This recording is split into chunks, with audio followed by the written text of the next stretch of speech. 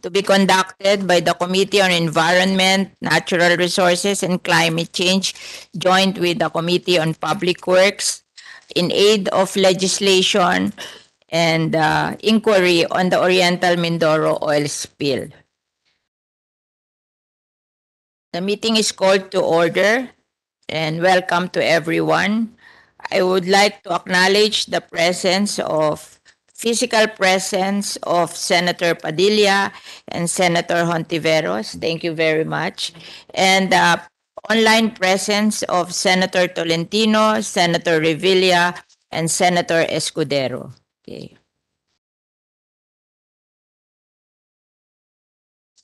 At this point, please allow me to recognize our committee secretary, Maria Clarinda Mendoza, to acknowledge our resource persons and other invited guests.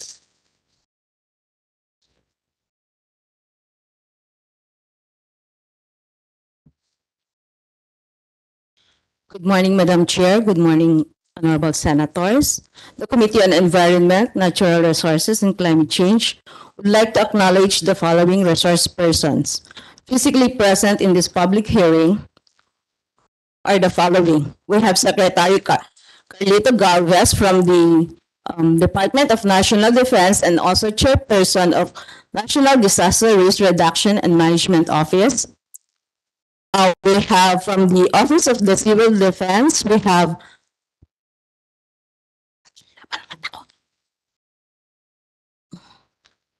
Civil Defense.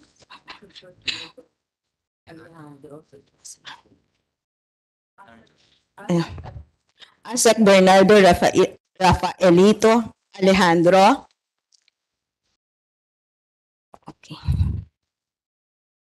From the Department of Environment, Natural Resources and Cla- uh, Natural Resources, uh, Yusek Marilu Ernie, uh, Undersecretary Augusto de la Peña, Undersecretary Ignatius Loyola Rodriguez, and Director Romy Rose Padin.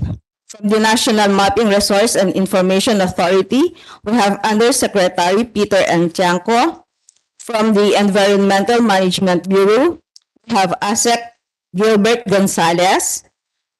From the Biodiversity Management Bureau, we have Assistant Secretary Marshall Amaro Jr. From the um, Maritime Industry Authority or Marina, we have Attorney Hernani Fabia. From the uh, Philippine Coast Guard, we have Deputy Commandant for Administration, Vice Admiral Ronnie Hill Gavan, and Vice Admiral, Admiral Robert Patrimonio.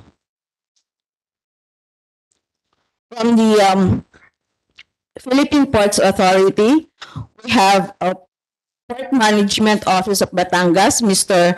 Joselito Sino Cruz, and Attorney Mark John Palomar, uh, from, also from um, Port Management Office, Bataan, Mr. Mr. Albert Francis Goles. Um, no, okay. And from Philippine Ports Authority, we have Attorney Mark John Palomar, yes. Um, okay.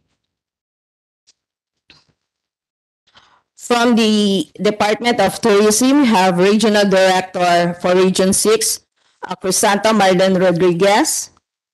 From the Department of Labor and Employment, Assistant Regional Director for Region 6, Attorney Dax Villaruel. From the um, Philippine National Police, we have Police Colonel Romel Javier, and together with Police Colonel Oliver Tanseco and Police Lieutenant Colonel Melvin Laguros. From the local government units affected by the oil spill, we have from the province of Oriental Mindoro, Governor Humerlito Dolor. From the municipality of Nauhan, Oriental Mindoro, we have Mayor Henry Joel Teves. From the municipality of Pola, Oriental Mindoro, we have Mayor Jennifer Cruz. From the municipality of Gloria, Oriental Mindoro, we have Mayor Herman Rodeher- Rodeherio. From the municipality of Bungabong, Oriental Mindoro, we have Mayor Elio Malaluan. Nandito lahat eh. Uh, virtually present in this public hearing are um, from the uh, Department of Health, we have Dr. Adora Reyes. From the Pag-asa, we have Mr. Juanito Galang. From the um, uh, Philippine Coast Guard, the officer in charge, we have Rolando Luzor Punzalan. Yeah. Okay. Wala yung ship owner. Wala yung ship owner. Okay. From the United Filipino Seafarers, we have Engineer Nelson Ramirez. From the um, civil societies, we ha- um, we have Attorney Gloria Estenso Ramos from the Oceania Philippines. From the Green uh, Greenpeace Philippines, we have Mr. Jefferson Chua. And from the academy, we have Dr. Irene Rodriguez and Dr. Cesar Villanoy from the UP Marine Science Institute.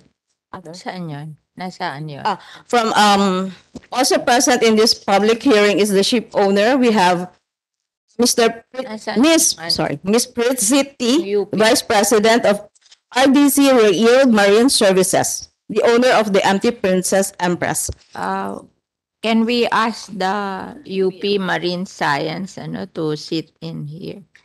In front. Nasaan Yes, Madam sila? Chair. Nasaan sila? Online ba? Online ba?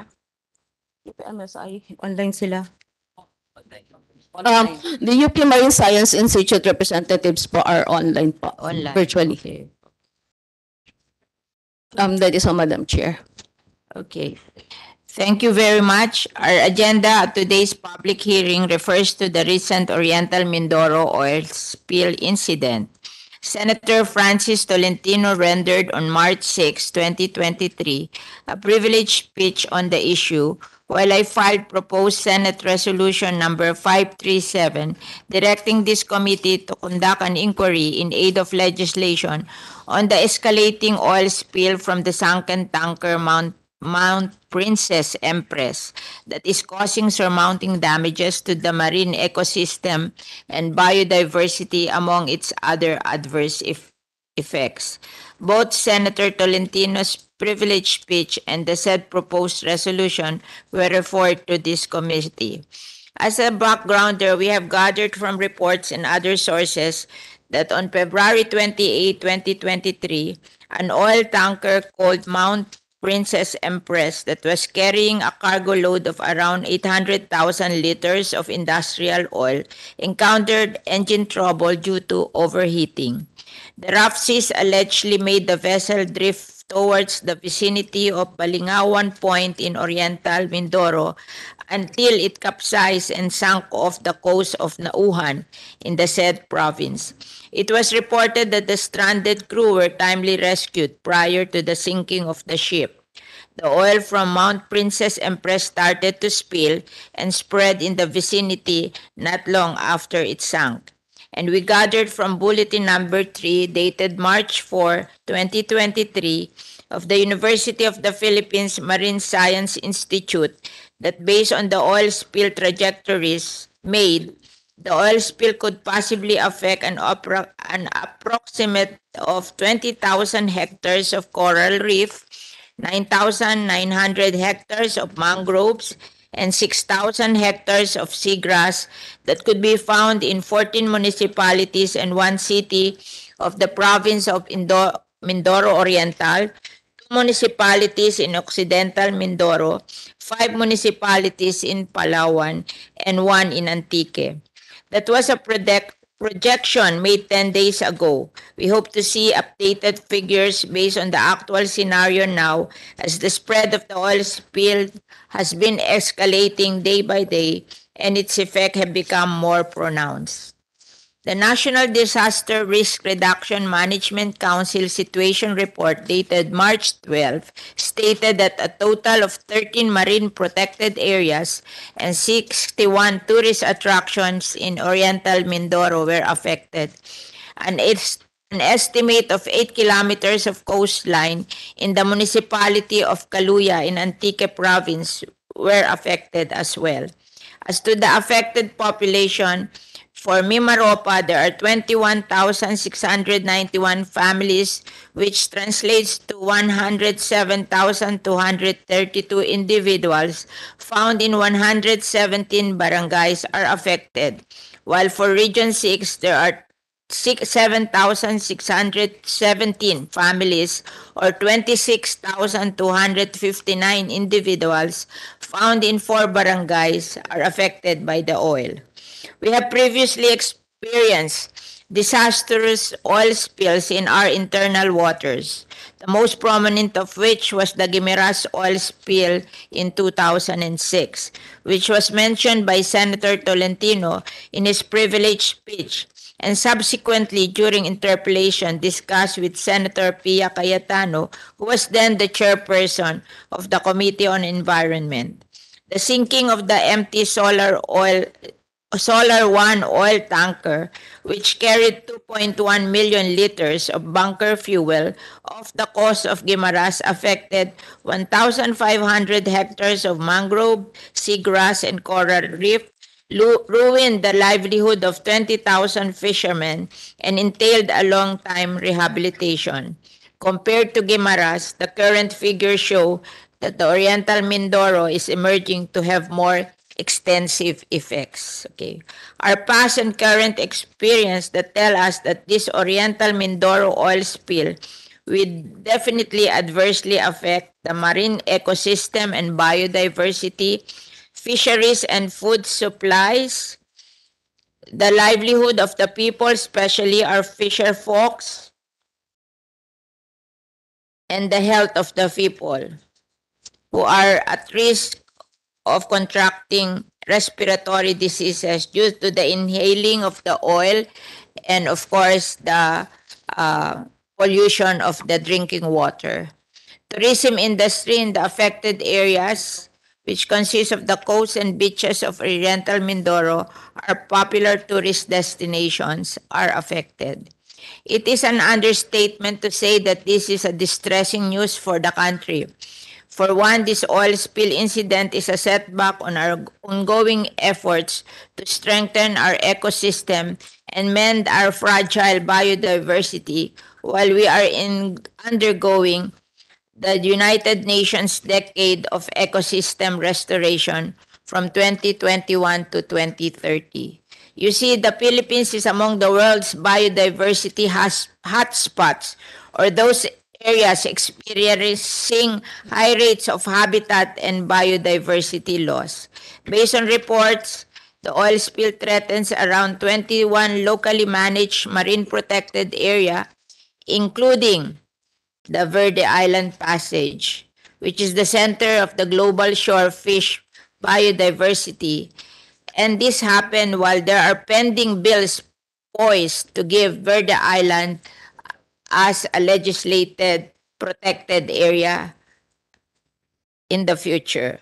Moreover, as the people are still inching towards recovery from the pandemic, it appears unwarranted for the residents of the provinces and municipalities in Mimaropa and Region 6 affected to be subjected to additional hardship because of the oil spill. There is an urgent call for the public from the public for the ship owner and the national government agencies concerned to contain the oil spill in the most expeditious way possible. Time is of the essence in order to avert further and irreparable damages. Sure, it will not be easy, but we have the National Oil Spill Contingency Plan in place. There is technology in the application of containment containment booms, skimming of oil, siphoning of oil, use of sorbents, and it, it is safe the use of chemical dispersants to break down the oil. The private sector has significant has significant signi- signified willingness to help. It was also reported that Japan and the US, who have experts in oil containment and recovery, signified willingness to help too. We hope to learn and see what will be the calibrated actions of our relevant government agencies towards the goal of oil containment. However, while it is the oil containment which seeks urgency, the following relevant questions has also been raised. How are the affected residents, especially those who have lost their livelihood, being assisted? How will they be compensated for the disruption and damages they are suffering? Senator Tolentino has raised the issue on seaworthiness. Did our regulatory agencies such as Marina and the Philippine Coast Guard exercise appropriate judgment in according seaworthiness to Mount Princess Empress? Did they take into consideration the probable circumstances such as the oil spill and were the presence of maritime protected areas in the vessel navigational route taken into consideration? Senator Legarda has raised the issue of whether maritime mishaps are happening because our maritime enforcement agencies are lax in implementing our maritime laws. Are vessels with poor condition allowed to ply out sea, ro- sea routes? Senator Pia Cayetano pointed out that there exists an oil pollution management fund created under RA 9483 or the Oil Pollution Compensation Act of 2007, which is the law she championed in the aftermath of the Guimaras oil spill. Is that fund intact and ready to be used during oil spill occurrences? Those are some of the relevant, relevant questions begging for answer. We will now hear from our other senators who may wish to give their opening statement as well. But uh, mag-opening statement ba, senators, or yung ano na? Uh, Madam Chair. So, Madam Chair. Yes. Yeah, uh, we will give the first uh, chance to Senator Tolentino, who is in Camarines Sur, and he is afraid that the online, his online presence might not be continued. So he wants to give his uh, uh, opening statement now. Thank you, Madam Chair. Uh, uh, First of all, I'd like to apologize to the members of the committee as well as the resource persons present that I'm not physically present because I, I have several times postponed this trip to Camarines Sur and I'm here in Gainza, Camarines Sur right now. But at the outset, uh, Madam Chair, I'd like to thank you for uh, hearing the content of my privileged speech delivered last March 6 uh, this year together with your uh, proposed resolution. Madam Chair, talaga po nakakalungkot at uh, ang dami pong tatamaan na fish sanctuary sa Nauhan, Tuhod Fish Sanctuary, sa Pola, yung Bakawan Fish Sanctuary, St. Peter Darak, sa Pinamalayan, among others, Ra- Ranzo Fish uh, Sanctuary sa Gloria, uh, yung Tambok Eh, Fish uh, I want to inform the senator Sanctuary among Senator Tolentino that they are all here, the mayors of those towns in ano in uh, Negros Oriental. They are all here now in the session hall. Uh, Neg uh, Mindoro Oriental. They are all now here in the session hall.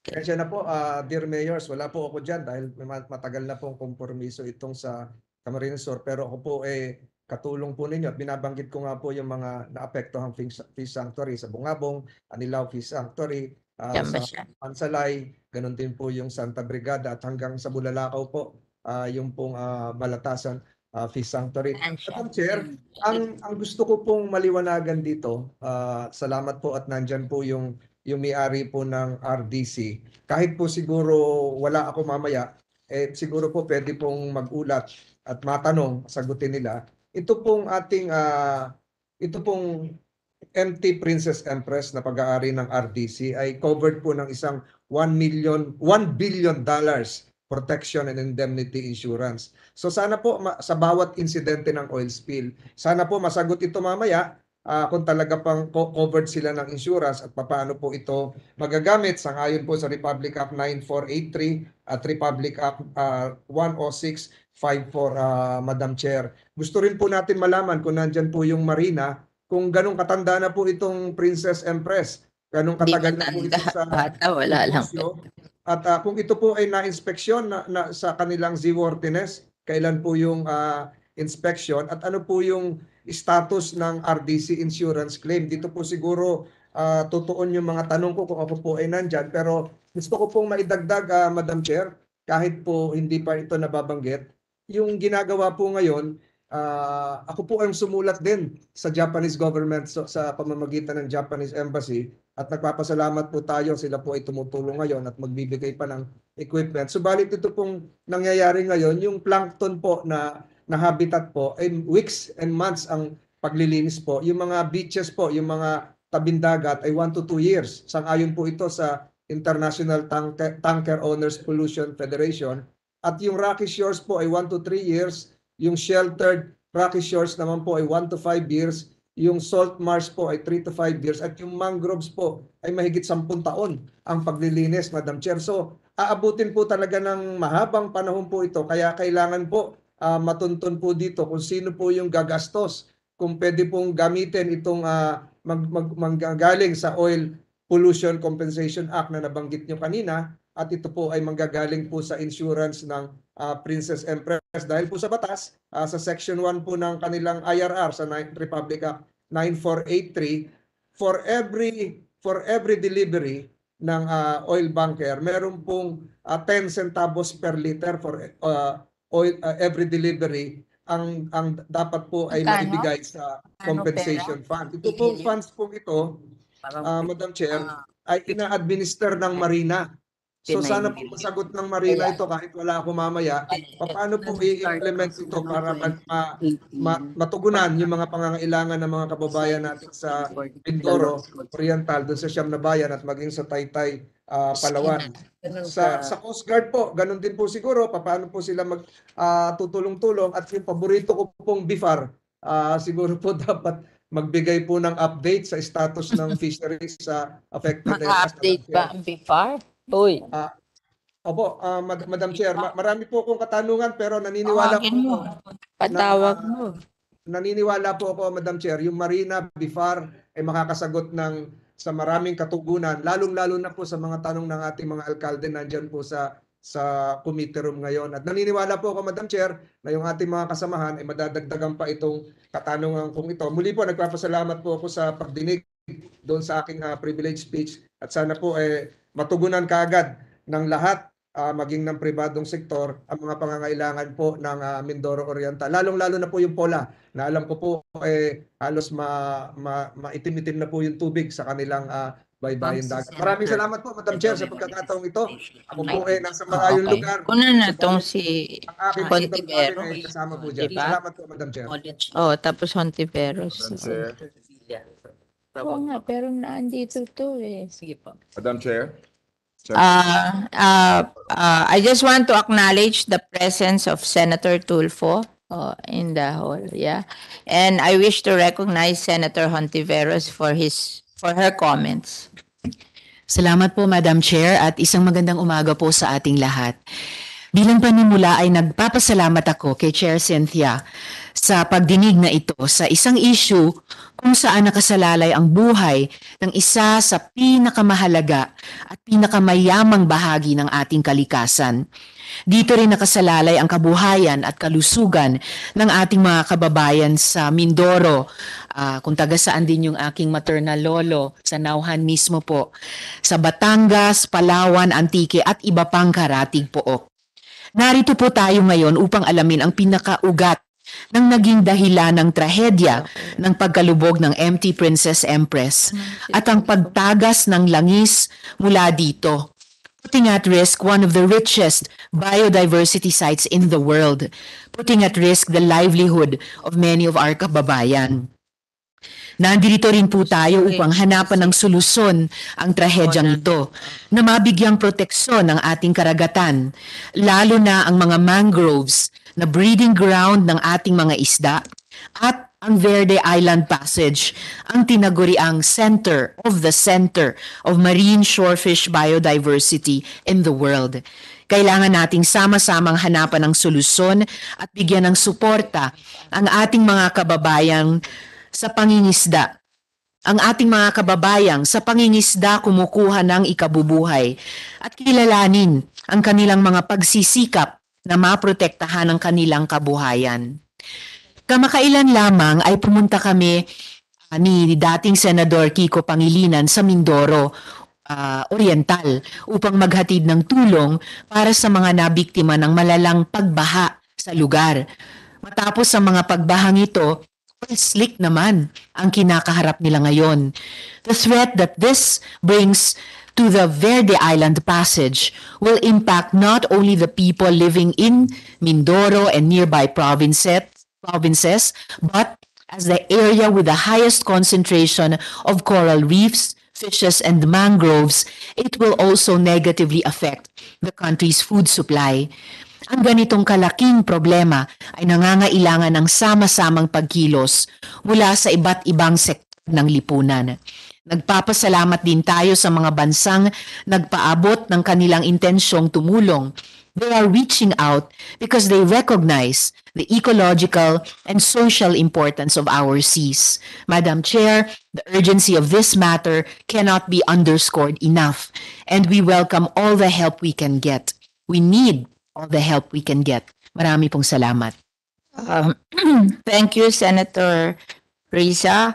Uh, we now call on uh, Senator Revilla to make his comments. Online. Yes, uh, thank you, ma'am. Uh, good morning to our very able chairperson, Senator uh, Cynthia Villar, Oh, colleagues, guests, resource persons.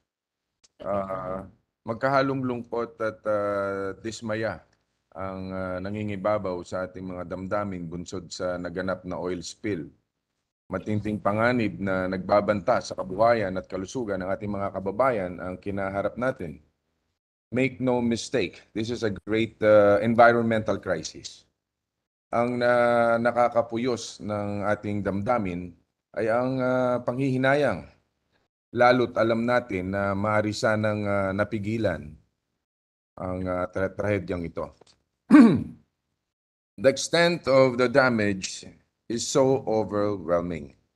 Nakakapangilabot at uh, na malaman ang lawak ng, ng nasira sa ating uh, likas na yaman na alam nating uh, pinaghuhugutan ng kabuhayan ng maraming mga Pilipino. Uh, in just a span of two days after the incident, the Philippine Coast Guard uh, reported, reported that the oil spill was already six kilometers long and four kilometers wide, covering an area of 24 square kilometers. Madam Chair, that is already 41 times size of Luneta Park. Kung uh, Bigyan mo yung ano, bigay mo uh, sa akin ang pangalan. Nung unang dalawang araw ng insidente, ganyan ang kalaki ang sakop ng pinsala. Imagine how much worse the, the damage is almost uh, two weeks later without uh, clear and immediate plans to remedy. it. comment pa siya. Magre-report Ang siya. unang kasama kalikasan dito. ay patuloy na nagdurusa sa bawat segundo Eh, na tanong ang mabagal na pagkilos uh, Oh. ay nangangahulugan lalong pagkawasak nito. Ah, dagdag pa dito ay ang dumadaming bilang ng mga apektadong kababayan natin na nagkakasakit. Alam natin ang panganib sa kalusugan ng oil spill. Pero higit pa riyan ang banta sa hanap buhay ng mga na mga mangingisdang ah, humuhugot ng pagkakakitaan sa katubigan. Ang ah, nakakapang ah, lumong balita nga ay hikaws na hikaws, hikaws na ang ating mga kababayan doon. At ah, silang tagahuli ng makakain, silang mga walang makain. Ang turismo, bagsak. Hindi lang ah, kalikasan ng nawasak, pati buhay at kabuhayan ng mga tao sobrang lagapak. Ah, labis ng ah, nakakaalarma ang pangyayaring ito. But ah, but we are already here. A point of no return for our for our for, for our once pristine and blue seas. The damage has been done. Be that as it may, we cannot remain unfazed by the threats to our environment for the oil spill. Kagyat na aksyon ang kailangan upang supilin ang pinsala sa lalong madaling panahon. Madam Chair, let me reiterate that we should tighten the regulation on ships and tankers that we will allow to voyage our seas. Kung sa inspection pa lamang, kulang na tayo pa para bang ah, sinadya na rin natin na mangyari ito. Pasensya na po kayo kung ah, mapangahas ko itong sasabihin.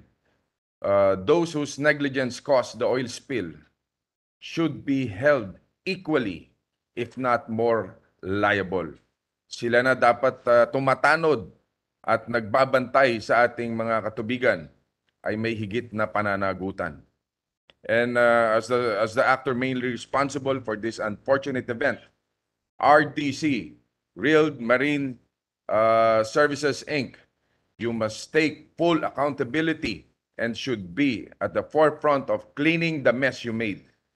Hindi pwedeng ah, hahayaan na lang nila ito. Ang sasagot ay problemang dinulot nito. Huwag nyo na lang gawing excuse yung insurance ninyo. Hindi matatapatan ng bilyon-bilyon no, ang ah, damage sa ating karagatan. Dahil kailanman na hindi niyan maibabalik at hindi niyan kayang tumbasan ang likas na yaman na nasira. Tingnan, tingnan nyo sa mata sa mata ang mga mangingisda na na, magka, na hindi magkanda ugaga sa paghahanap ng uh, madidilensyahan dahil sa kumakalam na sikmura ng kanilang mga pamilya. For everything that you do or fail to do, the consequences will be borne by uh, by your conscience.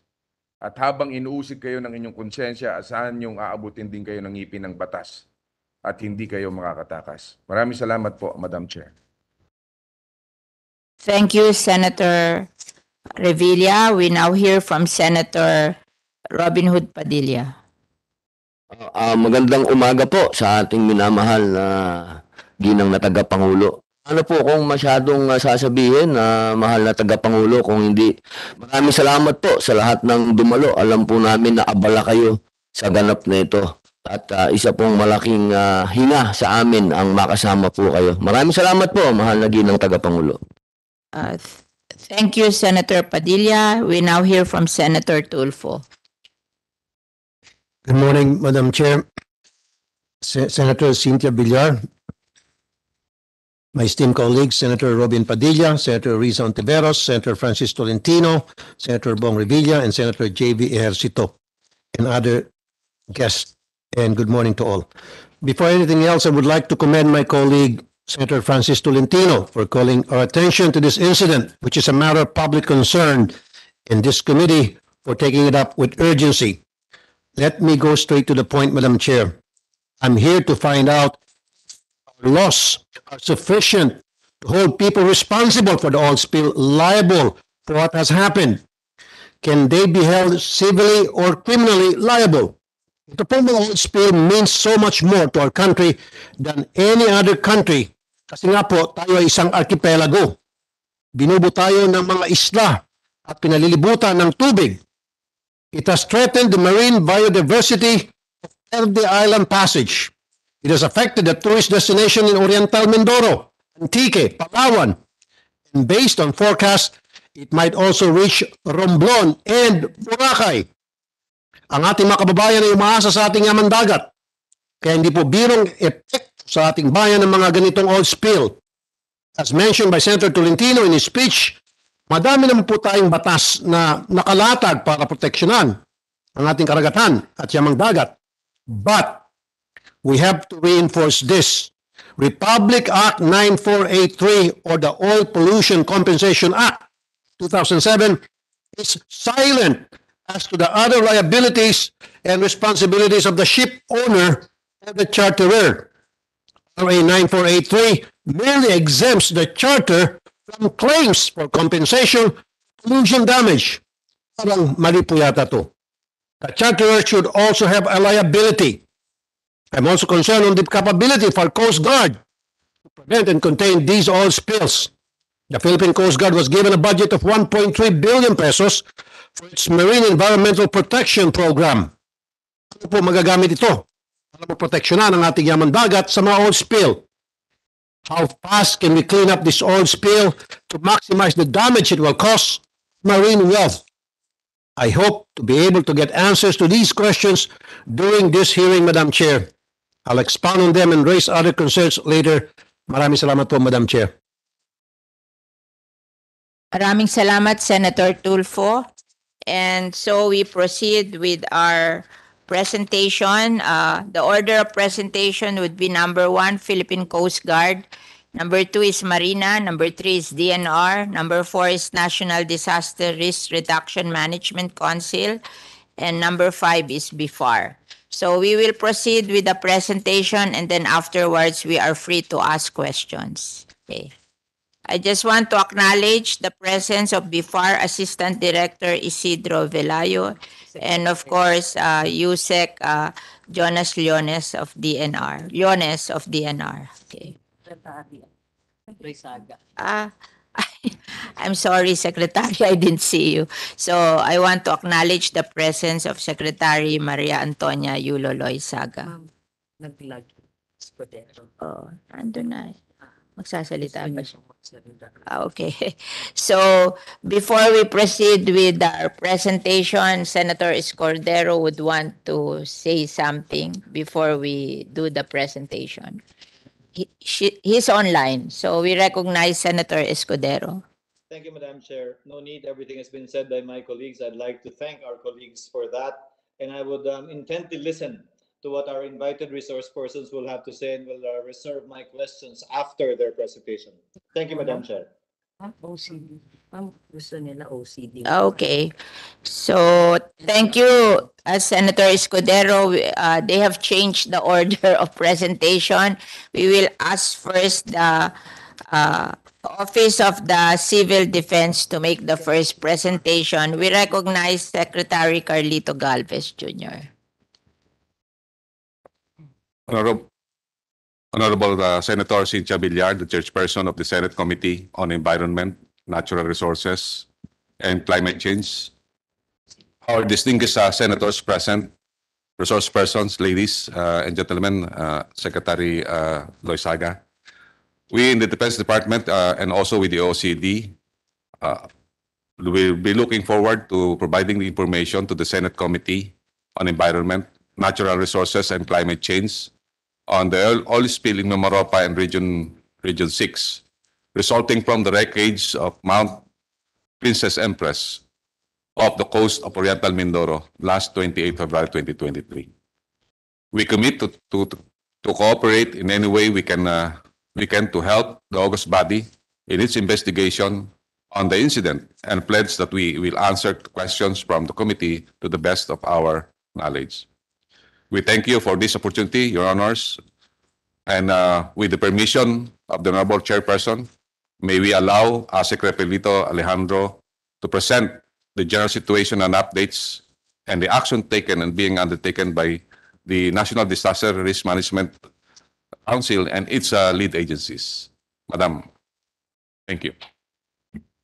Thank you, uh, General Galvez. We, uh, Secretary Galvez, we recognize ASEC Alejandro. Thank you, Madam Chair, and to the members of this uh, August body. Allow me to present the update on the effects of the oil spill in Memoropa and Region 6. My presentation will cover the following, this, the situation overview, effects, and lastly, the actions taken.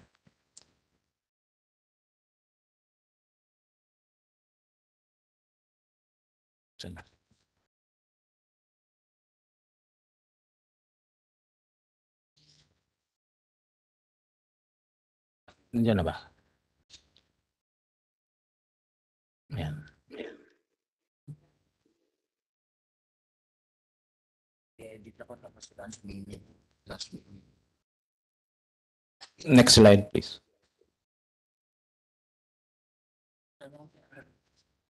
Next slide. To start, allow me to begin with the situation overview. We will now discuss the timeline of events of this incident.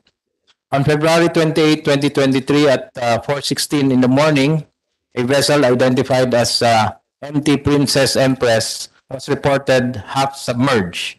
The vessel had 20 men on board and 800,000 liters of industrial fuel oil.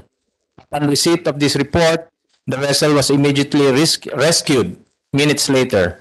All crew were all were reported to be in good physical condition after being rescued.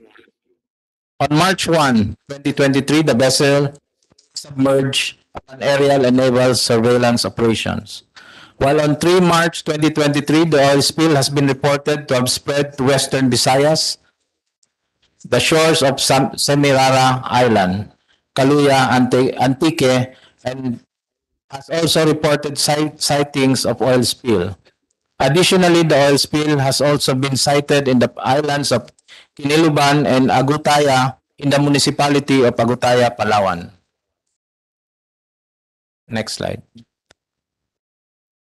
Shown here is the slide. In the slide is the map areas affected by the oil spill using the PhilAware program. A 10 to 40 kilometer radius impact, yeah, impact projected from DNR was included in this map. Meanwhile, the areas with confirmed effects were marked as red. Next. The same are plotted as indicated in this slide. Further, the image also included the trajectory model from the UP Marine Science Institute. To expand further on the projection, the area was focused on the location of the tanker. Most of the oil is projected to end, end up along the coast of Polo Bay.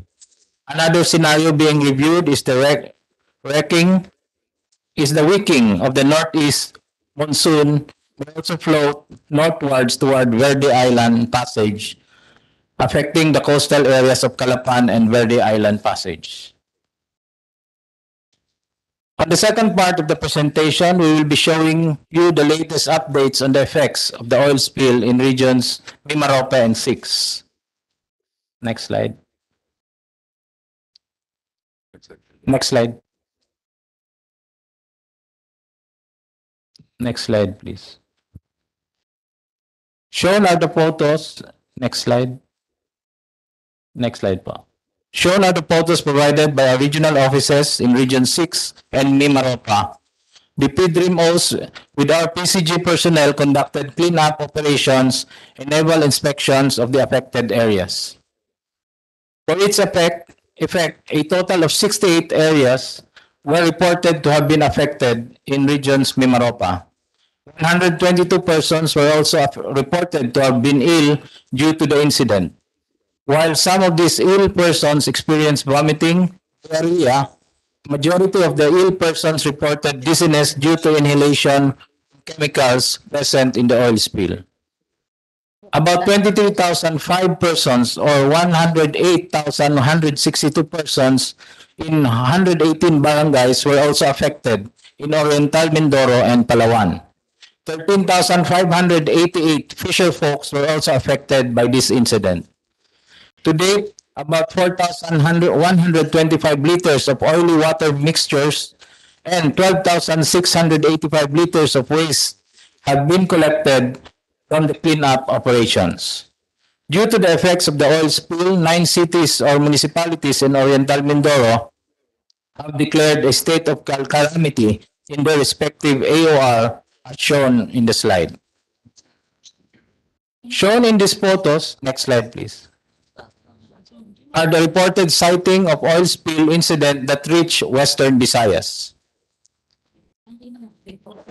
Next slide. The effects in Region 6, three areas in Antique have been reported to be affected by the oil spill. It affected 8,387 families or 30,226 persons in Kalia, Antique. 66 fisher folks have also been affected by this incident. A state of calamity was also declared in the said municipality. For the cleanup operations, about 3,100 liters of oily water wa- was collected. Plan and make appropriate action to deal with the situation. As a result, a task force was created to support the efforts of the DNR and the Philippine Coast Guard. This task force is headed by our OCD Regional Director of Mimar- Mimaropa. We would like to acknowledge the strong leadership of Governor Dolor of Oriental Mindoro in spearheading and in, in spearheading the response effort in the province. Next slide. Shown in this slide are the particular items and cost of assistance provided by the OCD with the assistance for, of our logistics partners. These include water filtration systems or units, N95 masks, fuel, hard hats, goggles, gloves, suckling blankets, shelter, tarpaulins, bottled water, and hygiene kits. Meanwhile, on the slide, next slide, please. Meanwhile, on this slide are the actions undertaken by the RCD Marine Field Service Incorporated.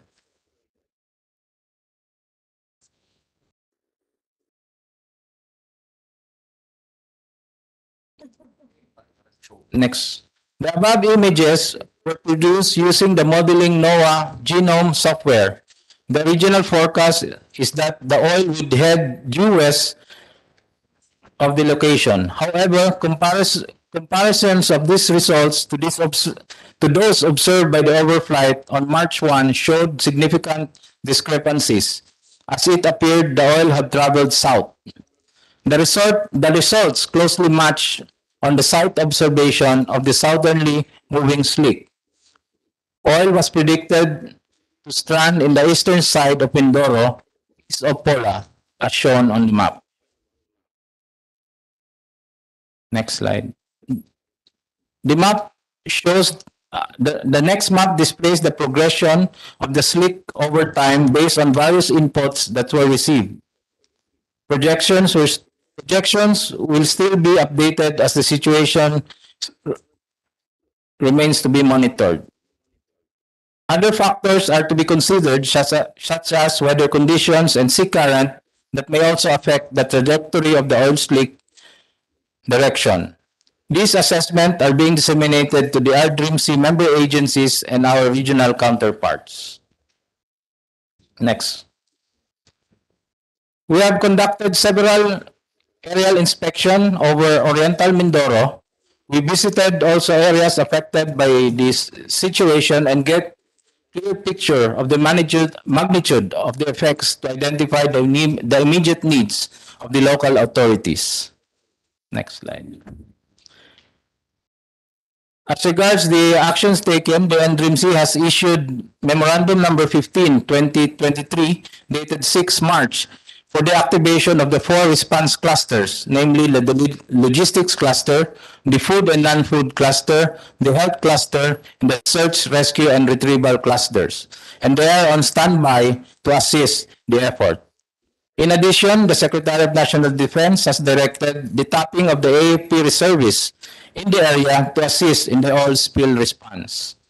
Moreover, the NDRIMC has recommended to the Office of the President the accept, the acceptance of assistance from Japan, the United States, and South Korea. That ends my presentation, Mr. Chair. Thank you, OCD. Uh, we now hear from the uh, Philippine Coast Guard for their presentation. Thank you.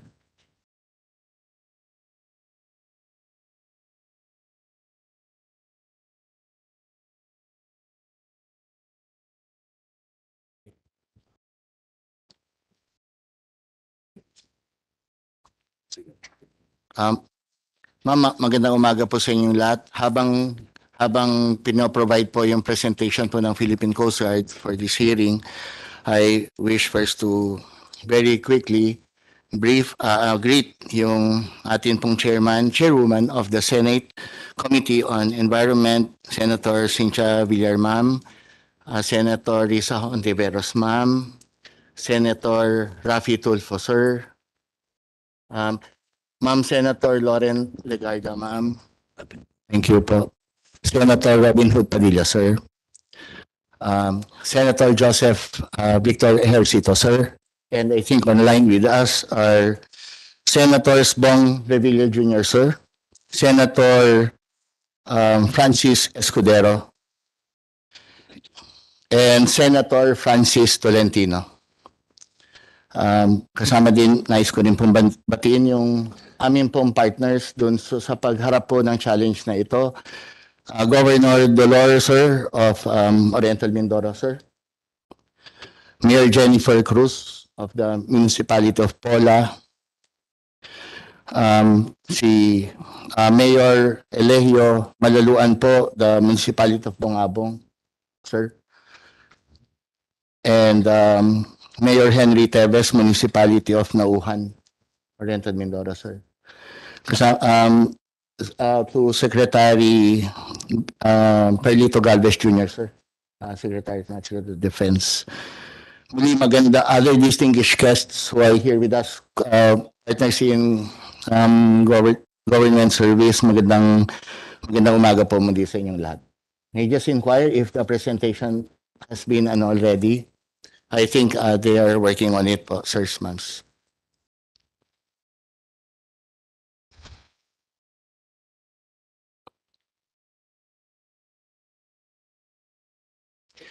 Nais ko po din po na i uh, po yung aking mga kasamahan dito, sir, part of Coast Guard leadership with us today. Ah, katabi ko po dito si Coast Guard Vice Admiral Ronnie Hill Elgaban. Siya po yung Deputy Commandant for Administration ng Philippine Coast Guard. Kasama po natin ang Commander ng Marine Environmental Protection Command, si Coast Guard Vice Admiral Robert Patrimonio. Um, and kasama po natin ang Commander ng Maritime Safety Services Command, si Coast Guard Vice Admiral Joseph Coime. Sa uh, ipanapaabot po ng aming commandant, yung kanyang pamingin, he was not able to, he will not be able to make it today sapagkat po meron pong um, conference sa Regional Cooperation for Armed Robbery and Piracy sa Singapore. At um, kung kaya't ah, kami po, ah, ang lakas ng Coast Guard po na nandito po ngayon. Salamat po sa inyong pag-unawa. Um, I think the presentation is ready, so um, ma'am, sirs, makikisuyo na lang po.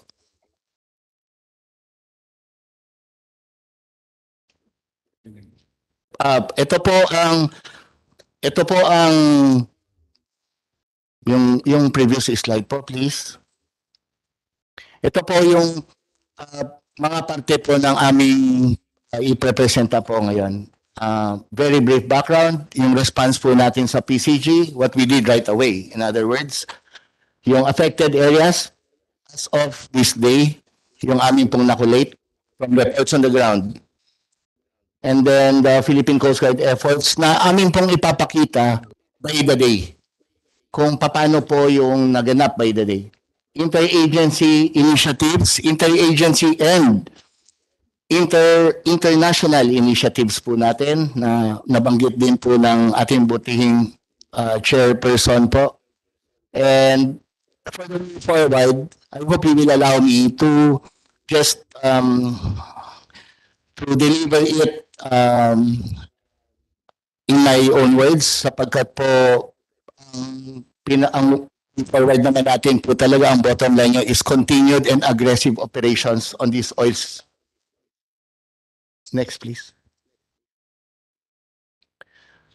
Ang nakikita po natin dito ay ang natuntun po na location. Katulad po ng ini-report din po kanina. At nakasaad din po dito na yung barko ay nanggaling ng Bataan papunta po ng Iloilo. At noong hindi ko makita eh. Noong ah, Sunday, nung Sunday po ay lumayag siya. At nung Tuesday, naganap po yung trahedya ng kanyang paglubog. 28 February. Next slide please.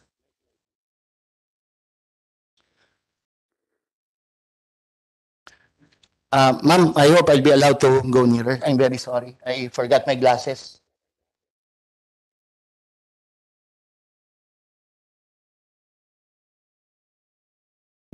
If I may continue po, thank you very much.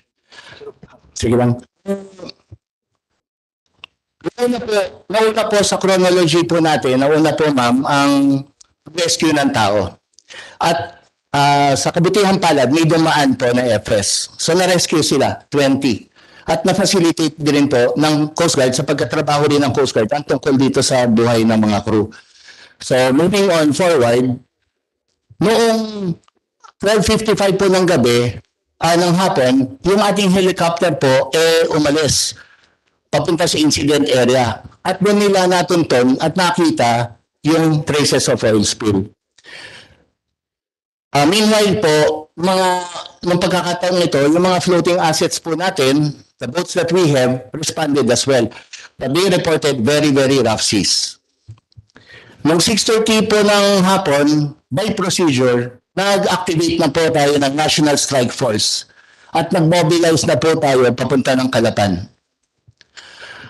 Um, noong, nung na-receive, na-receive yung, yung report ng distress, kaya po ang Oriental Mindoro na station, substation ng Kalapan. Ang SAU, yung divers po natin ng Kalapan, ang Marine Environmental Protection Unit Oriental Mindoro, ay lahat yung nagtungo upang makita kagad yung assessment at mailatag kagad yung nakarampatan na na pag-responde po. Next, please. Thank you very much. So, ituloy po natin. Nag-deploy ulit po, ah, nag-deploy po tayo ng helicopter para mag-aerial surveillance. Yung barko po natin 97 meters, yung galing po ng Japan, ay proceed po sa area. Ma makita at magkaroon tayo ng maraming sources ng assessment. Yung strike force po natin ng oil spill, eh na mobilize at na proceed po sa Oriental Mindoro. Next slide, please. Noong day 2, yung ating Marine Environmental Protections ma Marine Science Investigation Force ay sumakay ng ating Islander 251 para po pumunta doon sa um, Oriental Mindoro. Yung Crisis Management Committee po na uh, pinangungunahan, ah, pinangungunahan po ng inyong abang lingkod, eh create din po kagad.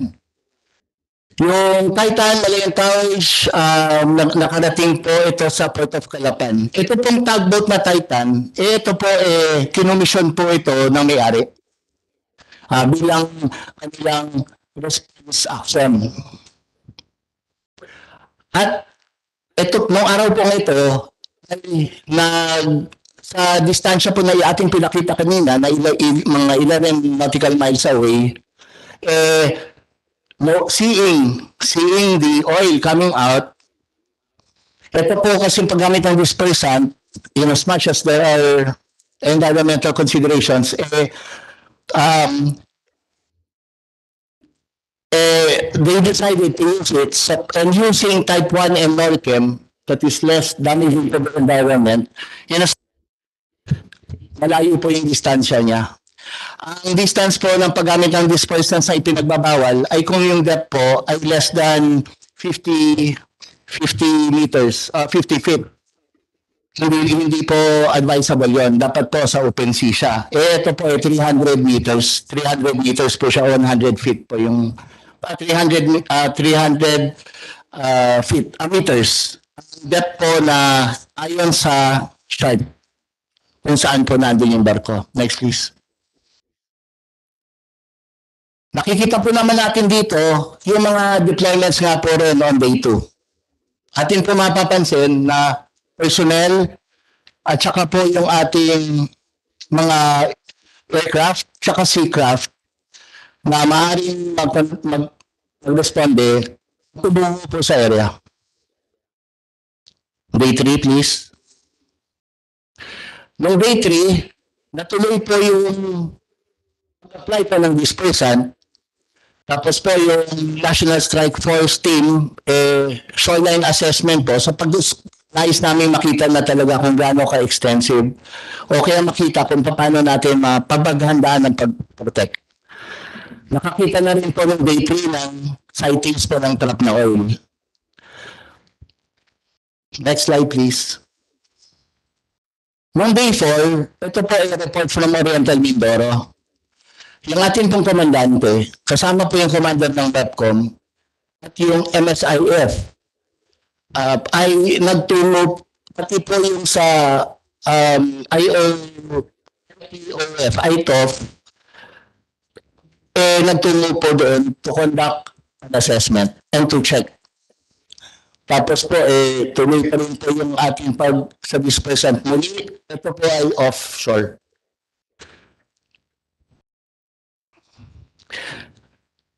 Samples rin po eh kinuha. Kumuha na rin po ng samples. At ah, dito po nagsimula yung proseso na pagkuha ng sample at para makita po kung anong type ng oil na yung nakukuha kung ah, kung magmamatch po siya doon sa oil ng tanker. Next please. Nakabanggap na rin tayo ng B4 po. Ito po ay ng 03 March. Ang ulat na ito from Antique. Noong hapon po ng 23 March, uh, 03 March, nakakita na po ng oil slicks sa shoreline sa barangay Tinogbok, Calaya, Antique. But not as much as that uh, what was seen in Oriental Mindoro. Nagkaroon pa ng konferensya, nag-designate na rin po ng oil spill response team o naglagay na rin sa Coastal District Western Visayas kung saan sinasakop po ang Antique. Next please.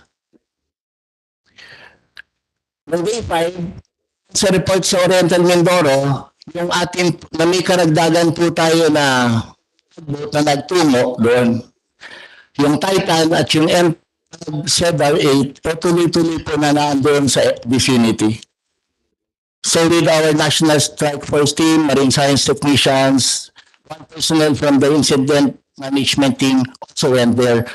With the indulgence of this August body, yung day-by-day accounting po of how many were collected will be provided po, sir. Meron po tayong general idea of the results of the actions taken. Next slide, please.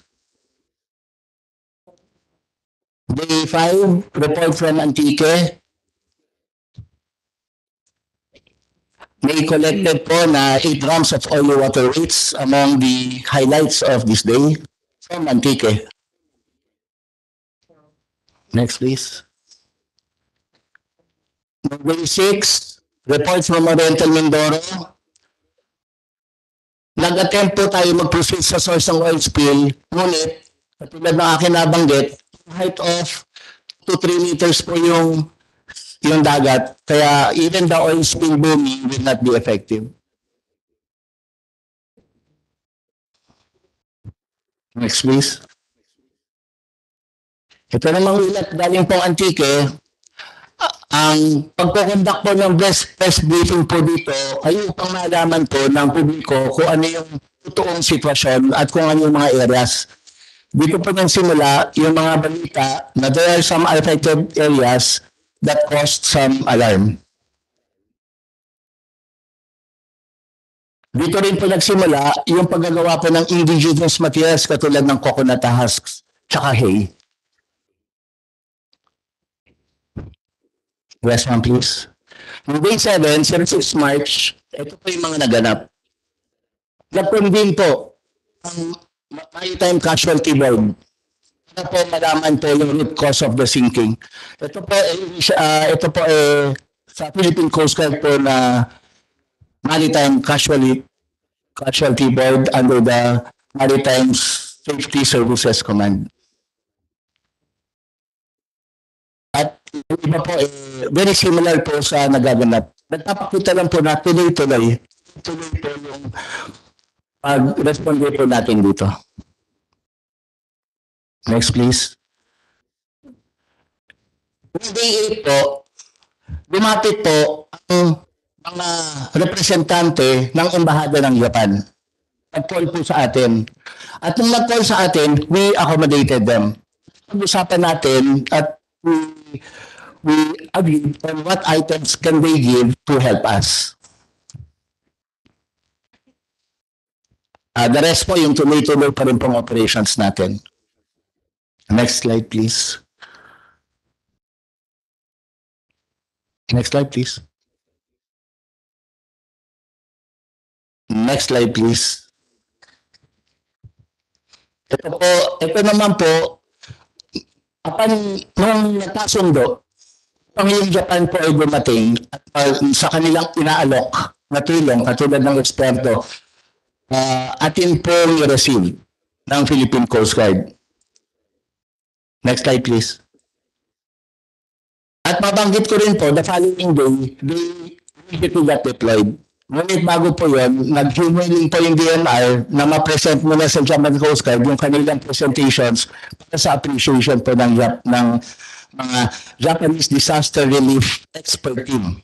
Naganap po yun ng 8 o'clock ng Sabado ng umaga. That's this Saturday.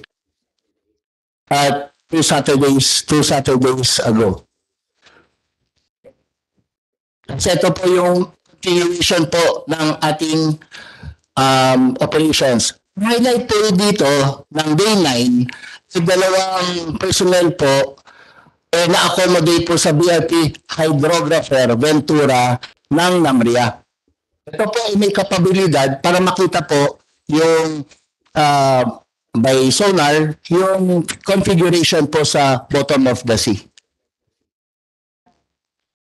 And then, co- shoreline cleanup continuously aggressive po. Next slide, please.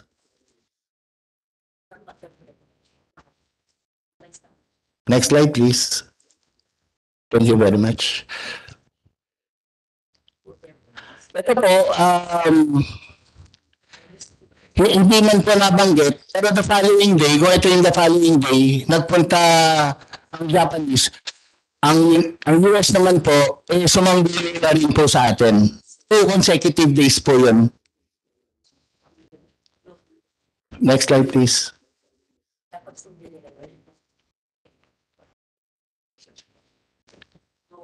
Ito po ang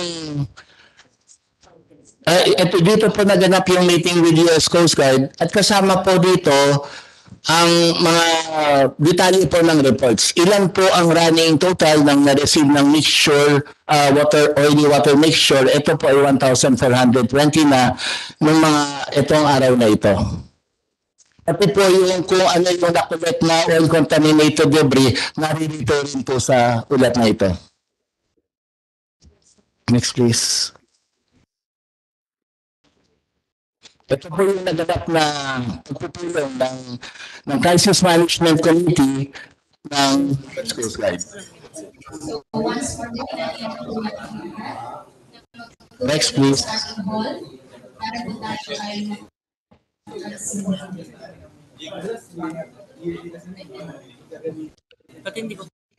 Nung day 12 po, dahil nakikita na natin, kailangan ng paghandaan yung ating legal actions, nagpadala na po ang Coast Guard ng legal team.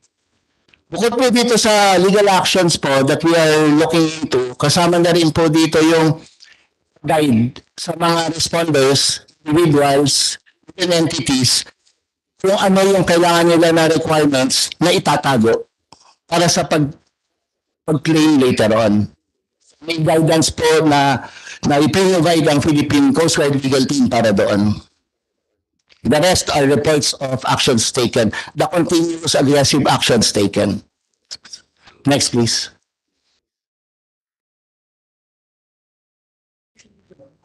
Day 13, yung Japan Disease Re- Relief Equipment po dumating, tapos po insinakay po sa BRP corridor ng Philippine Coast Guard. So ito po yun, uh, umalis sila day 13, I think was a, um, 12 March, I think was a Sunday or Saturday. So it's a Sunday, so despite it being a weekend, we were operating. May karga and then they arrived Monday morning. Kaya by now, nandun na po yung supplies of the Japan Disaster Relief Expert Team. And it was described further with 60 boxes and cartons of items with a total weight of 5.1 tons na mga kagamitan. Next slide, please. Ang konsepto po naman kasi dito ay maibigay kagad ng mabilisan, maaksyonan, may provide. Then the rest can follow later as we continue assessing. Ang continuation po nito, sir, eh, 34 members ng NSF uh, Shoreline Cleanup eh, nagpunta sa mga lugar na ipinapakita at nakakolekta ng 1.14 cubic meter o kaya 1,000 kilograms ng oil contaminated debris, very similar to the earlier reports. Next slide, please. Well, day 14, um, yung 891 nga po natin, eh, ah, nakarating, di ba? Tama na. Sunday? Saturday pa, Sunday. Mm. Oh, Sunday, Monday?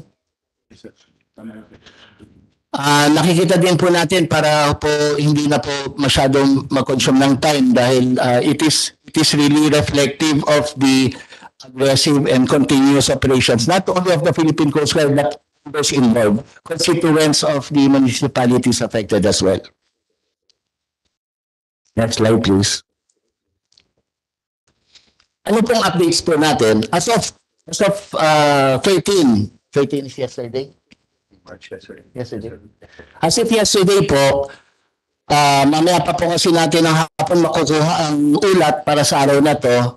A total of 5,206 liters of oily water mixture were collected. Commi- contaminated garbage of 115,295 kilos.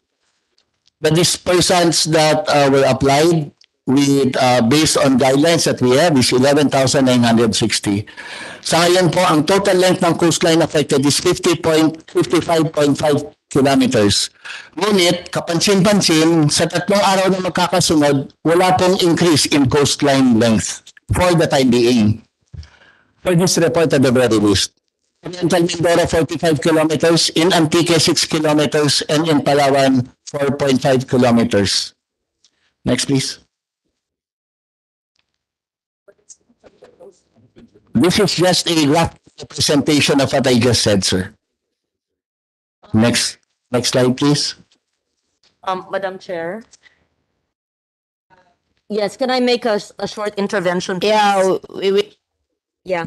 we wish to recognize the presence of uh, Senate Pro Tem uh, Lauren Legarda to make a uh, Just a very some brief- comments. A brief Okay. intervention. Um, I saw that there's fifty-five point five kilometers of coastline in three provinces, but we, of course, understand that it's not just the coastline. While we are concerned about that, it should also be the effects uh, into, into how many kilometers into the waters because the biodiversity affected and the catch of our fisher folks would not just be in the coastline. So we would need to know kung 55.5 kilometers total Palawan, Antique, and Oriental Mindoro, ilang kilometro towards uh, the sea ang apektado at uh, suma total ng uh, estimate ng um, ng uh, cost to our fisher folks. So also the offshore habitats like the coral reefs, like the migratory routes of our fish. So it's not just a matter of 55.5 kilometers, but also offshore, how many kilometers? Uh, I will probably see it in your report if it's not yet there. But if it's not in your report, that's very important to us. Uh, please. Thank you, Madam Chair. Thank you, Senator Lauren. Now you can continue. Yes, uh, we recognize Secretary Loisaga. Thank you, Madam Chair, and thank you, um, Ma'am Senator. Uh, we will have a report po, the DNR will have a report on the impacts on the habitats as well as the environments po. It's in our report. Okay, I take note of that and thank you for your intervention, Secretary Loisaga. What I mean is, it's not just the environmental or ecological or maritime report, but the effect on the livelihood and the catch prospectively of our people in these areas because the habitat of the fishes and other catch will be affected in the months, if not years to come. So it is important that we prospectively estimate the damage wrought by the oil spill. Thank you. Thank you, Madam Chair, if I may just add to, to our. Yeah, yeah. Uh, we will hear your report after the Coast Guard and Marina, and then it's uh, uh, the DNR. Madam Chair, Okay. pwede makasingit, Madam Chair. Yes, yes, Senator Tulfo. Medyo inaantok na ako ng konti, pero maganda yung napapakinggan natin sila, mga sinasabi nila, very important yun. However, may mga katanungan lang po ako kasi pinag-usapan dito yung mga affected na mga ah, livelihood ng mga uh, mangisda natin. Um, and I've heard na yung Dole, in fairness, nagbibigay ng ayuda sa pamagitan ng tupad. But that will take uh, weeks bago mabayaran sila. Yung immediate na ayuda siguro ang kailangan ng mga mangisda, yung mga estudyante nila, um, meron bang pera ng inilaan para dyan, emergency money. Wala akong narinig na meron. Pero ang kailangan kasi Madam Chair is cash assistance. Kasi yung tupad Madam Chair, tatabaon pa nila yan eh. And then after, started with Tupad, di ba? Uh, there, the one, the one cleaning the coastline would be the people from the place and they will be paid by I know, as opo. uh, employment. Opo, Madam Chair. Pero ang ibig sabihin, kasi po hindi sila nakapanghuli ng isda. Day to day po yan. The, the fishermen, they live day to day. So, wala silang huli ngayong araw na ito. Magtatabaho sila. Pero ano pong kakainin nila sa araw na ito? Bukas o isang bukas? Wala po. So, dapat meron pong cash assistance na binubus agad sa kanila. Yes. Meron ba? Meron ba? Yes, I- Uh, Madam Chair, if I may answer uh, our colleague Senator Tulfo, uh, probably it's not the Coast Guard, but uh, I share your concern about that. Dahil hindi lang to isang linggo, isang buwan, uh, maaring mas maaring mas mahaba. So, ang ahensyang sasagot niyan ay ang DSWD at ang DA, BFAR, kung anong supplemental income o alternative income para sa ating mga Hindi ba yung. NDRMC? uh, DS, uh, DNR would like to answer uh, Senator Tulfo. Thank Can you, we hear from. DNR? Thank you, Madam Chair. As of March 3 na po, uh, the coordination between DNR and DSWD was already ongoing. The funds have been downloaded and they're already part of a cash for work program. The funds has been downloaded, Madam. Eh, kailan po lalabas yung funds? Kasi ilang araw na po nagugutom yung mga mangisda. Sir, si Gov po. Uh, Gov. And I, Kasi, na- excuse me po, dapat po immediate ang action natin. The- on the first day na nangyari po itong kalamidad na ito, itong problema ito, agad-agad iniisip natin yung nawalang kabuhayan, yung walang, in, nawalang income sa ating mga mangisda, sa kanilang mga mag-aaral, yun po agad ang tinutugunan natin. Okay lang po yung hear Thank from you. the governor, uh, what have been downloaded to the uh, Mindoro Oriental? Thank you very much, uh, Madam Chair. I'm, I was um, expecting that we will be heard first before any report. Because of all of this, we are the receiving end. We are the receiving end. The problem is all about uh, oil spill, pero ang effect po sa amin. All the funds are coming from the national government, pero ang suntok sa amin. We just came from uh, COVID, local government. After COVID, for the past two and a half months, we have been suffering from shear line, from amihan. Baha po ang aming probinsya for the past two months. Ngayon, oil spill. Um, with due respect po, Madam Chair, I'd like to thank the President of the Republic for a very quick action on this as far as the directive of giving the national government support to the local government. It's supposed to be Coast Guard, not the local government. But I took the helm of leading the rescue, the response, and coordinating to everyone from the very first day. This is my 14th day acting as the incident commander, which I'm not supposed to do. I am the local government unit local chief executive. But because there must be someone to take over and take responsibility for all of this, as father of the province, I take the initiative. Good enough, Madam, Ma- Madam Chair. The President has given the go signal to call any cabinet secretary. The following day after March 3, Secretary Gatchalian was the first to confirm my request. Una pong dumating sa amin is 20,000 family put backs, which we have already completed distributing the first wave. And this is going to continue for the rest of one month. So dumating na po sa amin na, na food packs is more than 40,000. Of this moment, as I speak, Madam Chair, we have 102,000 individual Mindoreños who are directly affected by the oil spill, covering 20,465 families. Aside from the food box that DSWD is distributing, although kulang po at kulang talaga, hindi po siya makukompleto. Kasunod po nito is the Cash per Work program. Initially, the family at the, at the initial report as of March 3 is only 10,000. DSWD committed 10,000 worth of Cash per Work program for 15 days and another 15 days. However, the uh, effects so huge, it doubled.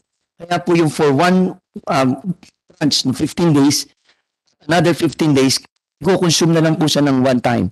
Mr. Senator, Madam Chair, we decided that the local government will take charge of trafficking the funds from the national government.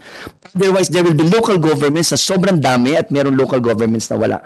As of this moment po, as I speak, ng oras na ito, the first batch of the Cash for Work program is being distributed, Senator, from DSWD.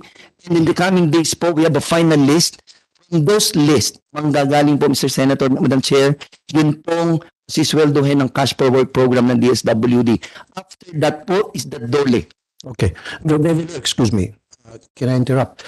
Okay, maganda narinig ko may mga food packs na dinistribute. Ano to, one time? Or Hindi po. Continuous? Continuous on a siya. daily basis? Amin, amin Food po packs? siyang, amin na po siyang trinafig. DSWD is for one month. Weekly po merong set. Weekly. Weekly po. Tapos, Ano po yung food packs? Uh, Ano pong nilalas na food packs? dilata, Okay, kompleto po siyang set. Supposed to be it's for four to five days consumption of a, of a family. okay. And then after that po, it's the turn of the provincial government on the So, fifth. sa saan galing po yung GOB? Yung... DSWD po yun. Okay. Nasa na po siya. Weekly, meron po. Meron po mat- natawag. Bawat residente. Bawat po affected dun sa official list namin. Meron po bang assistance? Yun po doon sa tupad? Meron po. Ito po yung cash for work program under DSWD. Originally po, it's good for 10,000 families. It, now, it will now become Eh, yun nga, 20,000. Sorry. Naintindihan ko po yung cash for work program. Yung po tatrabahoin nila bago sila magkas... Ah, ganito po. Katapos po ng... Ang me, agreement po namin, po. sige po. Katapos na magtrabaho, saka sila bibigyan ng cash. Maliban na lang kung cash advance and then trabaho. Ganun ba yung nangyari? Every five days po ang agreement namin. Magbibigay po, today po nagpapasweldo po sa first batch. Okay, so every five days. Every five days po ang pagbibigay. So merong food packs plus cash for work program. cash for work program. Yes po. Okay, so yan po yung support, support ng DSWD pati ng... Yung tudoli pong susunod. pong affected ng mga residente sa buong Mindoro? Uh, 20,465 families. That's equivalent to 102,000 pa individual. 102,000 individuals. So, enough po ba yung mga food packs to cover that 1,200, 102,000 individuals? Okay. Yun, families Or families. For families po, So, so the government is trying to um, uh, give assistance, pero it's not good enough. Kulang nga po. Yun po yung ibig sabihin. So, sino dapat ang magpupuno sa kakulangan na yon? Siguro po, yung po nag-cause ng aksidente, maliwanag naman po dapat. Very very very clear naman po, uh, Madam Chair, Mr. Senator. Ang local government, nagbigay kami ng listahan.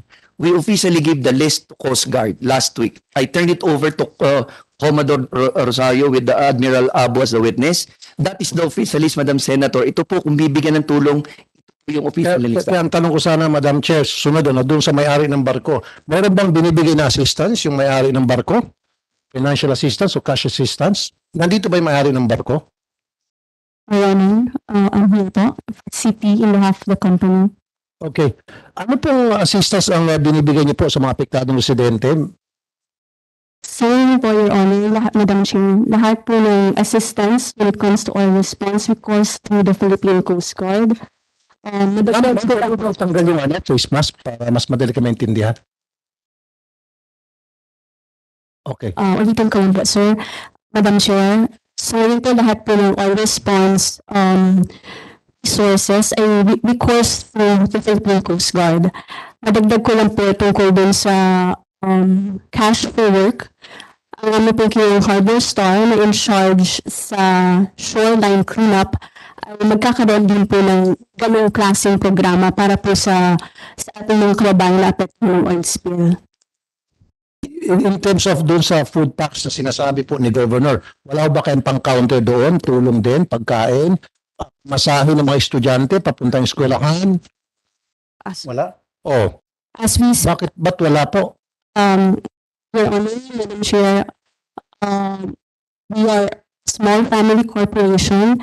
We're focused on oil spill response, pero ngayon po, as we speak, we are preparing our own initiative to help our kababayans by sorry, po, madam. Ah, Sorry, I know you're a small family corporation, pero dapat pinaghahandaan nyo. Meron dapat kayong pera nakahanda in case dumating ang isang hindi inaasahan tulad nito.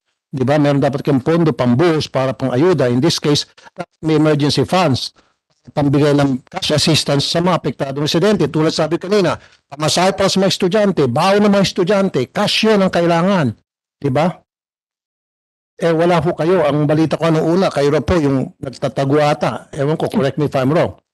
So dapat ma'am, makipagtulungan kayo sa mga taga-LGU. Kayo ba, uh, Gov, nakipagtulungan ba sa inyo itong ah, ah, company ng Imbarcom? We met once po and uh, we are, what we are asking is this, two, two, two, two things. The first one is on response, clean up. There, they are helping us together with Harbor Star and Malayan Towards.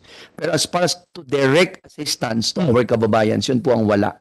Okay. And that's what we are asking sana, kasabay ng gobyerno kasi hindi po kaya ng gobyerno i-sustain. Masyado pong mabigat ito, Mr. Senator. Napakabigat po. Ang nire-request na lang po sana namin, baka po pwede kasi sabi ng representative kahapon, they are procuring. Ang request po sana namin, yung when are they distributing? Yun. Ma'am, pwede niyo sagutin yun? Ma'am Fritzy?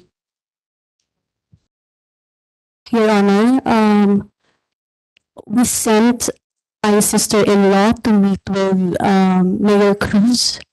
Think it was last week, and we specifically asked what they needed. Um, and during that time, we were collecting po data on what the people, uh, ano po yung pinakakailangan muna nila.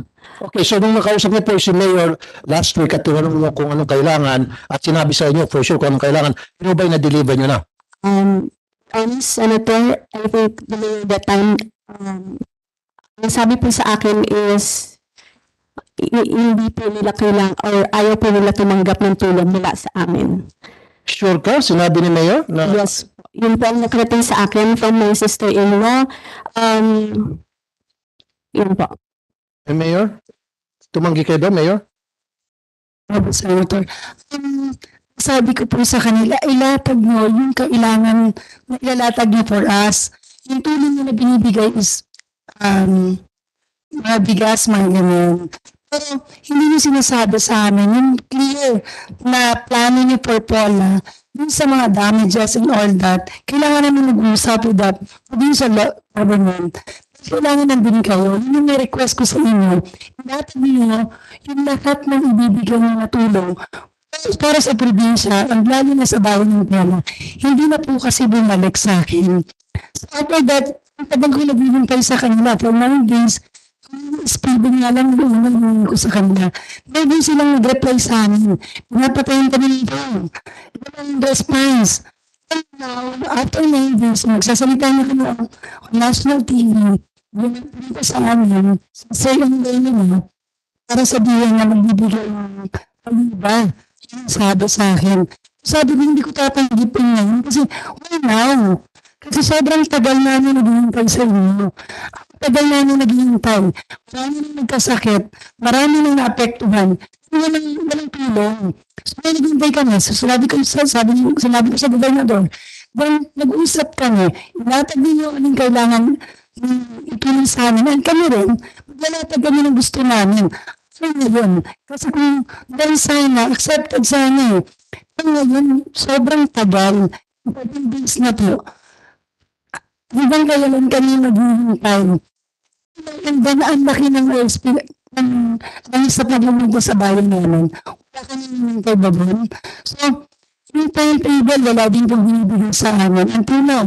So, ano yung ano, naghihintay pa rin po ba kami? Yung lahat ng mamamayan na bayan ng pera. We have 5,800 plus na affected families. Hindi din sila pamasay. Ang tinote yung iba. Pero wala kami hindi pang plano for us. Naghihintay ko lang po kami. Okay. Hindi po namin inaalam. Gusto namin yung tamang plano for us. Hindi din namin yun. Hindi po binalik sa amin. Okay. Ma'am Fritzy, Madam Chair. ah, I, I understand, excuse me pa, Madam Chair. I understand na merong 1 billion dollars insurance kayo? Ah, accident insurance, liability insurance. Indemnity insurance po. Ito ba yung na-file nyo na sa insurer? We are in close uh, coordination po with our insurer. Lalabas yung claims? Um, think uh, we will have problem on that. Maybe with the Marina and the Coast Guard will uh, explain that they cannot claim from the insurance because they have no permit to operate. Oh! Nako po. Yun ang malaking problema. Kaya we should not wait for that anymore. They will have problem with that. They don't have permit to operate, Madam Chair. We asked the Marina and the Coast Guard. They don't have permit to So, operate. Coast Guard, bakit nyo pinayagan na maglayag itong barko na may mga oil? not depend on something that we will not, that will not come. I didn't know, Madam Chair, na wala silang permit para to operate. Yeah, So, ba't because pinapayagan yung barko nila they- ask Marina and Coast Guard to explain that. Co- I, Coast I Guard- want them to explain. Di ba lahat ng barko bago maglayag, may sumasampa na miyembro ng Coast Guard para inspeksyonin yung mga papeles, ilang taong ah, nandoon at kung anong karga. We didn't do that, right? Kasi if you did that, then malalaman nyo na wala silang permit to operate pala. Eh wala, saan na nangyari cold spray ngayon? Think the company has permit to operate, but every time you have a new vessel, you get another permit for that vessel. I think this vessel was not given a permit. Kaya Madam Chair, sinasabi ko, di ba lahat ng barko na naglayag, dapat sumasampa yung Coast Guard to inspect. So, inspection niyo po yung barko na bagong barko, at nakita niyo pala walang permit to operate, hindi sana pinalarga. In-stop niyo, wala sana oil spill ngayon. Ask Marina and the Coast Guard to clarify the situation, explain to us. Kasi I don't want the people to rely on that 1 billion insurance. If we cannot get that, then we should plan accordingly that we will not get that and we will take care of I, ourselves. I, I agree, Madam Chair. Madam I Chair. agree. maigling manifestation bago yung Marina at Coast Guard dun sa isang importanteng sinabi ni Mayor Cruz. Tama po yung sinasabi ni Mayor Cruz. It has the force of law, yung sinabi nila. Dahil dun sa RA 9483, ah, yung Oil Pollution Compensation Act, liability for pollution damage lies with the ship owner. Kaya maitatanong sana no, sa RDC, In terms of compensation for the environmental destruction, loss of livelihood, and damaged properties of the people, kung ano yung mga plano. And I think ganon din yung sense ng sinasabi ni Mayor Cruz. Senator Yes, ma'am. Risa, Before we go to the Coast company is Guard a and very Marina. small company and I don't Mm. think they can tackle this problem. They will go bankrupt. I understand, Madam Chair. So, Kaya naman tayo They- nagsiset ng They will not liabilities. do anything. Mm. So the government should be prepared to do something because we cannot Yes. rely on something that we cannot rely on. Yes, Madam Chair. We're I share- dreaming. I share the chair's objective sa hearing natin to establish liability, whether it's the company or others. Gusto ko lang bigyang diin yung sinabi ni Mayor Cruz na meron talagang solid na batayan sa batas. Yun lang Chair, po. Salamat okay. po. Mabalik ulit ako doon sa Coast Guard. Hindi nasagot yung katanungan ko, Madam Chair. Ka- kasi, yes. Yes. Gusto ko lang malaman to ng lahat, ano? Correct me if I'm wrong, ko, Philippine Coast Guard. At any given time, any moment na isang barko the pier, maglalayag, kung anumang klaseng barko yon, di ba dapat sumasampa yung mga member ng Philippine Coast Guard, hinahapan ng papeles, tinitingnan yung crew, tinitingnan yung laman, ah, kung overloaded ba o hindi, etc. etc. So kung ginawa nyo yun, tulad na sinabi ni Madam Chair, na wala palang permit to operate yung bagong barko yun, napigilan sana maglayag yun. Wala sana nangyari ngayon na oil spill.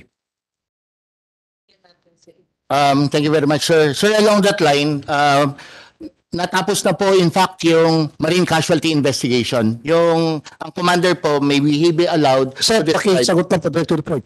Meron bang permit to operate? Yung Sinabi ni Madam Cynthia Villar, may permit to operate yung barko? Wala. Yes or no lang po? Uh, Mr. Uh, Honorable uh, Member, Sir, Senator uh, Tulfo, I'm uh, Vice, Admi- Vice Admiral Joseph Corme. Uh, it is one of my functions to investigate marine casualty in the country. Sir, sir, pakisagot lang. Yes or no? May permit to operate? Wala. Like to ask first, uh, just to be sure, Mr. Chair, um, uh, Honorable Senator, Sir, the, my field operator investigation. Naku, pasapasahan niyo ako. You should, you should come prepared. Napakasimple na na tanong. It, a simple question. it's a simple uh, answers, direct to the point. May permit ba o wala? Dapat you should have investigated that. Kasama sa investigation, malalaman nila walang... Kasi sabi naman ni Chair, ni Senator Villar, wala raw permit to operate yung barko. Pangalawa, ba't di kayo sumampa doon sa barko bago maglayag yun, sir? If I may, sir, you're correct, sir, that all vessels, the Grosstans and above, uh, they are required mandatorily to secure departure clearance from the coast, nearest Coast Guard unit, sir. Okay. Secure clearance. And then the, our inspectors are required to fill up those checklists. We call it pre-departure inspection checklist, sir. Okay, di ba yung Marina kasama din sa mag-inspect yan? Sa sampa? Not necessarily, sir. Not necessarily. Pero kayo sa Coast Guard dapat ang sasampa, di ba? Yes po, sir. O bakit di kayo sumampa? The Marina who will give the permit and the Coast Guard is a counter check. If there is a permit, they will allow the the. Kaya nga the- po, ang sinasabi ko It's a combination. It's a counter check to Marina. Marina will give the permit and you will check the permit, di ba? Ang sinasabi ko po, Madam Chair, Tanungin nyo sa Mar- Alam ko, alam ko, Madam Chair. I- I'll get into that. Don't worry, I'll get into that. Don't worry. Easy lang. Ah, Coast Guard, sagutin mo muna yung tanong ko. Sa sa tanggapan ko po sir bilang uh, nag-head sa investigation for this, we already recommended uh, to our national headquarters for appropriate administrative legal actions Yun. and investigation. Kasi sir. from now on, always make it a point na bawat barko, walang barkong alis. Di ba meron kayong mga personnel sa mga pier? Ito ba? So, dapat yung mga personnel sa pier, bago maglayag yung barko, inaakyat, sumasampa, tinitingnan mga papeles, kung ano na pa mga requirement to make sure na pwede ito, ito na ito na maglayag. Di ba? Kasi if they, if you did that, wala sana oil spill. Di ba? Ngayon, nagtuturoan kayo. Ginawa niyo na po sana ang trabaho ninyo, hindi sana tayo nag-uusap-usap ngayon. Simple as that, period. Di ba? So may pagkukulang po kayo doon. So from now on, bawat pier sa buong Pilipinas, mayroon dapat personal ng Coast Guard. Walang barkong lalayag na walang go signal mula sa Philippine Coast Guard. Di po ba? At dapat kayo, Philippine Coast Guard, ang Marina, palagi nag-uusap. Kayo ba'y nag-aaway ng Marina at hindi kayo nag-uusap? Um, hindi naman po sir. In fact, uh, we are closely collaborating to address such concerns. Thank you, uh, Mr. Chair. Okay. So ano po yung gagawin nyo ngayon na nakita nyo po may pagkukulang na kayo? Ano mga steps ang uh, ginagawa nyo ngayon, ilatag nyo ngayon so that this will not happen again? Yung bang hindi nyo pagsampa doon sa mga barko na naglalayag? Uh, thank you. Remember, may mga, bar- may mga insidente na tayo, mga bumibog na barko dah- dahil overloaded. Walang sumampang taga Philippine Coast Guard. Di ba? Ulit-ulit naman to. Ngayon, all spill. Barko na nalunod, overloaded, maraming namatay. Wala kasing Coast Guard na sumampa. Meron na sumampa, pero siguro, eh, piling na mata habang nakasampa. Di ba? Kasi kung talagang nakadilat ang mata, binibilang yung pasahero, tinitingnan yung cargo, hindi tumutugma sa allowed na cargo para sa vessel na yun, o kaya nalubog, di ba? Eh kung ginagawa ng Coast Guard trabaho, hindi sana nangyari yun. So Philippine Coast Guard, mga sir, ano po yung ginagawa niyo measures ngayon na para hindi na po maulit ito? Uh, thank you very much, sir. Una po muna, nung lumabas yung resulta ng MCI, uh, parang nagpaalala muli yung ating kapamunuan po ng Coast Guard sa kanilang mga unit. Sapagkat meron na pong mga guidelines ito. It's a matter of ensuring na gagawin po nila katulad po ng inyong binanggit. Pangalawa, yung mga tao po na involved na aming na-identify sa investigasyon, eh kasalukuyan po eh nasa kustodiya sa loob po ng kanilang ah, unit upang nandun sila habang habang ah, aalamin pa natin at ah, magdidiga pa tayo ng information. Sir, hindi lang dapat yung mga, ano, yung mga bababang ranggo, dapat yung matatas ng ranggo din kasi eh, sa, sa ngalan po ng command responsibility. Eh, bakit hindi kasi na-supervise ng mga matatas ng ranggo? Wala ba mga ano dyan, mga colonel, mga general sa inyo or commander? Kasama po yun, sir. In fact, it is uh, Okay. part and parcel of our co- concept Okay, of thank you. investigation. Isa lang po, 1.3 billion meron kayong budget para sa ganitong klaseng mga insidente. So, ito po mga 1.3 billion nagagamit na? Umandar na? Ah, Bongki, ah, kasama po natin yung commander ng MEPCOM. Mas alam po niya ito. Sa Marine Environmental Protection Command, Admiral Patrimonio, sir. Thank you, Honorable uh, Chairman and Hon- Honorable uh, Senator uh, Turfo, sir. So uh, based on our General Appropriations Act for calendar year 2023, uh, the Coast Guard was appropriated, uh, as, as you have said, 1. Point, uh, 1.4 1.4. billion 700 536 uh, million. Okay. But uh, the component of uh, this is uh, for for uh, personal services is 1.3 609 million 502 thousand pesos and only for MOE is 38 million pesos sir. So uh, and uh, this further broke broke uh, broke break down into uh, four Okay, so, so, na- nalito na ako sa'yo, sir. So, may, budget ang Coast Guard for this. shorten our argument, there is a report of the Marina which says they, you asked for this report, accident report on the foundering and sinking of Princess Empress. The ship has no authority to operate in the form of an amendment to its certificate of public convenience issued to RDC uh, Ra- Ra- Re- Relid Marine Services Inc. to operate the MTKR Princess Empress in the domestic trade pursuant to the revised implementing rules and regulation of Republic Act number 9295. Okay? That's ano, please explain this to them so they will understand. Wag na natin pahabain ng usapan. Explain nyo na lang to kasi to nung binasa ko tong report nyo, nakita ko to, ano ba to? Okay. So, Kaya nga, Madam Chair, eh, thank you. Yung 1.3 billion, sabi mo naging 1.4, tapos ngayon naging 30 million na lang.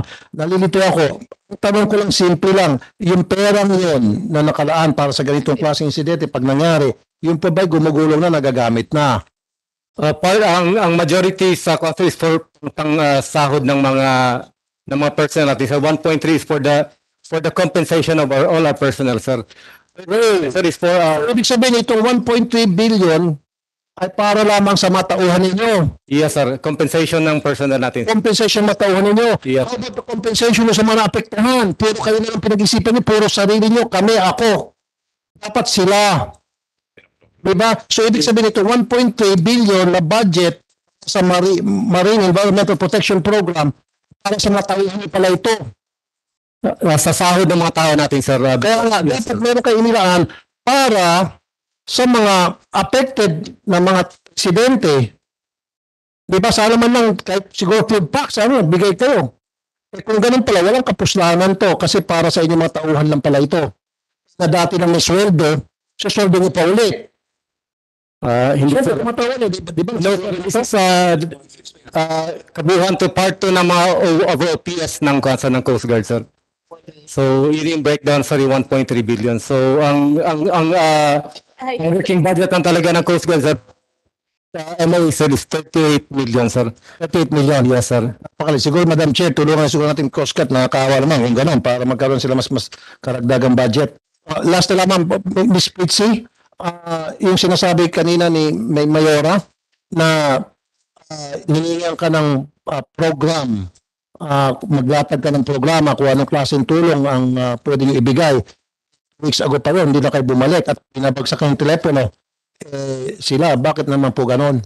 Uh, Your Honor, um, dun sa pagpunta po ng sister-in-law ko dun kay Bayora, uh, precisely to ask what the people needed. Um, so ngayon po, nandiyan na si Mayora, nandito na po ako. Siguro after this, pwede po kami mag-usap. Malatag na po kung anong kailangan nila at ano po ang kaya namin po maibigay, Mayora. Thank you po. Gusto niyo, Mayora?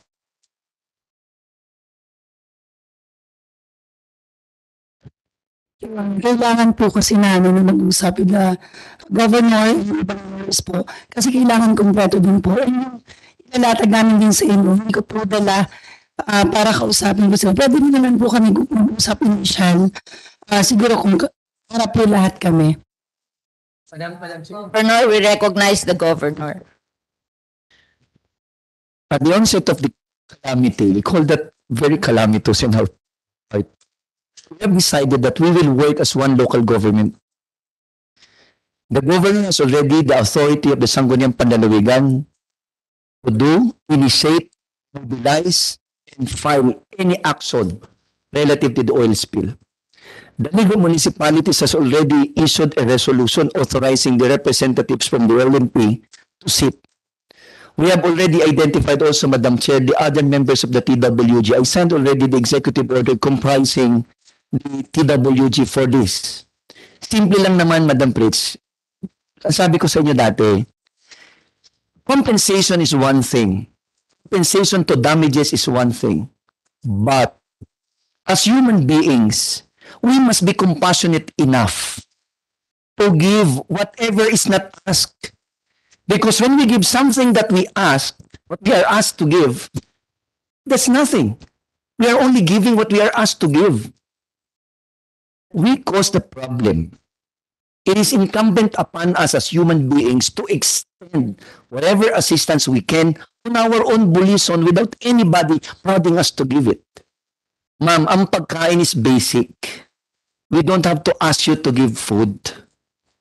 We don't have to ask you. Human compensation is another matter. Nalulungkot ako sa narinig ko kanina kay Senator Villar na there is a possibility not being not given the compensation eventually. That, that hurts me most. Why? Sabi ko sa kahapon na nagwala ako sa, sa abogado niyo during the hearing of the Sangguniang Panlalawigan, I told him straight to his face. Sabi ko sa kanya, simpleng tanong, will you give our province compensation to damages even without the filing of an administrative or criminal case?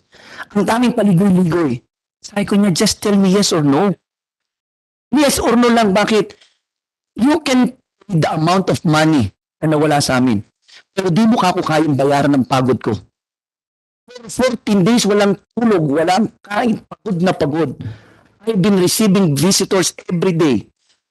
Ako, naranas ba ninyo pumunta mismo ng oil spill? Gobernador ako, actual ako naglilinis doon. Because I want to give the people the hope that, hey, pag-asa tayo dito, huwag kang mawala ng pag-asa. If your governor can go down that dirt, then everybody can. Ang nire-request lang naman natin simple. Simple assurance that you're going to pay us. Your lawyers kahapon sa insurance assured us they will. The insurance company PNI came to Mindoro yesterday in during the hearing of the Sanggunian where I was present and you categorically stated this week you are going to establish the claims center. Meaning, magsisimula na kayong tumanggap ng claims for damages this week. Ang sinabi ko lang kahapon sa lawyers nyo, simple. We will not encourage individual claims. We will claim as a local government and we will ensure na yung tao namin, our group, our people will have an individual that collectively filed para mas malakas ang aming Gob, can I interrupt, Gob? Sige po. Eh, tama nga kanina sinasabi ni Cynthia Villar, ano sila mababayaran ng claims samantalang wala naman daw permit to operate yung barko. So we should, we should not be talking about insurance claims here. Di ba? Y- yun nga po eh. So wala tayong makasama insurance. So tama si Senator Villar kanina, why are we talking about claims? Huwag na natin asahan yun dahil hindi kayo babayaran ng insurance company. You should be honest enough kayo dyan sa, sa ano, ano pangalan po ng barko nyo? Kumpanya? RDC, sir. DC, dapat maging honest kayo from the very start, sinabi nyo sana na sensya na, may problema, wala palang permit to operate yung barko namin kaya walang insurance na ma- masisingil kami. Hindi kami pwede magsingil, kaya um, tutulong kami kung ano pwede naman may tulong sa abot namin makaya. Hindi nyo pinaasahasan nyo si Gob sa dala kayo ng lawyer doon para sabihin na kayo yung nag-umpisa ng pagpapahal ng claim sa inyong insurance company na alam niyo naman parang hindi kayo mababayaran. So, nanliloko lang po kayo. Um, Ko po, ah, sinasabi nila makaka-claim daw sila sa insurance company. Eh, ako, as a, galing ako sa business eh. Alam mo, yung insurance company, maghahanap yan ng basis para hindi sila magbayad. Yes. I mean, that's that's my opinion. I don't know if this insurance company is something different, di ba? I I don't no, I don't ah, ano, kaya lang ang gusto kong sabihin kasi umaasa yung yung Negros ay yung ah, Mindoro Oriental na sana wag na natin munang asahan kung dumating dumating kung hindi hindi tayong magkakasama tayo na lang ang mag-decide kung ano gagawin natin to soften the blow for ah, Mindoro Kaya kasi Madam Chair, Madam diba? Chair, Okay. Madam Chair, kasi lahat ng tao umaasa dun sa insurance kasi malaking bagay kung ito sa 1 billion dollars. That's equivalent to yeah, 50 billion pesos. Pero okay, I agree with you. I used to work for insurance companies in the States before. Alam ko yan na kapag walang permit to operate, ka, walang yung insurance maghahanap ng butas yan para sila makaiwas. Kung makaiwas mo sila, salamat. Kung hindi, at least babaratin. Something like that. Now in this case, ang butas sa inyo, eh, wala kayong permit to operate. Hindi nyo ni-register sa amin yung, yung barko ninyo para maging legit. So hindi namin babayaran yan. Yun ang gagamitin palusot ng insurance company. Dapat sinabi nyo na kay Gob, hindi pa kayo pasikot-sikot. Madam Chair. Senator Salamat, Yeah, Madam Chair. Um, I share yung line of questioning ni na Chair at uh, Sen Tulfo. Imposible namang may krimen laban sa Mindoro Oriental pero walang responsable at walang compensation sa kanila. So balikan ko lang, Madam Chair, yung pinoint out ninyo uh, dito sa accident report ng Marina dun sa section on uh, vessel documents no sa sa section ng factual information sabi niyo nga po may finding ang marina na the ship has no authority to operate in the form of an amendment to its CPC certificate of public convenience issued to RDC Ray Rayeld Marine Services Inc to operate the MTKR Princess Empress in the domestic trade pursuant to the revised IRRs of Republic Act 9295. So ay pwede po ba nating malaman sa Marina or sa Coast Guard kung wala ang Marina dito sa ganitong mga sitwasyon. Ah, thank you Madam Chair. Marina, dito batay po dito sa inyong accident report na kinuot ng chair. Sa ganito pong mga sitwasyon na wala pa lang ah, amended CPC yung shipping company para i-operate yung ship. Tapos pag nagka mayroon na ganitong sitwasyon, sino po batay naman sa R- yung RA na kinuot ko kanina ang magbibigay ng compensation for example sa local government ah, doon or kahit sa mga mangingisda doon. Madam Chair, if may. Yung CPC is issued to the company. Ang, sa CPC niyan, nililista ang mga vessels under that CPC. May dagdagdag ka ng isang ano vessel, you have to amend. Yung yung RDC may pending application which we are going to hear pa sana may hearing. May kulang na mga documents.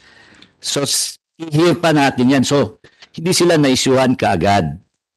Yun ang ano Dito yan. na-issuehan ang RDC para makalayag ang em, ano, Para Princess ma-include, Empress. para ma-include sa CPC. Yes, sa by amendment. CPC ng by amendment. Yes, sir. So, pag kung may amendment na sila dyan, na-include sila, they can, they can ano, So dapat sir, kung wala pang amended CPC, hindi pa naidagdag sa CPC ng RDC itong Hmm. Princess Empress, hindi dapat na nakalayag ito. Tama po. dapat po.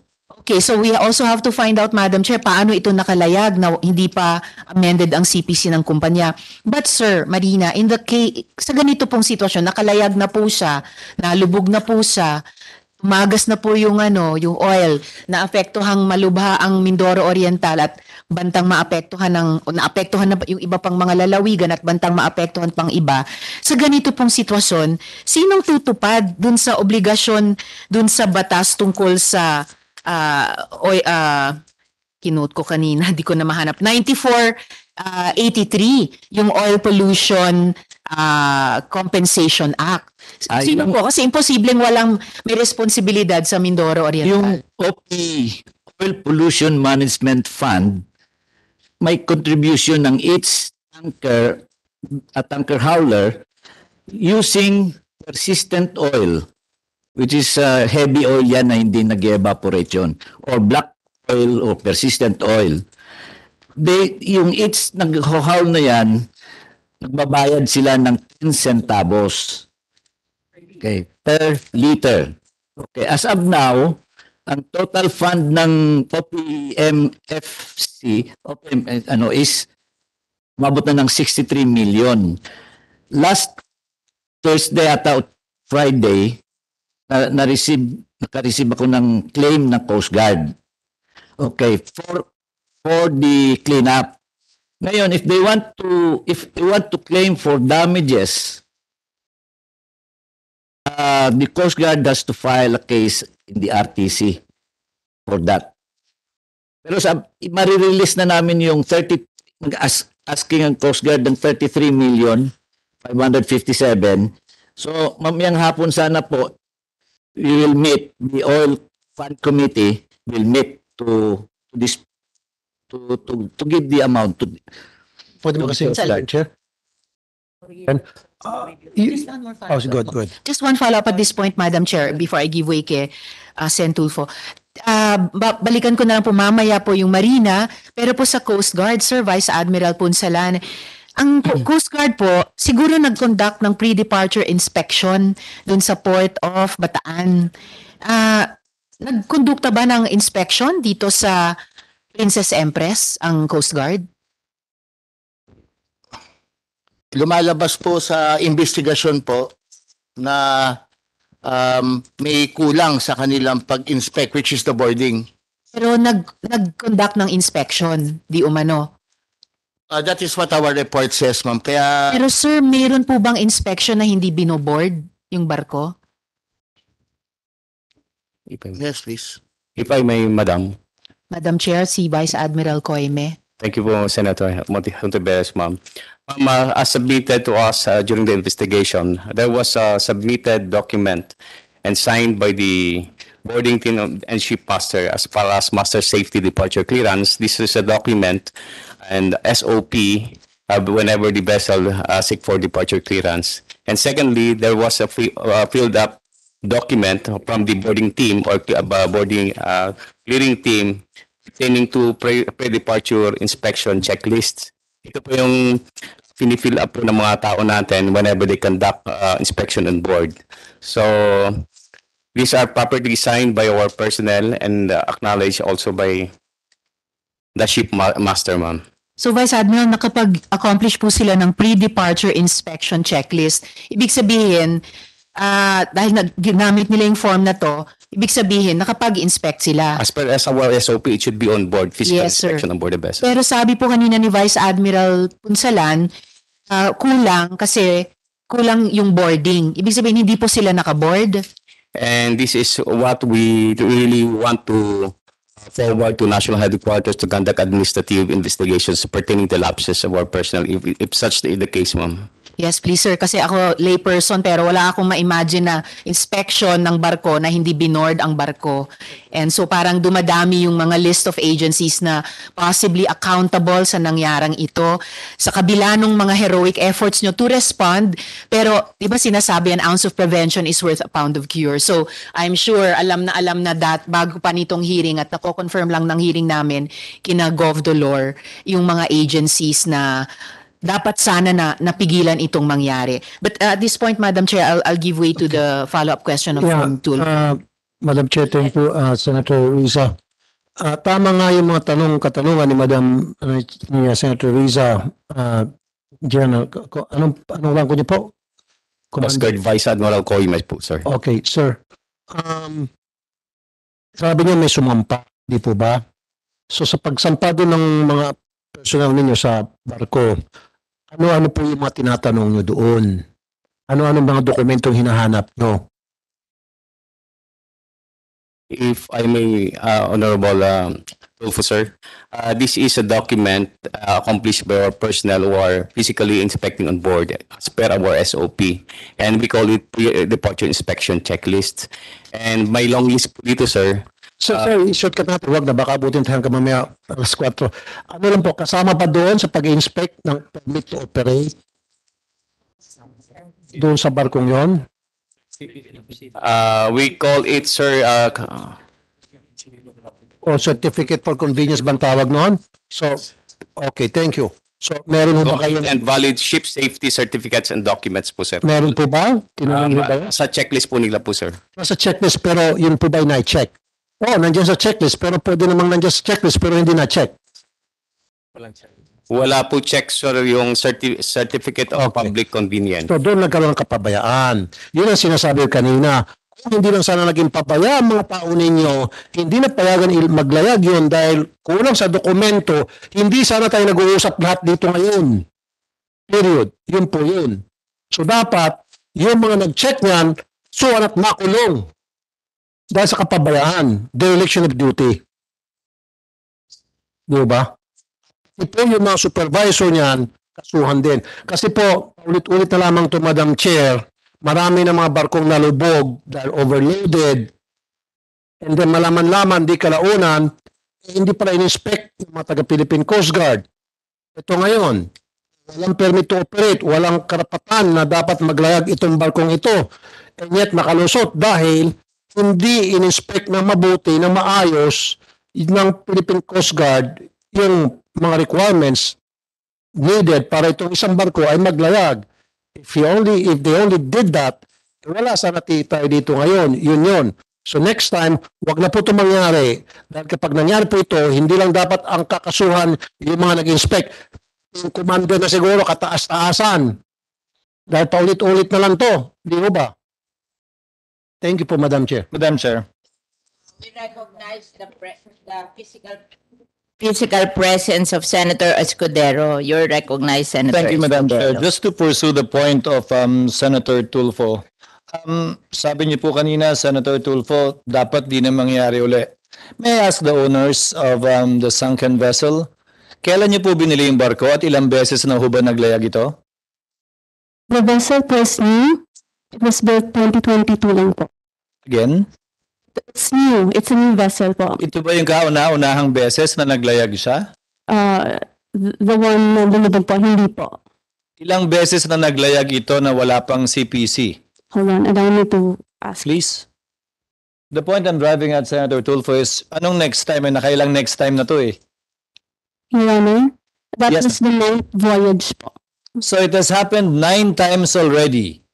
So nine times from whatever port it left port, from whatever area it left port, the Coast Guard supposed was supposed to inspect it, and the Coast Guard saw that there was no amended CPC yet covering this vessel.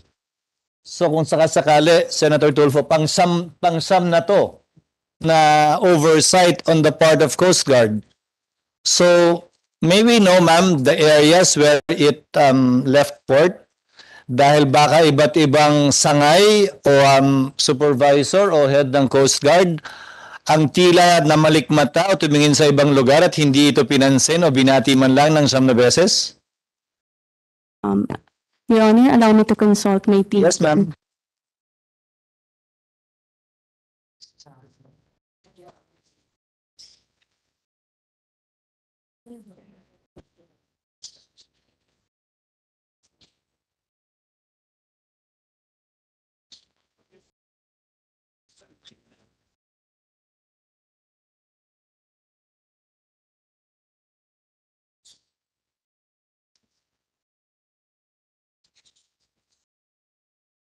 Your Honor, um, hindi po ako sigurado dun sa exact ports, pero according to my team, may Bataan and Manila? Manila, Bataan and Manila. yes. So may we get a corresponding report as well from the Philippine Coast Guard in regard to these nine um, trips that the ves the sunken vessel undertook, still again without the corresponding CPC and why they were allowed to continue with their voyage. Ma'am, earlier diniscuss yung insurance. Um, you have an insurance, under the law, you should have an insurance for each vessel, right? Yes, Your Honor. Hindi naman naka-attach po yung insurance sa CPC, di ba? Naka-attach yung insurance sa kada vessel. Yes, yes, Your Honor. Precisely. Um, how are you able to get an insurance without the corresponding amended CPC to include this vessel? As far as I'm concerned, sir, um, RBC as a company has a CPC. So yung amendment po, we applied as early as November. Um, we, we've submitted all the documents required. Um, the last submission was December. Hmm. So, kumbaga sa insurance po kasi, we don't ask for the, uh, I think they ask for the CPC, but the CPC, meron po kaming valid CPC. RDC po. Do we have a representative from the insurance here? From the insurance company? Ah, foreign. Um, ma'am, if you applied in November and made submissions sometime in December, as you said, Yes, sir. when was the first voyage of the ship?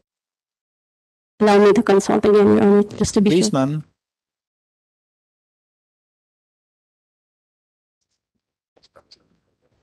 Sir, can you give us more time or can we go back to that question Um, later on? Approximately when? Hindi naman po kailangan yung petsa.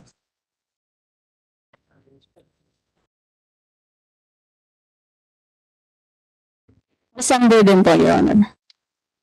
Notwithstanding the absence of an amended CPC. When you completed the submission, nagbiyahe na. Yes, sir. Now, may I ask Marina, sir, would there be any reason for a company with an existing CPC na bumili ng bagong barko tulad ng kumpanyang ito, na i-deny nyo yung additional na barko na idagdag sa kanyang existing C- C- um, CPC, um, basta kumpleto naman yung mga dokumento? Madam Chair. No, we cannot, we will grant the, C, the amended CPC. Basta makompleto lang yung Basta dokumento. kompleto. Saka after, ano. I, I asked that question, sir, because my problem is Marina itself in this particular instance because kung tingin ng mga may-ari ng barko, igagrant nyo rin lang naman, makumpleto lang. I think that's the, re- the reason and basis why they assume na papalayagin na nila dahil ginagrant naman palagi ng Marina eh. Has there been any instance that you denied an application for a new vessel in an existing CPC? Yes, we have, we have, we have. If the, if the documents, they do not submit the completed documents. Pero once na submit yung kompletong dokumento, and grant to. And there is also, like a motor tanker, if once you, once you, pag in-include mo sa amendment, may capitalization na involved. So, kasi dati ay, ah, ano bang Agreed, sir. I understand. I understand. I'm familiar with the industry. Ah, well, Now, my question is, is there such an animal called provisional license to operate while it is pending before Marina? Okay. Mer- we can grant temporary permit or special authority. And then the amendment of the CPC. Yes, but they did not apply for that. In this instance, um, hindi po kayo nag-issue. Walang, hindi nag-issue because walang nag-apply, hindi sila nag-apply.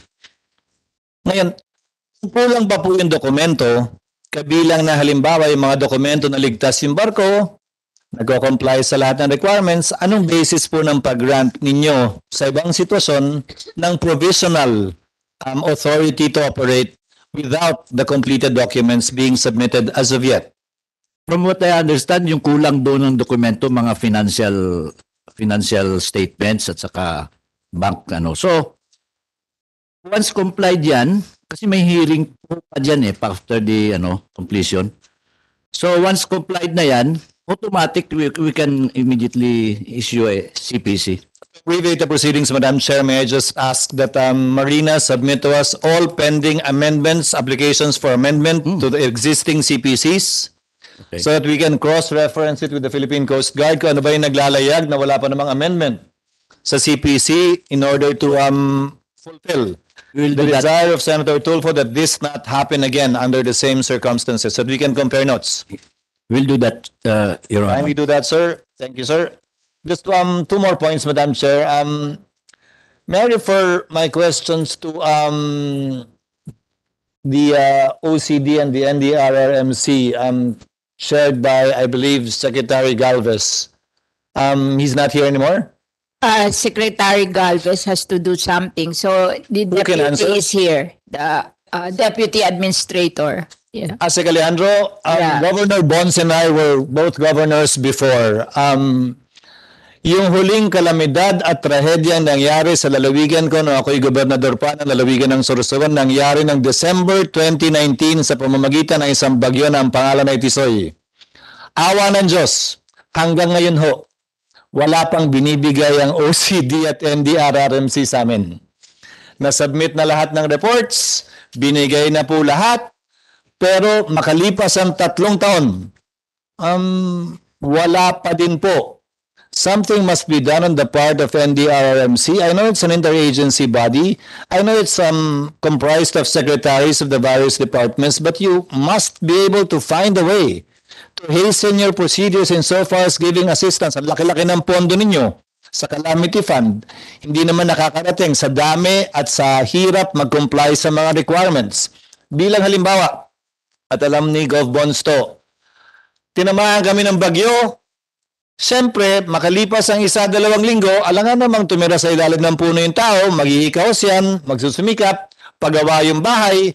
Pag nagpunta ang OCD, ang NDRMC, makalipas ang tatlo, apat na buwan, nakatayo na yung bahay, wala na kaming patunay na totally damaged yung bahay. Ganon din to.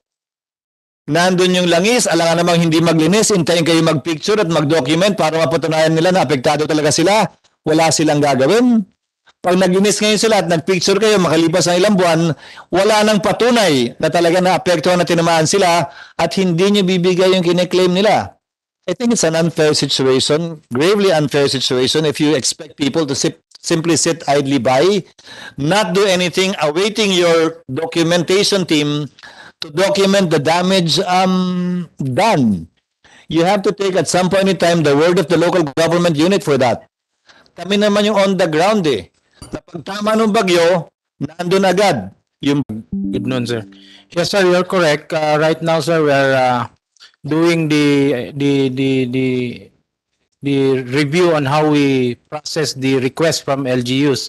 Our standing order from the Office of the President uh, through the uh, uh, from the President himself uh, is to review and uh, incorporate already the the the recommendations of our LGUs when we do validation of the request. So we are trying uh, to come up with a new policy or uh, amended uh, memorandum circular on this, uh, Mr. Chair.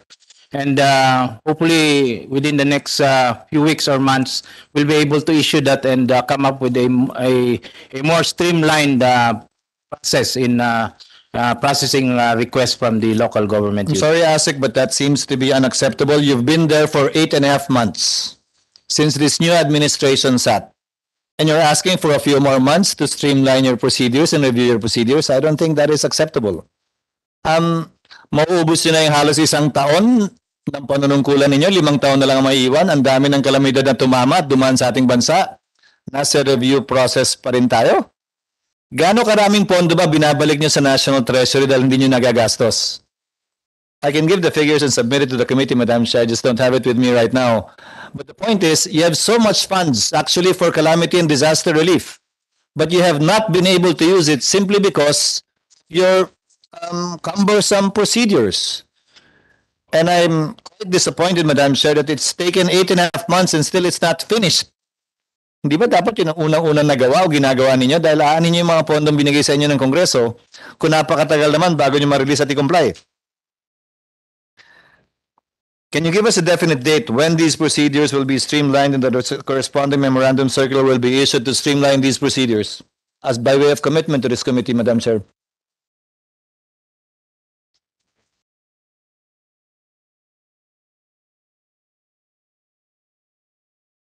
Uh,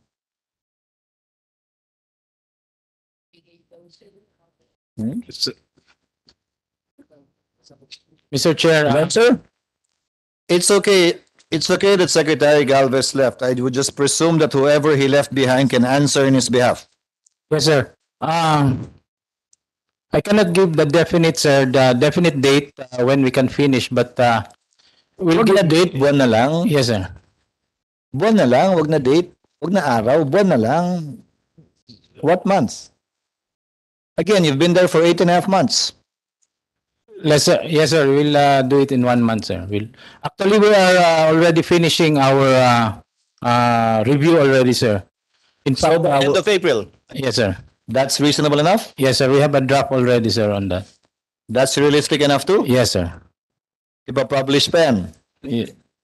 That's a memorandum circular, sir. Ah, so hindi na kailangan i-publish. Ipa-publish, sir. Ah, so 15 days after completion of Yes. publication or submission sa UP Law Center. yes, sir. So hopefully it'll be effective by May. One month. Yes, sir. Would that be correct? Can you include in your provision a retroactive clause that says that the new and streamlined procedures will also apply to previous and past calamities because since this, uh, this is a corrective memorandum circular, legally you can apply it retroactively too. Can you specify in your memorandum circular that it applies retroactively to previous and other claims filed or made by affected citizens and or local government units? Two years. Yes, sir. Uh, will, uh, it will be anchored on the GA provision, sir, that it will apply to the calamities, uh, yung two years uh, period, sir. Before the, uh, two years, no? Two years. Sir, kaya lang naman may limitation ng 2 years aga kasi after 2 years kailangan nyo nang balik yung pera eh. Yes, sir. Di ba?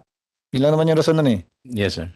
Kung wala na sa inyo yung pera, pwede naman kayo humingi ng supplemental budget. But I don't see any reason why it should be limited for to 2 years only if the claim has not yet been paid. The damage has not been repaired as of yet, as we speak, even beyond the 2-year period. Kindly look into that, sir. Yes, sir. One last point, Madam Chair. Under RA 9483, the Philippine Coast Guard shall investigate motu proprio or through written undertaking of a complainant any incident claim for compensation. and shall forthwith file the appropriate action with the RTC. Has the Coast Guard ever done, have you ever done this? In previous sea mishaps, have you ever done this? Thank you so much, Honorable Chair and uh, Honorable Senator Escudero, sir. During the incident, the Solar Well incident, the Coast Guard was the one who filed the cases as to the claims of those uh, affected by the uh, incident. And uh, they were all were able to claim, and even the Coast Guard was able to claim already for that incident through the IOPC fund, sir. This particular instance, do you intend to do the same as well? We will, uh, Your Honor, sir. And this will be filed in the RTC of Mindoro Oriental? Yes, sir. It depends on the legal team uh, where they will be filing, sir. That's what the law says. Yes, sir. It will be at the court of in the area with jurisdiction where the incident quote unquote occurred. Yes, sir. It will be at the court of jurisdiction, sir. Independently, the LGU can also file, is that correct?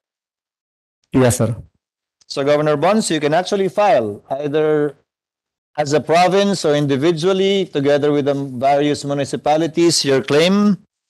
But I hope um, that um, whatever happens, government will have your back because as as Chairman Senator Cynthia Villar said, malabo man yung insurance, sigurado ako kahit maliwanag yun, matatagalan yan.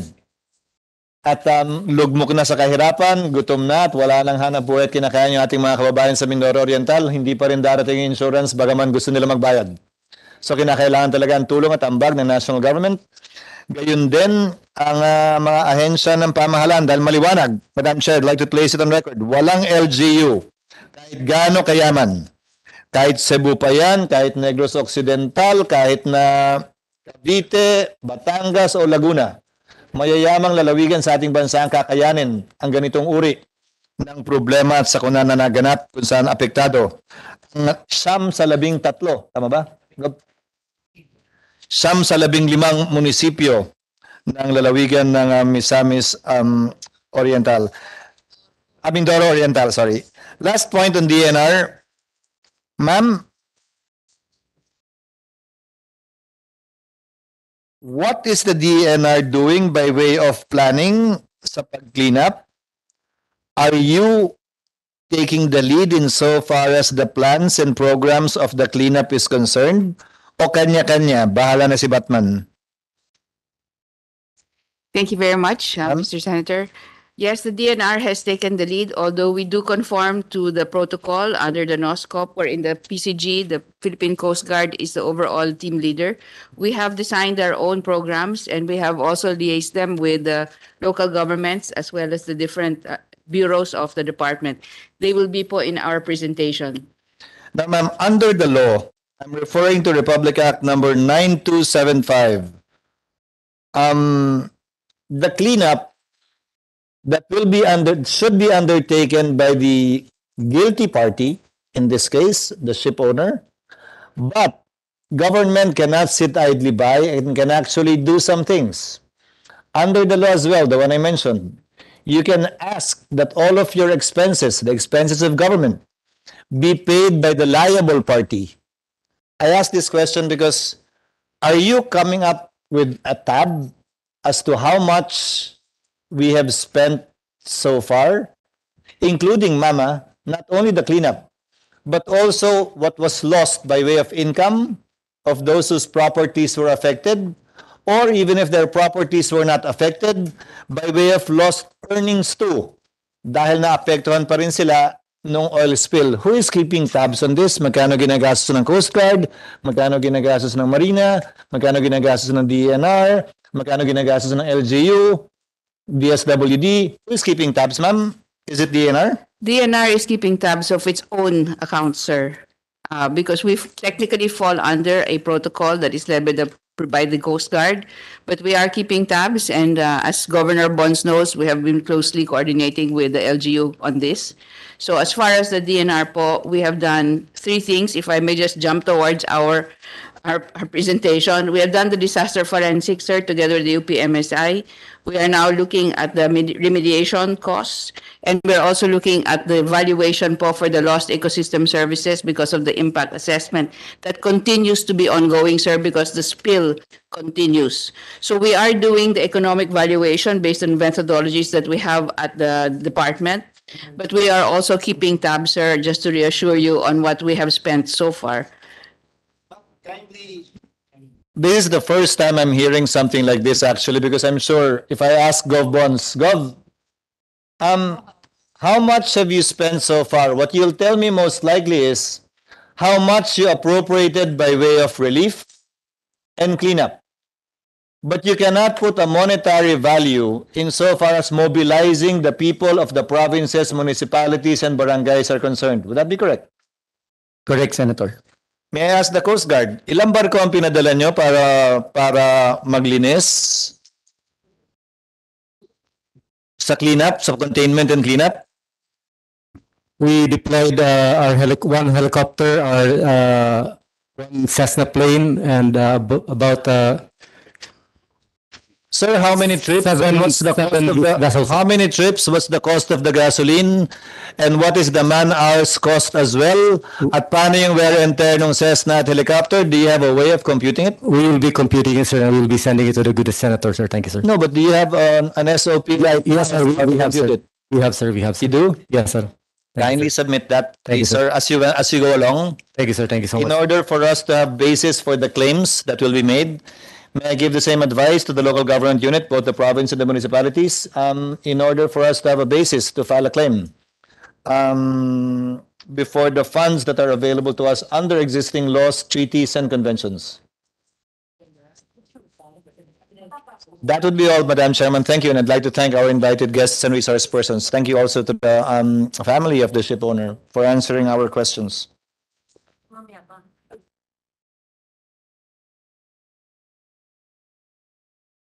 Thank you, Senator Escudero. Uh, we just want to give an opportunity for Governor Dolor to say something. Thank you. Ma'am, um, we leave to the sense of the Senate the side of investigation, finding the guilt, finding the uh, non-performance of laws. It's your turf. Our concern um, in the local government is where are we going after this as far as our constituents are concerned. If I heard it right, I was I was so sad to hear what Attorney from Marina said, Herna- Hernan, that there is a fund that they have around 63 million, and that even without Coast Guard filing a case against this uh, issue, Coast Guard has already filed a claim using that insurance. I appreciated, I appreciate so much the efforts of Coast Guard, especially when Commodore Tobilla arrived last Friday upon my request to, com- to Commandant Abu. But ma'am, it pains me so much to hear that Coast Guard filed a claim for your cleanup. Even out without taking first the concerns of the local government directly affected losing jobs and livelihood of the people. It's your job to do this cleanup. How come you claim first for yourselves? File your claim for your for your agency. Why not file first for the for the lost livelihood of our people? Bakit hindi mo na yun sana na walang trabaho namin? Sana yun yun ang inunan niyo i-claim. Kung tama po ang rinig ko, malungkot sa akin yun kasi imagine nyo, trabaho nyo naman talaga maginis. Pero inunan niyo munang i-claim yung gastos nyo. Isa doon sa pamasahin ng mga tao namin, pangtuiso ng tao namin. Oh, I'm, I'm sorry, Madam Chair, pero masakit sa akin bilang gobernador. Kami ang apektado ng lahat ng ito habang nagkakagulo sa permitting. Pinayagan ninyo sa Marina na makabiyahe, wala pa ng CPC. Pinayagan nyo sa Coast Guard sa Bataan na makabiyahe nine times without amended CPC. Kami na may problema sa Oriental Mindoro, hindi na yung claim nyo. Makatao po ba yun, Madam Chair? Kami hindi kami naghahanap ng fault dito, bahalang kayo dyan maghanap. Pero apat ang concern namin. Una, matagpuan ang barko. Salamat sa Namria, salamat kay Secretary Loisaga. Tawag ni Secretary Gatchalian ang pumukaw sa inyong damdamin para ipadala agad. Dahil sabi niyo, hindi malinaw ang usapan ng Coast Guard sa inyo. Six hours after that, dumating ang vessel. Thank you, Namria. Thank you, DNR. Ang sunod na kailangan natin papasukin ng ROV. Hindi ko to trabaho, trabaho to ng Coast Guard na magpapasok ng ROV dito. Pero sinong gumagawa ng paraan? Sinong tumatawag kay Secretary Bautista? Tuma- kumakausap sa PS, sa PCG? Sinong kumakausap sa PPA? Bureau of Quarantine. Si Governor Dolor, Sabado, Linggo, pumipirma ng sulat. Kailangan, nagpapalit na naman ang insurance company natin ng barkong gagamitin. From Chinese to Singaporean, to Japanese. Ginagawa niyo akong sekretariat. Palit ako ng palit ng sulat just to facilitate the arrival of this vessel sa ROV. It's not my job. Nobody's in charge. Nobody's, not. That's why, Ma- Madam Senator, I'm the one taking care because this is my province. Thirdly, aside from the ROV's arrival, ang concern ng Oriental Mindoro po, wag nang makarating sa tabi ng dagat. Tabi ng, ng, ng pangpang namin ang oil. Pero walang malinaw na plano. Buti na lang dumating yung bagong, admi- bagong kubador namin. Ngayon, nagaanan ako ng konti. Thank you, thank you, Admiral uh, Admiral Abu, nagbigyan mo ako sa request kung ipadala mo si Commodore Tobilyan. May kapartner na ako ngayon sa incident ko ng toast namin. Kami ni na Mayor, walang tulog. Si Mayor ingat ako. Pero ang gulo. Hinahanap natin sagot sa tanong sa yung hearing nito ng Senado. Anong malinaw na plano para hindi makarating ng tabi ng dagat ang oil spill? Local government na nagmanis, can you imagine, palapa ng nyug. Ang mga mayors namin, nagputol ng palapa ng nyug, nagpaputol ng coconut husk para mapigil. Eh kung ito muna sana ang kinuha ng insurance ng Coast Guard. Di ba mas mabilis? And then lastly, yung ating response on clean-up drive. Thank you sa DSWD, thank you sa DENR, thank you kay TESDA, thank you kay Dole, thank you kay President. Thank you din kay Coast Guard in fairness naman sa inyo. Pero sana, sana hindi kami ang nahihirapan to manage all of this. Enough na sa amin yung bugbog ng tao namin. Sana yun man lang trabaho ng national government. May mag-take charge talagang maliwanag. Thankful ako, Commodore Tobilla, you, you handle it well. Kaya lang, it's not enough. You're not the entire team. The national government should be there, one whole team. Kaya ang request ko, Madam Chair, mga senador, kay Secretary Galvez kanina, baka naman po po pwede yung NDRRMC, sabay-sabay mag-usap, Isang cabinet dadating sa amin, thank you. Isang cabinet dadating sa amin, thank you. Isang cabinet dadating sa amin, thank you. Hindi ba pwedeng sabay-sabay? Hindi ba pwedeng isang upo lamang natin? Hindi ba pwedeng sampung chopper yung dadating sa aming lalawigan at mag-usap tayong sampu? Inassure po ako ni Secretary Galvez before he left. We will host you there. Dumating kayong lahat. Yung regional directors na wala akong masabi, napakaayos. DOH napakaayos. Pero ang request ko lang po, is in, with your indulgence, Madam Senator or Madam Chair, with the indulgence and with the leadership of NDRRMC and Coast Guard, isang meeting ng lahat ng Cabinet Secretary sa Mindoro gawin para doon pa lang malinaw ito, ito, ito, ito, isang bagsak natin. We know that the government is doing its ang kailangan lang natin dito ngayon, mas mabilis na aksyon. Sabi niyo, wag na muna kaming aasa sa insurance. Malungkot to sa amin yon. Ako naniniwala pa rin sa biyaya ng Diyos. Baka sakaling may magmilagro, may authority na po kami mag-file ng aming claims. Pero sabi ng insurance kahapon, I will give you the benefit of the doubt.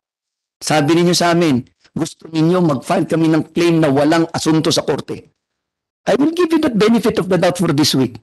The insurance company yesterday promised us you will put up claims this, this week. I will give you the benefit of the doubt. Concern ng local government namin, malinis na ito. Huwag nang makarating sa dagat, sa, sa lupa at makakain kami.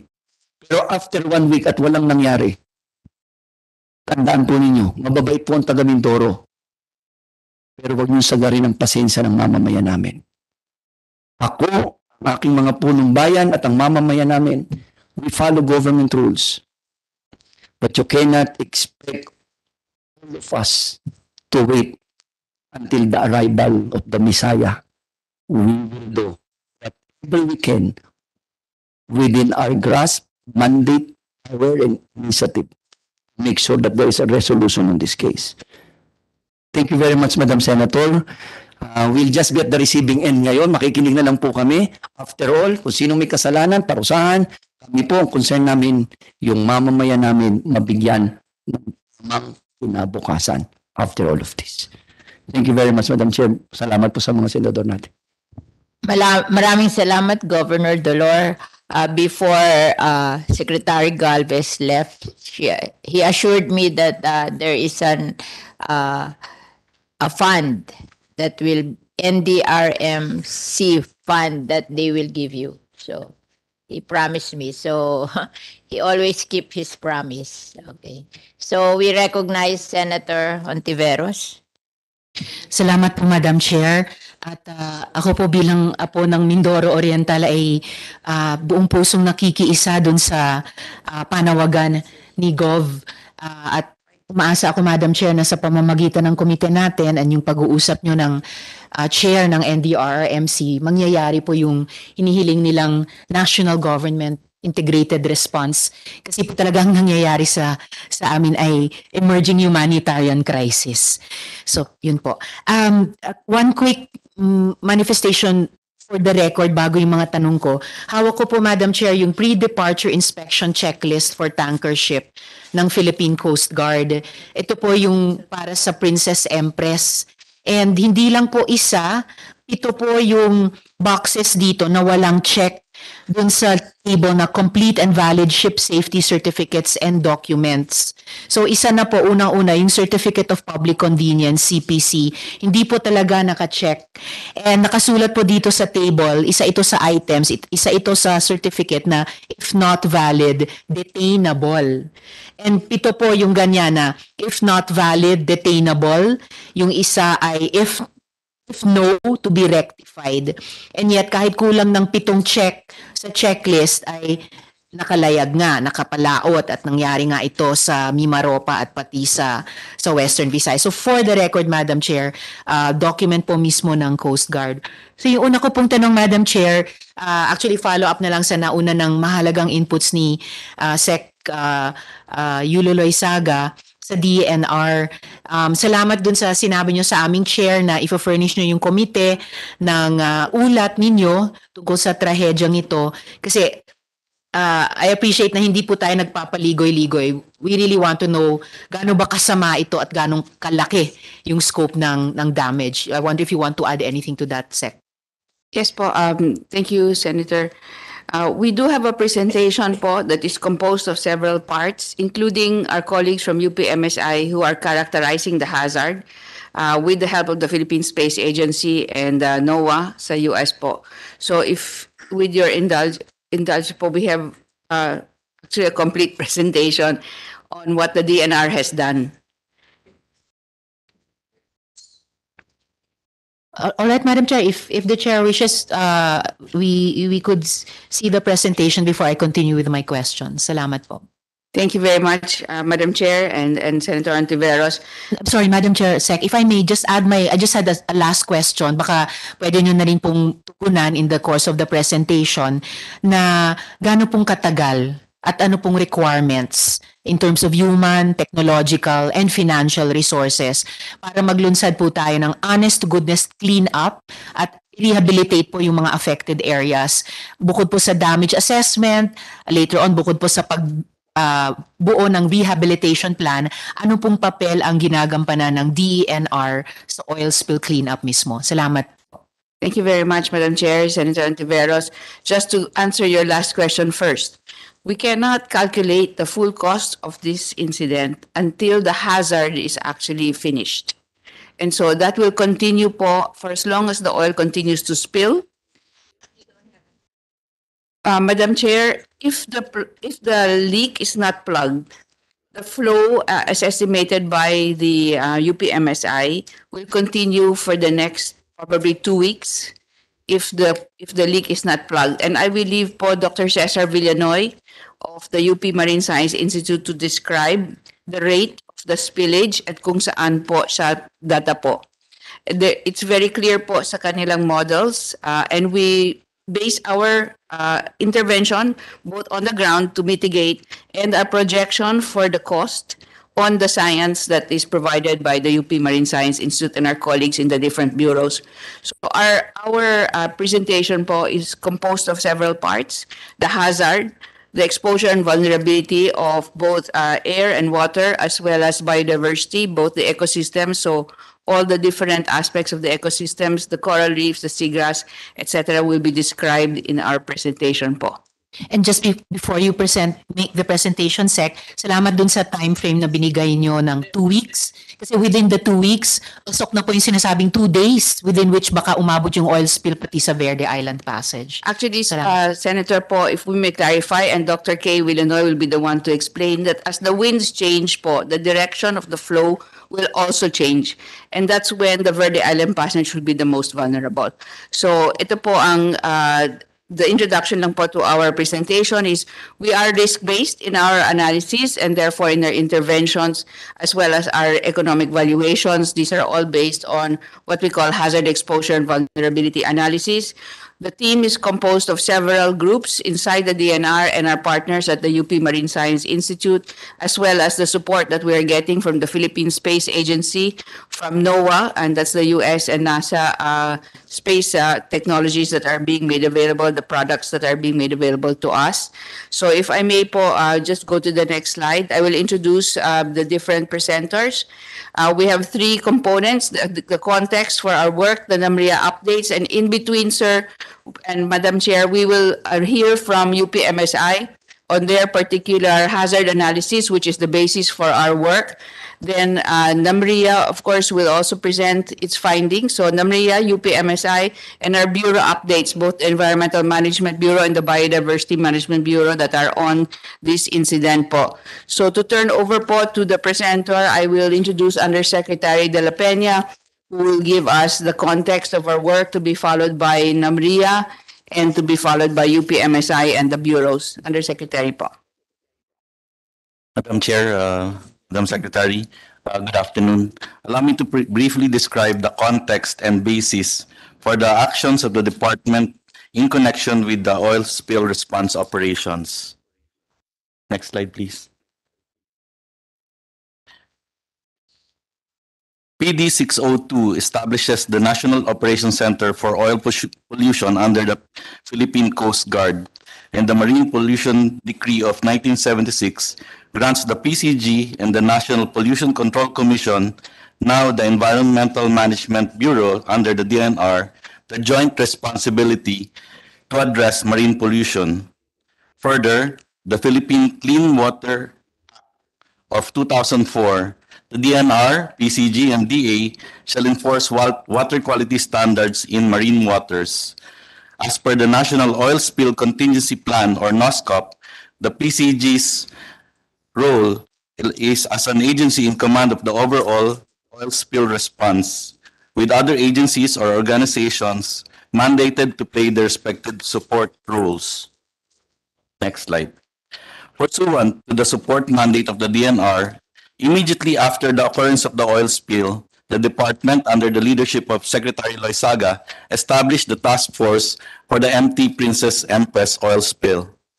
The task force follows the Incident Command System, or ICS organizational structure, placing key undersecretaries in command with the support of assistant secretaries down to the regional executive directors, regional directors, the provincial and community environment and natural resources, among others. The main objective of the task force is to implement all necessary strategic and tactical actions In and out in order to facilitate immediate and long-term risk management strategies to mitigate the impacts on ecosystems and marine and coastal biodiversity. Next. Shown are the three parallel work streams of the department in response to the oil spill. Next slide, please. Disaster forensics, knowing the scientific circumstances in connection with the oil spill by specifying the environmental hazards, the vulnerabilities, and risks associated with the incident. Cleanup, mitigation, and remediation, habitats and ecosystems protection and regeneration. shown, the DNR further follows the three levels for response escalation. Level one, which govern actions within or near the seepage area. Level two, actions in Pola and Wuhan as well as other coasts. Level three, actions in areas beyond Mindoro. Clarificatory question, Madam Chair, Yusek. Yes, ma'am. Pareho po ba ito or iba ito sa sa Tier 1, Tier 2, Tier 3 ng Coast Guard? It's uh, different, ma'am. This is uh, the Salamat levels. The levels are following the MSI, UPMSI tiered response. Next slide, please. Having organized the task force, the following are the immediate actions of the department. First, coordinated with the LGUs affected, including the governor and mayors of, of affected communities, municipalities, released information to the public, instructed NAMRIA to deploy the, the BRPH Ventura to locate the sunken tanker, conducted aerial inspection, site visits, and monitoring with UPMSI and field operations teams, conducted water and air quality assessment, conducted biodiversity and rapid assessment, conducted coastal and mangrove cleanup operations and proper waste disposal, deployed technical experts for rapid impact assessment and valuation. Next slide. Arranged cash for work for coastal cleanup with SWD and SOLE, coordinated with congressmen for situation updates, coordinated response priorities and anticipatory action with PCG, DOTR, NDRRMC, DSWD, DOLE, DABFAR, DNDOCD, DIL, DILG, DOT, DOH, and the LGUs. Conducted a dialogue with local communities together with the DOH, DSWD, and DILG. Sourced out support from private organizations, non-government partners, and assisting countries. Briefed the President regarding updates on the ground. Submitted daily situational reports for the President through the Office of the Executive Secretary. Next slide. To further elaborate, the DNR actions, here is a matrix describing the chronology of the incident timelines vis-a-vis DNR response. At the onset of the incident, when the tanker was initially half submerged on February 28, the DNR, through its regional office, already coordinated with initially the LGUs and the PCG for situation updates and monitoring. Subsequently, specific response activities were undertaken by the department. To name a few, the highlights include the initial meetings by the secretary with the PCG, the Oriental Governor Dolor, and Nauhan Mayor Teves on March 1, Monday, immediately after learning about the incident. On March 3, the Secretary DNR, together with other key officials, did an initial aerial assessment and visit at Ground Zero. The Secretary also briefed the President on the same day and subsequently made direct coordination with the Secretaries of the DSWD, the DOT, the DOLE, among others, in the next, next days. The department also established linkage with the NDRRMC. Next slide. Here's the continuation of the timelines, which on March 5, the task force met with local officials at Pola. Also, it was the day that the NAMRIA located the possible location of the tanker. On March 6, there was the public announcement about the possible location of the sunken tanker as located by the NAMRIA. On March 7, the secretary met with the local officials at Pola, followed by another briefing for the president. In the next days, important meetings were undertaken as shown. Presently, there remains the increasing risk to affected areas, leading to the continuous effort for assessment, containment, and cleanup. Madam Chair, if I may just um, uh, add to the, the presentation as already uh, given by Undersecretary De La Peña. We note, please, that on March 2, we had authorized the deployment of the hydrographer vessel to locate the sunken vessel where it is actually um, lying po. The importance of this is to determine how the oil will actually be spilling based on possibly the location as identified by the NAMRIA vessel. So I wish to credit this to the advice of the UPMSI to actually first locate where the vessel actually is in order for us to be able to project the spillage that will occur because of the, the damage to the vessel. So UPMSI advised us on this. We mobilized on March 3 uh, after the authorization on March 2. And by March 4, the, the vessel was deployed, our hydrographer vessel, BRP Ventura. And by March 5, despite the inclement weather and early morning, they were able to capture data which they later analyzed uh, to actually be the possible site of the sunken vessel.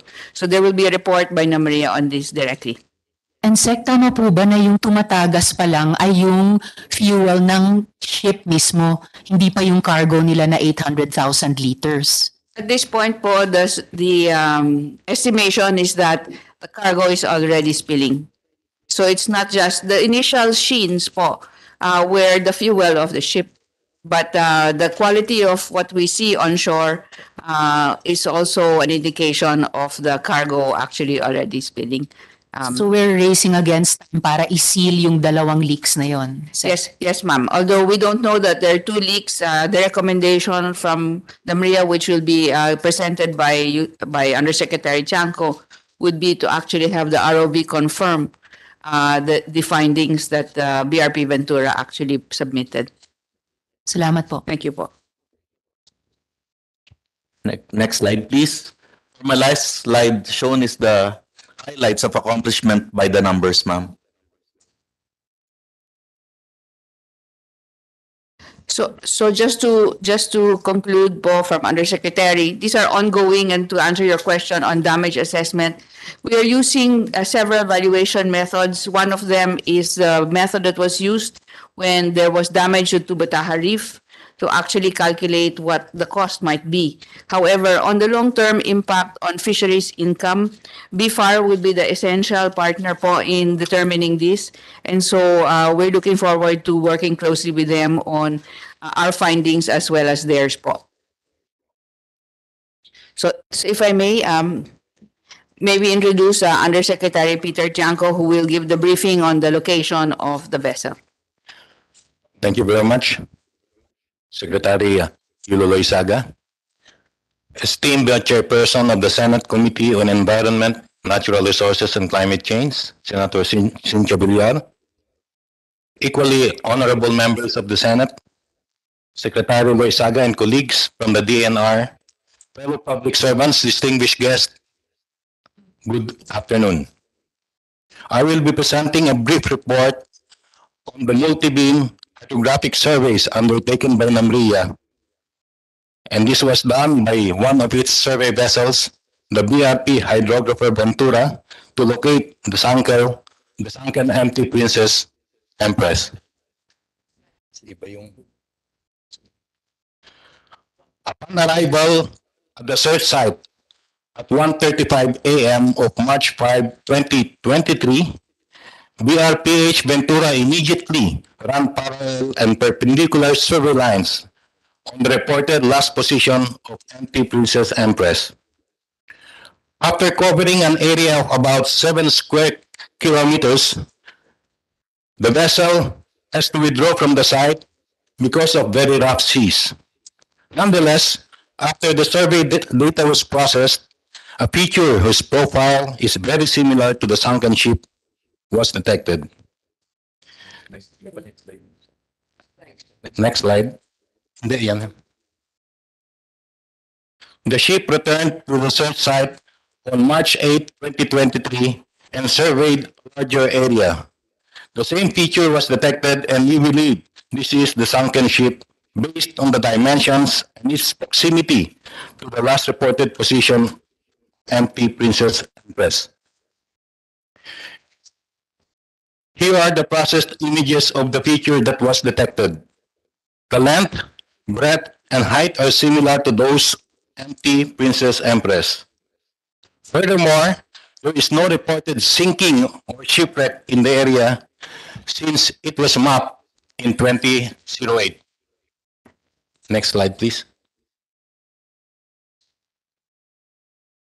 The sunken ship is in an upright position and oriented south 44 degrees east. Next slide, please.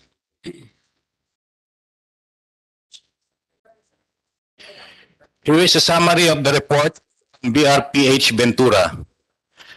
It surveyed a total area of 39 square kilometers and detected the feature at latitude 13 degrees, 19 minutes, 8.67 seconds north, and longitude 121 degrees, 31 minutes, 43.07 seconds east. It is located at a distance of 13.89 kilometers northeast of Balingawan Point, Municipality of Pura, Province of Oriental Mindoro. It is lying on the seabed in an upright position at a depth of 389.1 meters. Its current location is 264.7 meters southeast of the last position of Anti-Princess Empress. Next slide, please. Here is a comparison of the dimensions of the Anti-Princess Empress and the shipwreck. They have almost the same length and breadth. The difference in height may be due to the height of the ship's mast. Next slide, please. Finally, here is a map showing the location of the sunken ship. Next slide, please. Here is the location of the sunken ship as depicted on the official nautical chart of the area.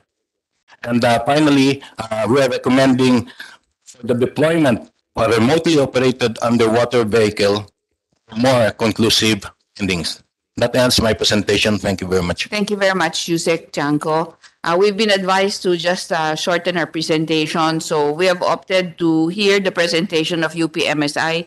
The work of the D, the DNR, EMB, and BMB is equally important po, ma'am, so you can see the impacts that we are seeing on the ground. So hopefully po, we'll have the opportunity to present those uh, to you. EMB and BMB are here with the full presentation. But if we may, just so we can characterize the hazard and the risk moving forward, we would like to call our colleagues and our partners at UPMSI, Dr. Cesar Villanoy, uh, if he can make the presentation on the current status of our of our hazard. Doc Kay, please. Chair, Sec, just one quick. So 390 meters, so higit isang libong feet po yun. Yes, ma'am. Lalalim. Yes, ma'am. po. Dr. Villanoy, please. Hello, Uh, may- hello, uh, good, good afternoon po, um, um, Secretary, and good afternoon, Madam Chair. Um, shall I share or, um, Doc, if you may, please. Yeah. ah, ito na pala. Yan na po. This is, ah, hindi, sa Coast Guard na presentation man ito. Maybe Q. Uh, Doc, would you like to share in the interest of time? Okay, okay, sige.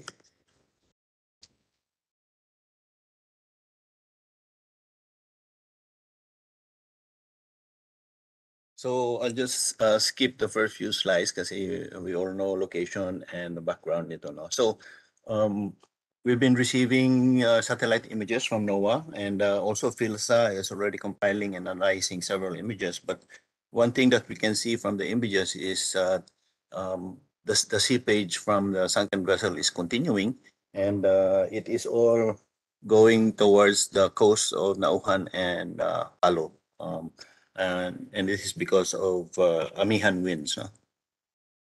Um, so what we see in the images are actually uh, just a portion of what is actually released. No, so we tried running a, a oil weathering model, which is uh, developed by NOAA also on the what happens to bunker sea oil when you release that to the surface. And it says here that the model shows us that in the first five days, uh, 9% is lost to evaporation, 70% is is dispersed, so na na na mix with the water, nag-emulsify or it's uh, it breaks up into smaller smaller uh, uh, spills. And what what remains is just 22%. So what we see at the surface is just a fraction of what is actually released. So we don't know, we, we cannot compute how much uh, oil is seeping from, from the ship. Um, because even if we see different sizes of uh, the oil slicks at the images, they're mostly a function of the wind. Kung malakas ang hangin, mas mali- lumiliit yung slick. Pag kalma yung hangin, mas lumalaki yung slick. So this is the uh, oil spill trajectory model we use. This is the model used by NOAA for oil spill uh, uh, response. Um, ang input dito, we get currents from uh, global models of of circulation ng ocean currents and we also get the winds from the global forecast system no so um so one lang reminder lang na all these are global models so medyo coarse yung resolution nila no hindi hindi natin masyadong ma-resolve some of our smaller islands. And we also specify the spill type so either an area source or a point source. So these are the first few models that we run. Um ito yung itong nasa left ito yung uh, when uh, uh, Secretary uh, uh, Loisaga flew flew to to uh, to the area and they were able to identify itong slick na nakikita dito. And then there were also reports of uh, of oil along the southern coast. So so we use this as input to models and we um, uh, it showed na the spill was mostly going south, uh, reaching Semirara and Kaluya Islands, and then eventually going to Cuyo. And uh, um, the uh, if you run the model some more, and you will see that it ends up in uh, um, mainland Palawan, Taytay area, and uh, the model estimated that uh, uh, the oil will reach Taytay in uh, March 12. And uh, last Sunday, we got the reports that the they found oil in Taytay. Um, so we also tried running model where there was continuous seepage from from the ship. Um, and uh, because of the strong influence of the Amihan, um, most of the oil coming from the ship will end up along the Nauhan and uh, Pola coast. So unless the the wind changes, um, unfortunately, Nauhan and Pola will continuously receive oil if the seepage is not stopped. So these are um, some of the currents for March 10, uh, March 10 to 19, and we can see that um, the currents in this area are starting to move towards the west and towards the northwest. Now, previously the week after the spill, the currents were moving south, but here in this uh, in this uh, um, model, they were starting to move towards uh, towards the Verde Passage um, um, sometime next week. No? And uh,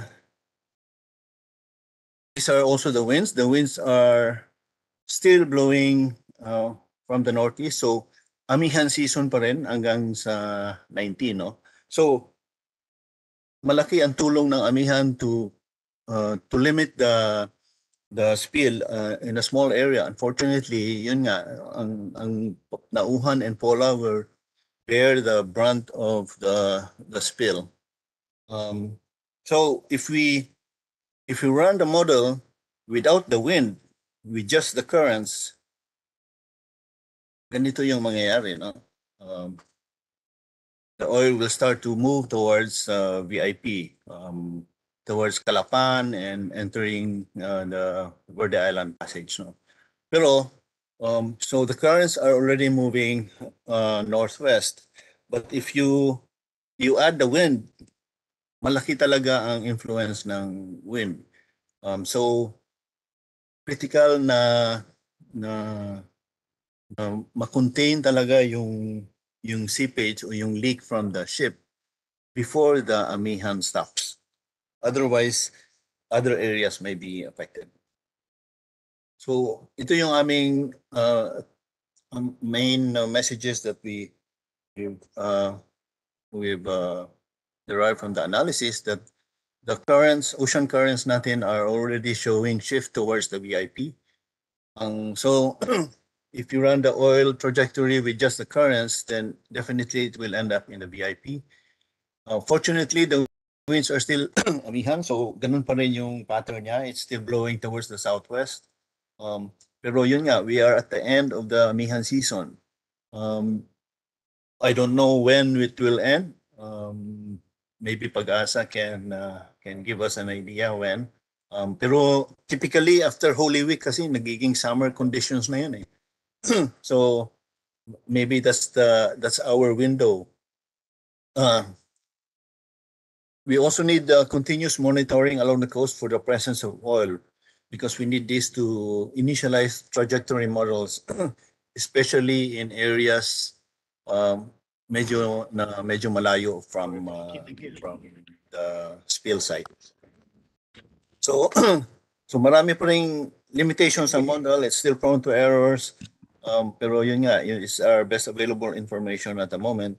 And uh, I think uh, the main point here is we really need to stop the seepage from the Salken vessel. Po. Thank you very much, Dr. Villanoy. Uh, as I said, we are driven by the science that we are actually tapping uh, UPMSI as our partners. So there are two types of actions, uh, Madam Chair, that we are taking. The immediate remediation for what has already impacted us and anticipatory action to warn based on the different models, the different LGUs that will actually be affected or may actually be affected because of the change in the winds and the current. With the indulgence Madam Chair, I will ask the bureaus, they have done great work uh, to be very quick about their report uh, on on the ground remediation and of course the next steps uh, in terms of needs with your indulgence madam chair uh, both emb and bmb are here to actually report on their work yes madam Just a quick follow-up, Madam Chair, uh, Sec, at this point in time. Dun sa sinabi ni Dr. Villanoy na it's critical to stop the seep- seepage before the amihan stops on 19th March or basta before Holy Week. Sabi nila ito yung window. And well, dumadaan na sa Kalbaryo ang Mindoro Oriental eh para mas magkaroon sila ng ang probinsya namin ng resurrection at para mailigtas yung iba pa. Um, maybe well we'll really be the committee will really be waiting for the recommendations from you. Ano yung urgent course of action nyo within these next, oh my God, six days, one week? Yes, Madam uh, that we can, that the legislature can support. Salamat po. Yes, um, Madam Chair, Senator, uh, we will be presenting what we have done so far. Unfortunately, our assumption is that we will not be able to stop the seepage. So we will act as if we are on the worst case scenario po uh, in order to uh, present our needs assessment also in terms of the collaboration between the different NGAs and of course with the with the work of um, Mayor Delor and Mayor Ina and the rest of our distinguished um, mayors po sa sa Min- Oriental Mindoro. Uh, if we may po, we will uh, be very brief so to to respect the time element. But um, Madam, I think you should hear uh, the air and water assessment results as well as the potential biodiversity impacts um, that have been already mapped by our Biodiversity Management Bureau and our EMB po. So if we may turn over to uh, EMB, uh, Assistant Secretary Gilbert. Yes. Good afternoon, Madam Chair and other members of the this august body. Um, in response to the oil spill incident, the DNREMB immediately dispatched monitoring teams in the area. In fact, we, as early as March 1, we've already started the monitoring of the water quality. Um, in the course of the monitoring, um, we established immediately 10 stations um, in, in the, along the coastlines of Oriental Mindoro and in the affected uh, uh, coastal areas of uh, Seminary Islands. And uh, our initial uh, results during the period of March 1 to 8, we have uh, we have uh, exceedances in the water quality guidelines for oil and grease in these areas that we have taken samples. Also, we're doing air quality monitoring uh, in some areas in the affected uh, affected in Oriental Mindoro, and we're we're doing uh, sampling both in the Seminary Islands, also in Oriental Mindoro, and we're focusing more on the H2S and VOC to determine what are the conditions affected by the um, deteriorating, deteriorating conditions uh, resulting in the coastlines um, in the presence of the oil. And along with it, we're doing also cleanup in, uh, uh, we have initiated cleanup works in the coastlines. And then we're collecting oil, uh, oil waste and con- oil contaminated materials that have been washed down on the shorelines. And uh, Can- initially, Can I ask a question? ay, yes ma'am. Ah, kasi I read something na wala daw TS sto- treatment storage disposal facility ang Mimaropa. And so yung mga kinukuha niyong waste, didalhin niyo pa sa Central Luzon and Calabar Zone. Totoo ba yun? Uh, yes, ma'am.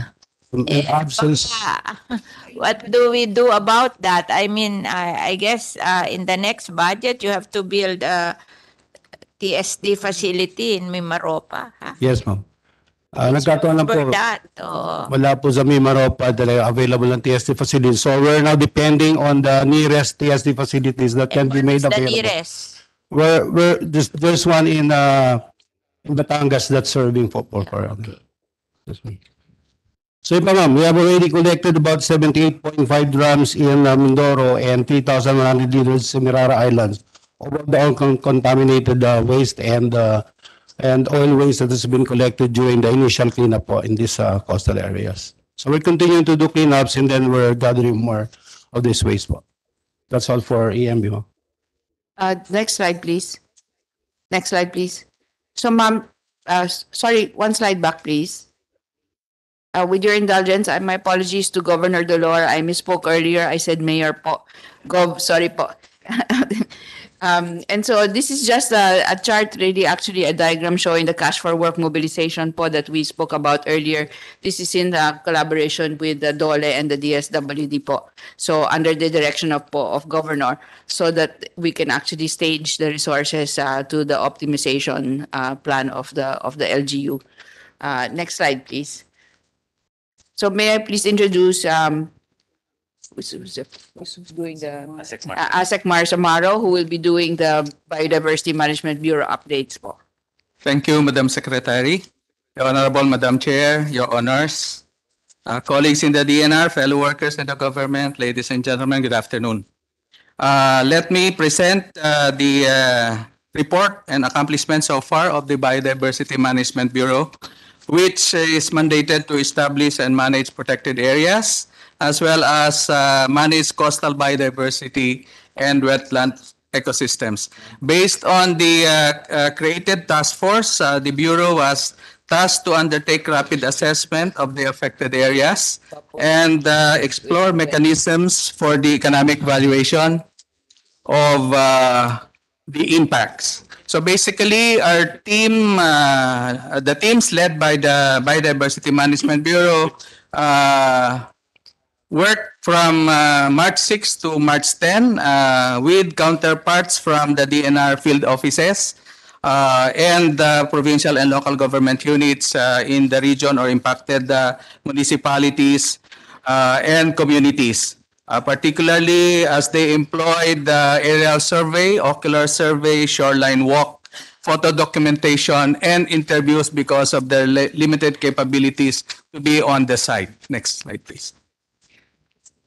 Basically, this slide would provide a uh, composite of uh, what the team has arrived at in terms of coming up with uh, the 58 uh, barangays covered in the assessment uh, in the nine municipalities uh, with the degree of oiling categorized as non, low, moderate, and high, as well as the ecosystems that are potentially affected or impacted, such as corals, uh, seagrass, and mangroves, as well as the locally managed uh, municipal uh, uh, uh, protect, uh, fishery protected areas and uh, sightings of uh, turtles as well as nesting sites.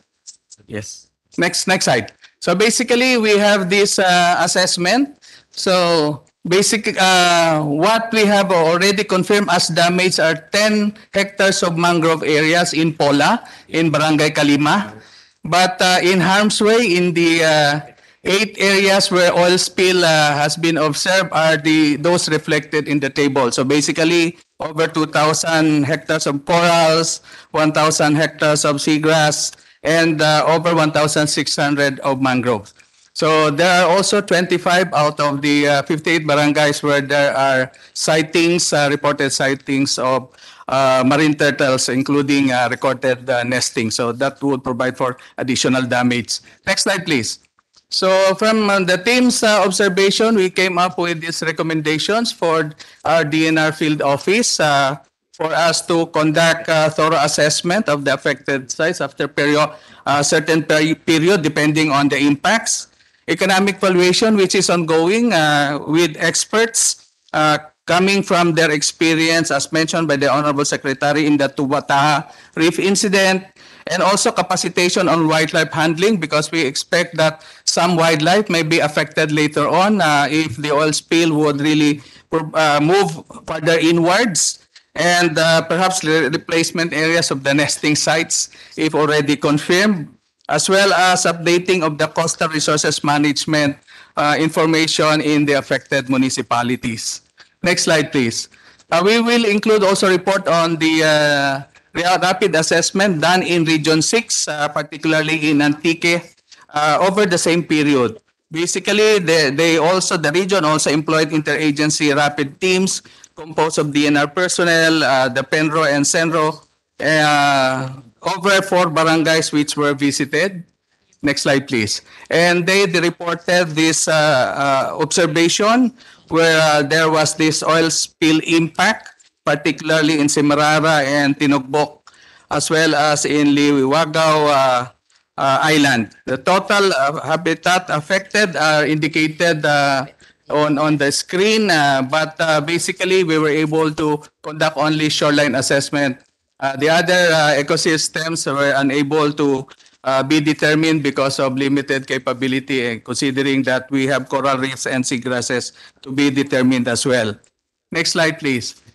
So basically, uh, there is also this set of recommendations for the region concerned that of cleanup to proceed, particularly with focus on the oil debris and solid waste uh, found along shorelines and mangrove areas, the collection of sur- sur- subsurface oil that penetrated already the sandy sediments, as well as rehabilitation that shall commence after the habitats uh, have shown signs, uh, after they have shown signs of recovery, because there is always this tendency for them to rebound from these uh, incidences. 35 hectares lang ito. So I guess that's all, Madam Secretary, as far as the BMB report uh, of assessment. is Thank you concerned. very Thank much, you, ma'am. Asa Camaro. Just to conclude, uh, we have a summary of needs uh, moving forward, Madam Chair, with your indulgence. Just two more slides that will actually uh, indicate what we feel are the gaps so far in terms of what might be needed. Of course, to be further validated with our LGU partners uh, and also wa- ways forward and what we have received the way of offers for donations as well as um, partners uh, from our foreign assistance. Um, next slide, please. Tulungan sa dami, hindi mo kaya. Next, so uh, just uh, table. Oh, excuse me. Could we go back one slide? Just a table. We've classified, uh, of course, for further detailing with uh, our LGU partners the needs of communities, as we have, of course, uh, already observed livelihood support for fishing uh, tools, equipment, alternative livelihood, family food packs continuing po with the DSWD and PPEs which are continuously needed in order to remediate the sites. The needs for the cleanup, again, supplies and materials that are related to the cleanup itself, haulers and transporters, on-site treatment, TSD po, Madam Chair, as you've pointed out, PPEs for our teams, and of course, the compensation for augmenting teams on the ground. Technical assistance, which we continue to have po, uh, needs for air and water testing. We have laboratories that are running overtime and hoping to tap our local universities to also help us. Waste management and protocols for the cleanup of mangroves, uh, and our assistance from our higher education institutions, as well as our foreign partners for impact assessment, which are ongoing po. Uh, next slide, please. Just so we are also accounting for the donations and assistance that have come uh, to us at the DNR, may we just cite the organizations of our uh, there on the list, including our foreign partners who have come from a very early stage. Uh, the U.S., uh, Japan, France, and the Republic of Korea have all indicated their willingness to support.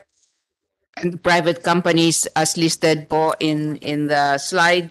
Finally, our ways forward in closing. So as you can see, uh, Ma- Ma- Madam Chair, we have also plotted out our ways forward, which are continuing to evolve because we are assuming the worst uh, will actually happen, that we will not be able to plug this seepage. And therefore, uh, this is a rolling plan that will respond to the conditions on the ground as well as to the needs of our affected communities. Thank you very much, Madam Chair. Uh, Thank you, uh, Secretary Loizaga and the DNR. We continue now with the question of Senator Risa. Maraming salamat po, Madam Chair. Um, and, and kay Secretary sa, sa buong uh, DNR family.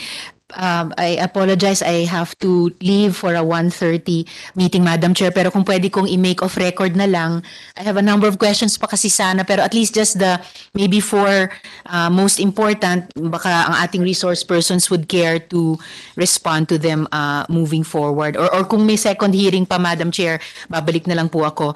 Uh, pero sana uh, isa pang tanong sa Marina, uh, uh, kung pwedeng malaman kung ano ang lagay ng Dong, binanggit na rin po kanina, I think ni Sen Tulfo, yung Oil Pollution Management Fund.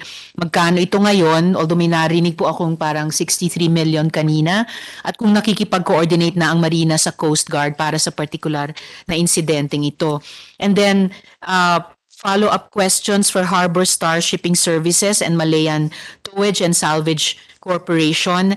Uh, kung, kung pwedeng malaman exactly kailan sila nagsimula uh, magtrabaho dun sa Mindoro oil spill. Anong specific services ang pinoprovide nila?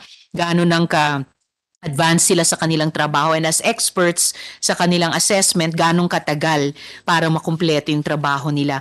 Um, secondly, for Harbor Star, Madam Chair, for the record, um, na-mobilize na ba ng Harbor Star yung sinabi nila sa isang press briefing na kaagad daw mag-hire sila at magbabayad sa mga displaced fisher folk para tumulong sa cleanup operations.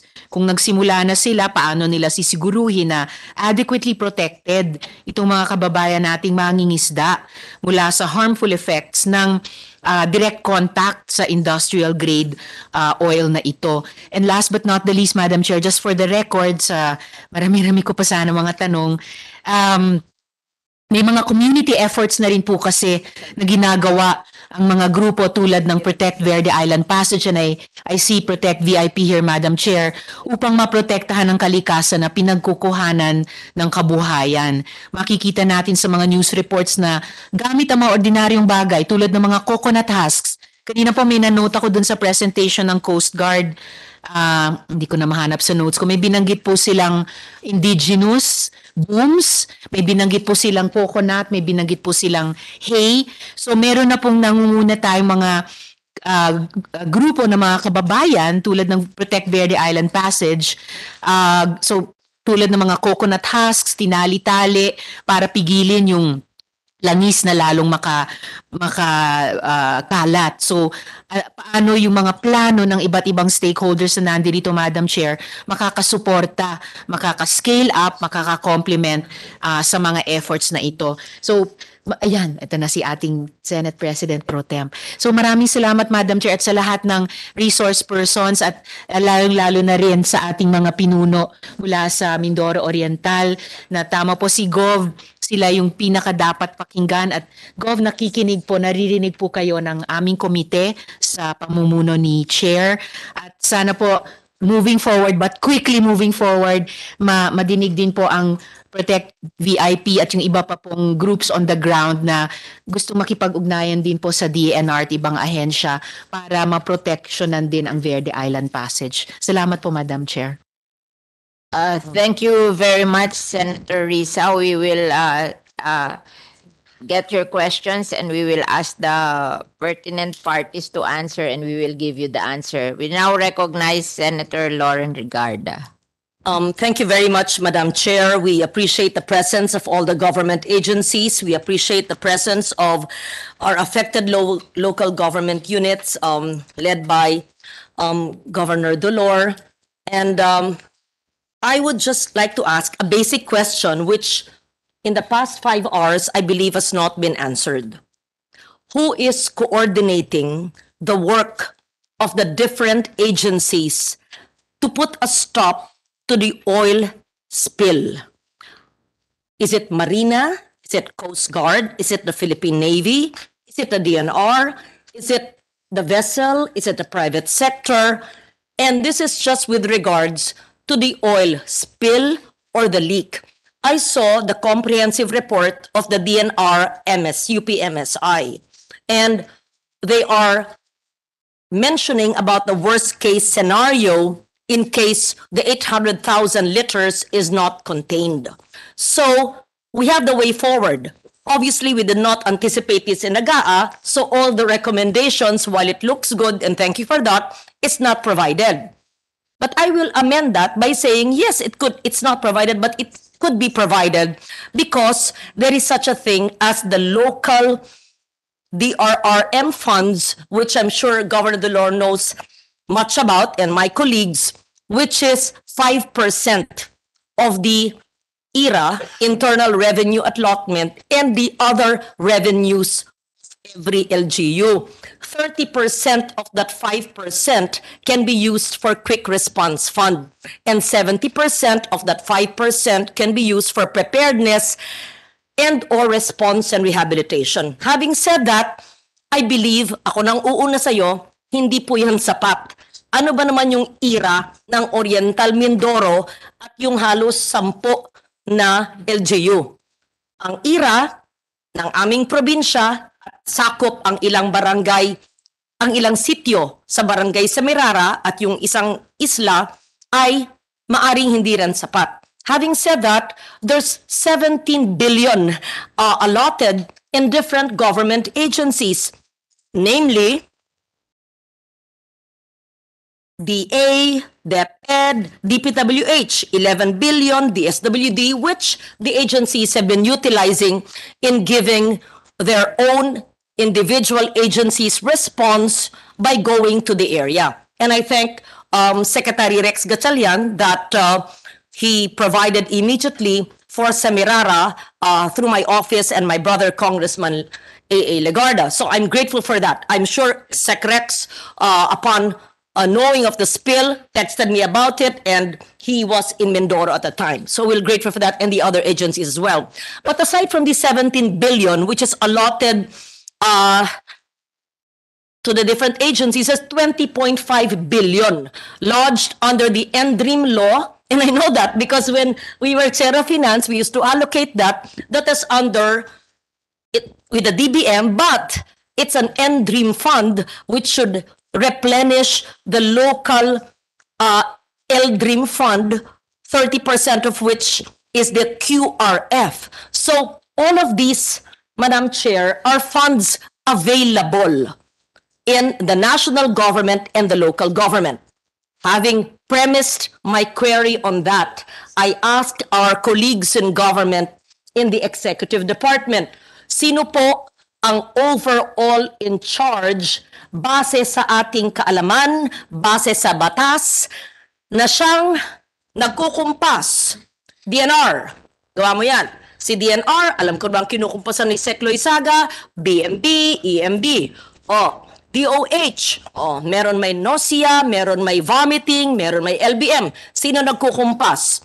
Ah, Marina, oh, may mga angal sa Marina, o Coast Guard under DOTR, etc. So who among the government agencies present here, or maybe hindi na ipatawag para ipatawag mo namin sa susunod, ang siyang namumuno ng lahat na to. Kung nasagot na po ito earlier at maliwanag na sa ating kaisipan kung sinong in charge, siya po ang tatanungin ko. Pero mukhang wala kasi nung nagsalita si Governor Dolor kanina ay para silang hilo rin at hindi alam, although we are grateful, and he is grateful, that individual agencies and the cabinet members and or representatives have helped Mindoro and Antique.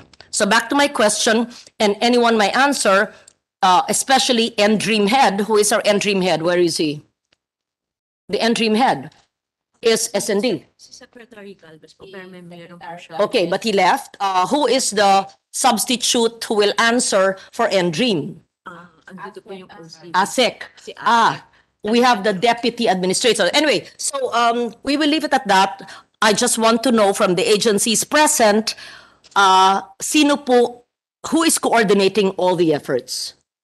Or if there is no head yet, I would suggest, um, with the cooperation and support of my colleagues, that there should be a head agency. Hindi pwedeng piecemeal. Pag hindi humingi ang LGU at hindi umiyak sa inyo, pupunta ang mga ahensya, tutulong, pupunta mga senador, mga congressman, etc. Tutulong. The- Who is said? Ah, he's, he's raising his hand, the one from the Philippine Coast Guard.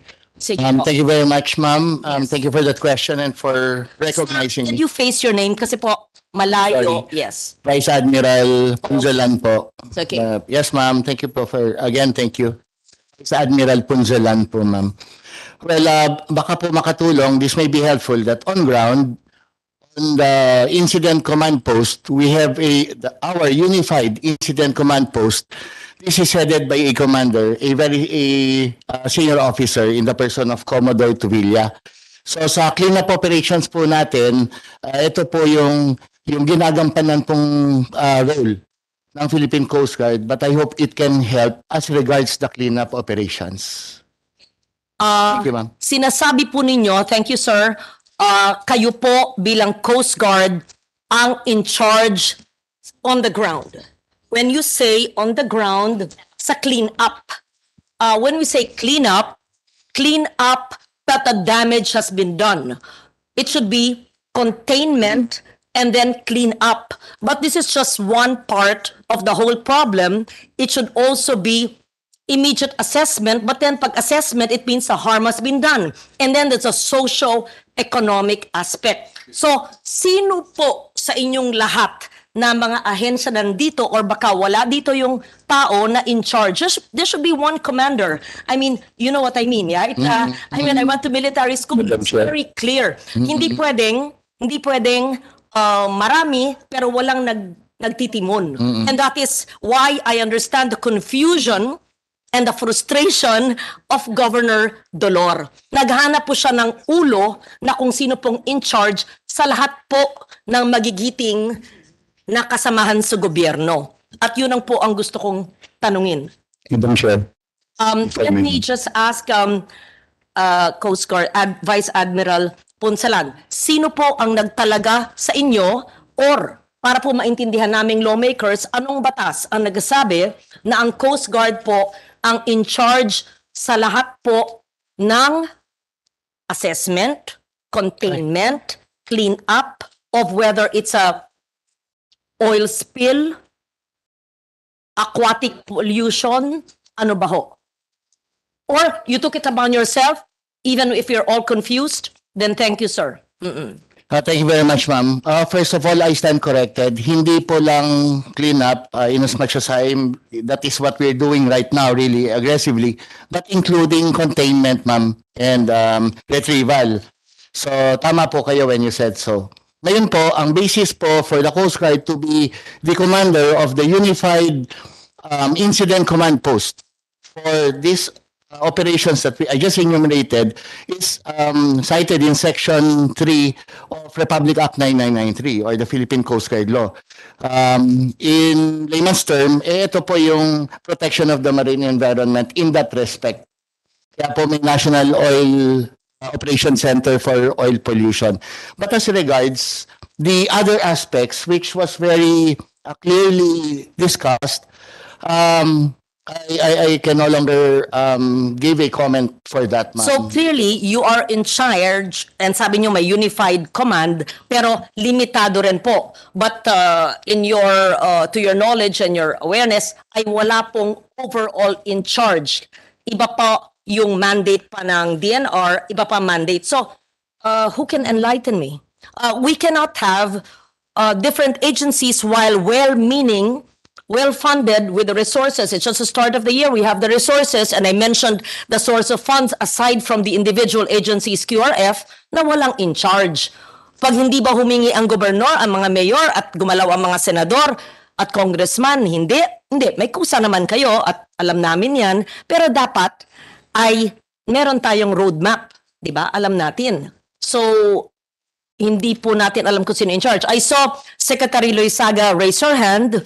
May I know, um, are you taking the lead, uh, Secretary Tony, to lead all these agencies of government for a coherent, comprehensive response to reduce disaster risk, to mitigate the impact and contain the oil leak and the oil spill, and to address the socio-economic impact on the livelihoods of our poor fisher folks and communities.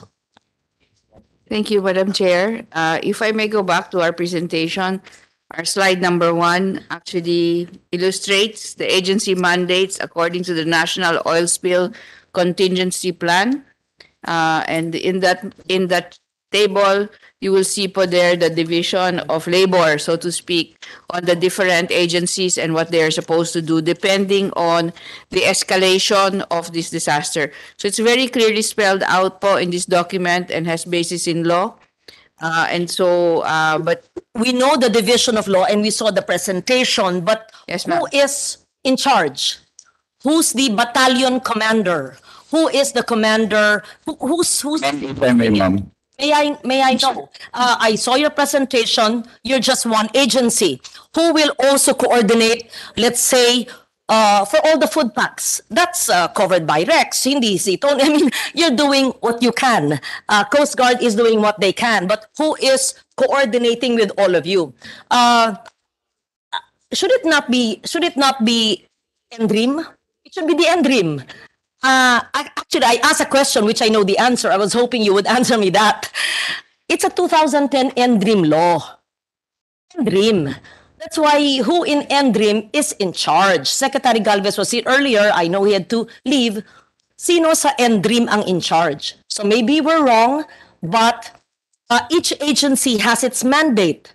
We heard it. But who's in charge totally na itinatahi-tahi lahat ito? No one can answer. Mr. Chair, Yes. Madam. Madam Chair, you. if I may, ma'am, if I may Uh, enlighten. yes, I'm, I'm Commodore Tubulia, ma'am. I'm the newly designated uh, incident commander. Uh, good morning to everyone. Right now, ma'am, on the ground, I'm uh, the one liaisoning with all the um, stakeholders and concerned agencies pertaining to our operation. And among the members of my Unified Incident Command, the the province of Oriental Mindoro. That is the reason why all these things that uh, are moving around in uh, Oriental Mindoro, like the entry of even the entry of the Japanese uh, strike team, you know, goes under our command, so that we could accompany them and designate them to areas that uh, we need uh, the assessment. So, with regards to the the food packs like that are, that are coming in uh, in our underground ma'am, the PDRMO, I, I designate or um, give instructions to the members kasi unified yung ma'am eh. I'm giving the direction po. Yes, very clear. Thank you, Madam Chair. Thank you, Commodore. I will answer my own question, and this is for the enlightenment of all agencies. While it is an old law, we must be, it is defined in the law so clearly, and we must act as one, so to speak, based on this 2010 law. In Section 15 of the NDRIMC Law, Republic Act 10121, coordination during emergency, and clearly this is an emergency, the local Dream C, in this case, the provincial DRR officers, in our case, Antique, in your case, Mindoro, shall take the lead in preparing for and responding to and recovering from the effects of any disaster. But of course, these are provincial, local L dreams, and they all will meet towards the national Dream C. That is why Congress, the Senate, put the 20 billion under the national N-Dream and the local also have their own local DRR funds and every agency, including uh, DNR, has part of the 17 billion.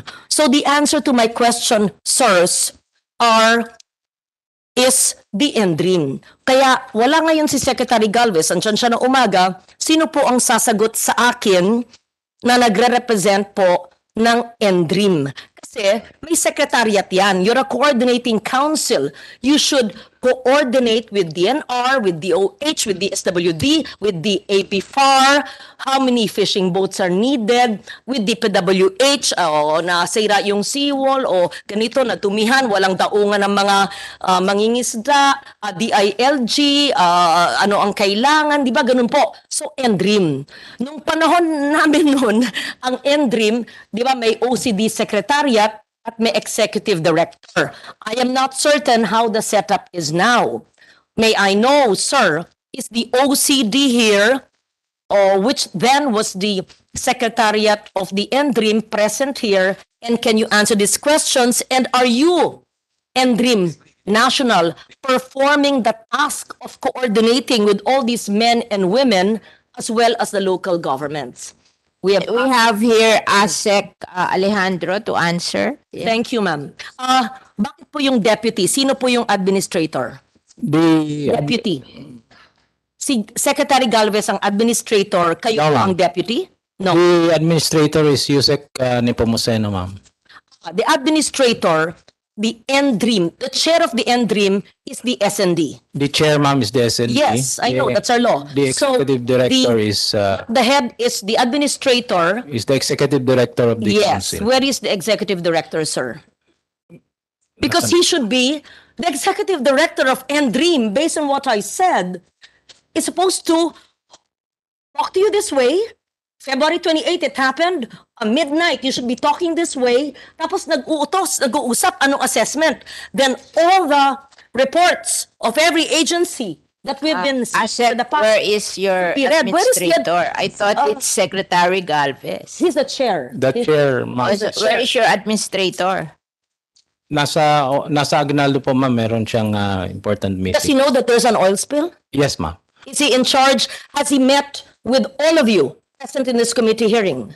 Yes, ma'am. Uh, he has met the governor himself uh, Yes. last week. Okay, can you we have speak been with him? coordinating, ma'am, uh, regarding this one. Sige. But uh, because we have a contingency plan that uh, we follow, uh, which designates the Coast Guard as the lead when it comes to the oil spill response. So our role uh, basically, ma'am, right now is to provide augmentation to the, to the Coast Guard and to DNR uh, when it comes to uh, coming up with uh, support. But eh, pag sinabi po, ma'am, na hindi na kaya ng uh, provincial, then our regional uh, Dream Sea is there to support. In fact, we have activated our Dream Sea already. They said that you are the secretariat, Yes, not the one in charge. Yes, Just ma'am. the secretariat coordinating. Yes, kailangan ng coordinate sa lahat ng ahensya para hindi mararamdaman ah, ng LGU na parang ulila sila na walang think uh, uh, Senator Lauren, maybe we should ask the president to assign the head. Maybe. Yes, that's why we're Kasi asking. ito, secretariat lang to eh. Secretariat. Oo, hindi ito ang head eh. Oo. That's why, uh, yes, yes, I was going to that. I was going to make a recommendation. I'm glad that the chair mentioned that. Uh, sana, segundahan mo na yung aking motion. Madam Chair, uh, seeing the absence of a clear head of this monstrosity, of this emergency, of this it's not just an oil spill, it's an aquatic uh, pollution, it's an ocean spill because it's not just, it's the 800 liters and not yet there. So this will be continuing not for weeks, not for months, for years. Recalling Gimaras. And I know that this has been said to be worse than Gimaras. So uh, we look for secretariat head. But how can a secretariat head coordinate all this? Um, ang tanong ko po, mula February 28, lahat po na nakalap na impormasyon ngayong araw na ito, nag-meeting ba ho and Dream C, face-to-face or Zoom, ilang beses na po, kasama ba ho ang mga lokal na pamahalaan ng Antique hanggang sa head ng barangay at mga head ng purok at sityo, pati na rin po ang mga mayor at gobernador at mga barangay captain ng affected towns. At two weeks may needs assessment by the time na kalap na baho ng NDRIMC OCD Secretariat ang needs assessment at naibigay na ba sa mga ahensya ng gobyerno para po magawa. So, maliwanag iba yung containment at cleanup, iba yung socio-economic at health needs po ng tao. Asek, I'm sorry to Yes. have to put you through this. Kayo po ang nandito humaharap. Ano po ang sagot? Yes, ma'am. We have been meeting uh, on this uh, since day one. In fact, uh, through VTC, we have met uh, the Coast Guard, the DNR, and other agencies. And uh, personally, nakapunta na rin kami sa Mindoro and we have designated our regional director there as our task force head to support the effort. And uh, we have uh, reports, ma'am. We have consolidated everything.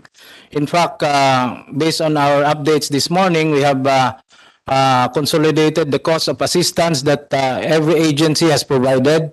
And uh, we are continue doing, continuously doing that. In fact, we have placed on red alert status our operation center specifically to cater to the needs of this uh, emergency po. Can you give us that report? Yeah. The costings of the different agencies uh, which contributed to the oil spill. I'm glad you mentioned that. copy. Yeah, uh, kindly provide we the have this committee. report. Magkano na po ang total na assistance na nabigay po lahat ng ahensya ng gobyerno sa nakaraang dalawang linggo? February 28, February, so um, that's March 13, so Uh, 14. Yes, ma'am. To date, uh, Mr. Chair, Madam Chair, uh, Madam uh, Senator, it's already placed at uh, 20.5 million pesos, 18.8 million of which came from uh, DSWD, and then uh, from OCB, 281,000, and then from LGUs. Uh, Also, based on our uh, uh, coordination with DSWD, they have on standby 745 million pesos uh, standby funds, and for OCD, we have uh, around 466,000 Ah, pesos okay. On standby. Let me state. 400 plus 700. 1.2 billion or did I hear 25 million? Yung Uh, standby fund, Na kasi 700 magkano na po ang ginastos nyo? Uh, it's uh, 20, 5 million. close to 20.5 million pesos. 20, 20 million pa lang po. Yes. po. Okay. That excludes the food for uh, work. Yes, that, ulitin uh, po. 20 million. Dalawang probinsya. Actually more. Tatlong probinsya, dalawang rehiyon. they have a standby fund. Uh, sinabi din sa akin yan ni Secretary Galvez sa OCD na 400 plus million. Tapos sabi niya meron sa 700 plus million ng DSWD. Yes. Uh, paalala ko po, uh, meron po kayong 17 billion lodged in various agencies, uh, including DNR, DOH, uh, DepEd, DPWH, etc. Tingnan po nyo yung allocation. I can give it to you here. It's in the GAA. And you have 20 billion under the NDRIMC and make sure that that is also utilized, although that is for the whole year, for the whole country. But this is an emergency that will affect the livelihoods. I don't think 20 million pesos ay mararamdaman po ng lahat ng apektado po dito. Pero babalik po ako sa katanungan I don't ko. think that's a, uh, complete. Kasi I'm sure yung ano, yung DNR, malaki na rin na nagasta niya, wala namang nakalagay doon eh. Kaya I think that's understated. I So, don't, I don't think it's update 20 na lang. million. I don't think it's 20 million. No, because ma'am. What I'm asking is a cost. You said you had the cost estimate, so I was happy you had it. Uh, in cleanup, in assessment, in livelihood, in in uh, health, in in food packs, in uh, fishing boats, in supplemental livelihoods, komprehensibo. Kaya nga kailangan merong head na komprehensibo. Prevention and containment and leading to the least the least leak na kaya sana at the same time yung tumutungon tunggon uh, the one um taking care of the livelihood of our people. I don't think, sir, with all due respect, the 20 million is the total cost. And which brings me back to the NDRIMC law because it says, and I will read the portion of our law, the NDRIMC should be in charge when there are two or more regions affected. In this case, clearly, it's Mimaropa and Region 6. So, kailangan, February 28, nangyari yan, trigger, MDMC, meeting lahat. Kundi pa nagpatawag ng meeting ang Senado, mag-uusap-usap ba kayong lahat? Uh, to be very candid here, Madam Chair, it's been our comment often as senators that nakikita-kita lang ang mga ahensya ng gobyerno, hindi ko punod niya lahat, pag nasa committee hearing o nasa budget hearing o pag may mga investigasyon gaya nito. Parang bang kayo, you, exist in isolation. So, dapat nag-uusap-usap. this provision of NDREAM law of 2010 should have been triggered on February 28 when this spill happened because every LGU has a local DRR officer. Every prov, they report to the province. And it, instead of cascading, goes up to the provincial and to the national NDREAM. Hindi po nyo kasalanan, ASEC. Ah, kayo po ay deputy administrator.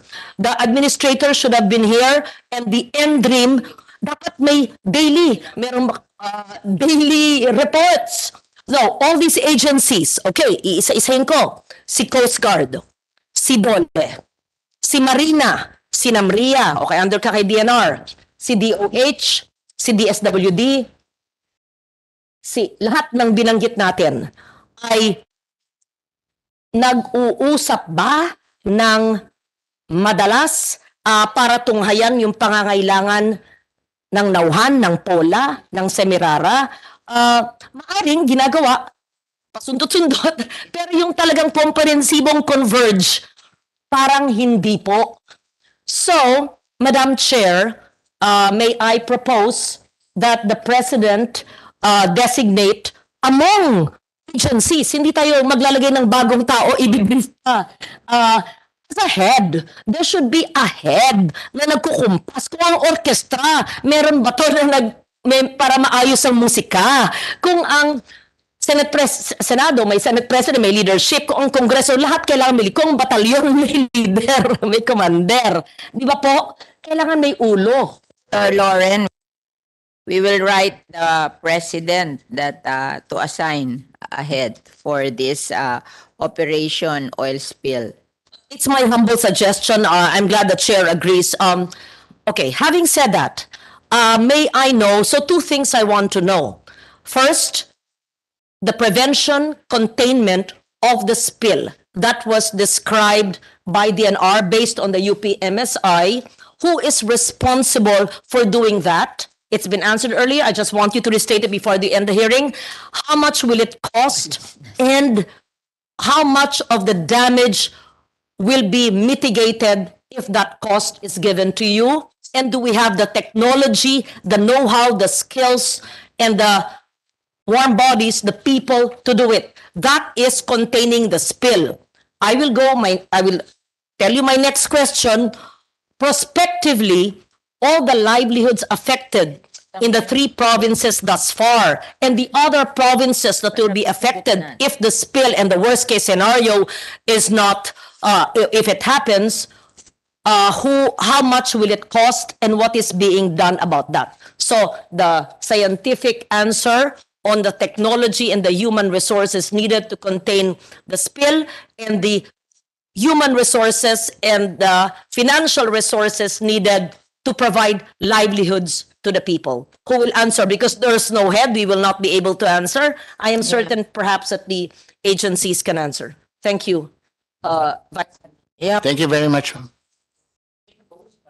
Maraming salamat po, Madam Chair, um, Senator Legarda, ma'am. Ang, ang akin pong sagot na maibibigay po, uh, it is part of the mandate of the Coast Guard to undertake containment, abatement, and mitigation of uh, oil at sea.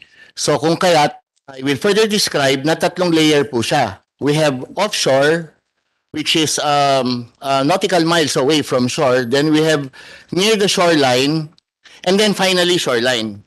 Much nga, how much? Ah, how much po ang kailangan? Ma'am, wala ko exact figure, pero may I just describe it in the form of factors? The, kasi we use bo- boats when we go offshore.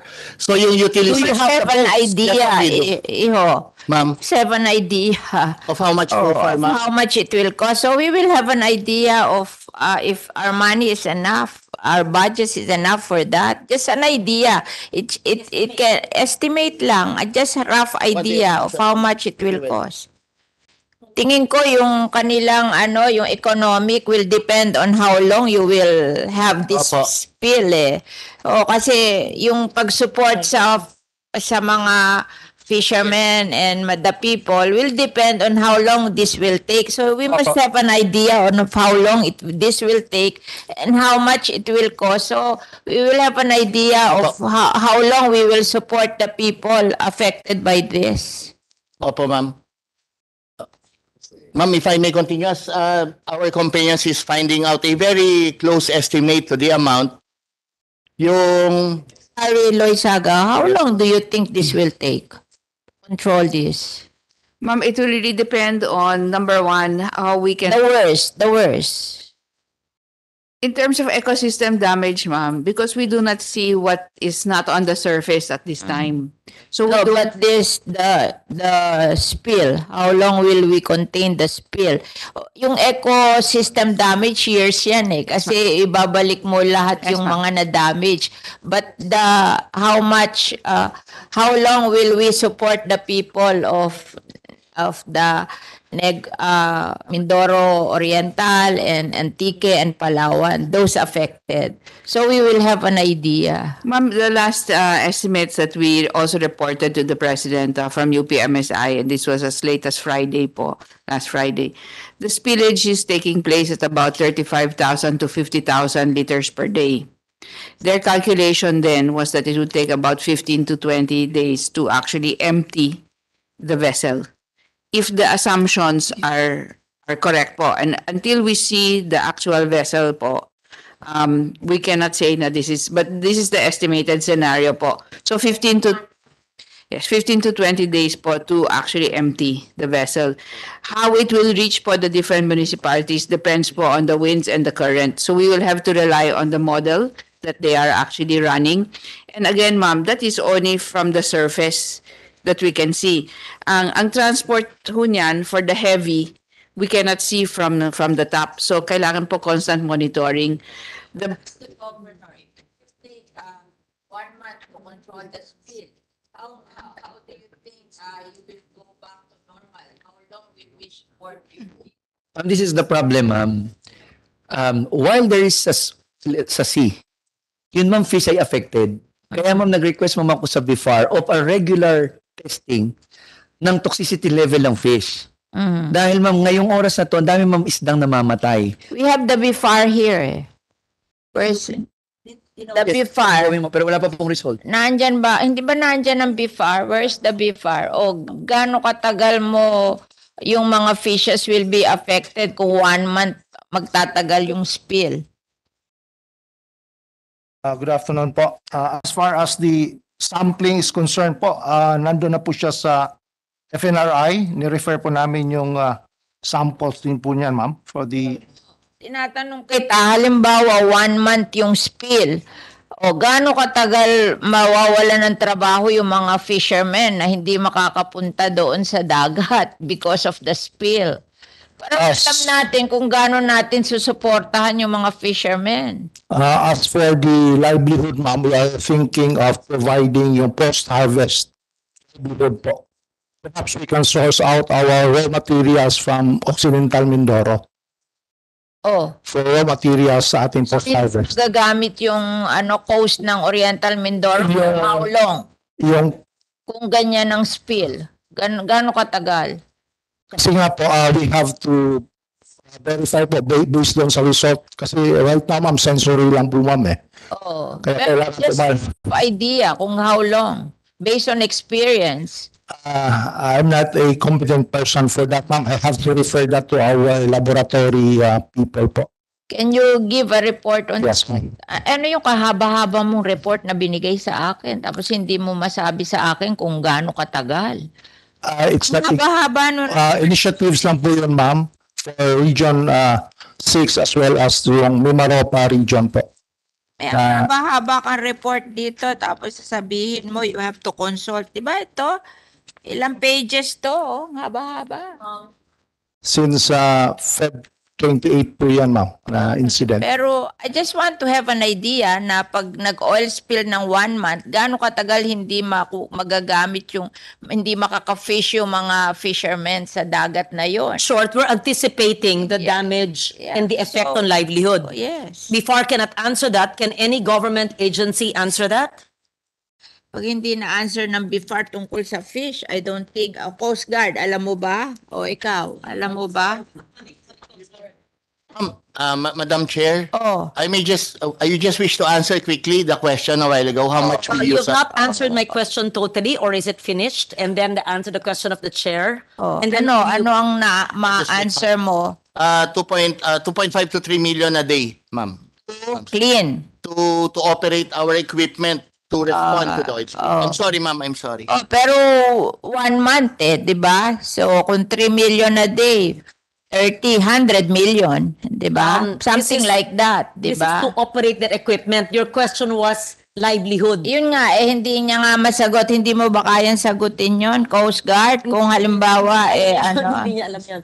Okay. So, uh, what we need to know is, uh, remember, I asked you about the cleanup. Who is in charge? Kayo. Do you have the technology, the know-how? How long will it take?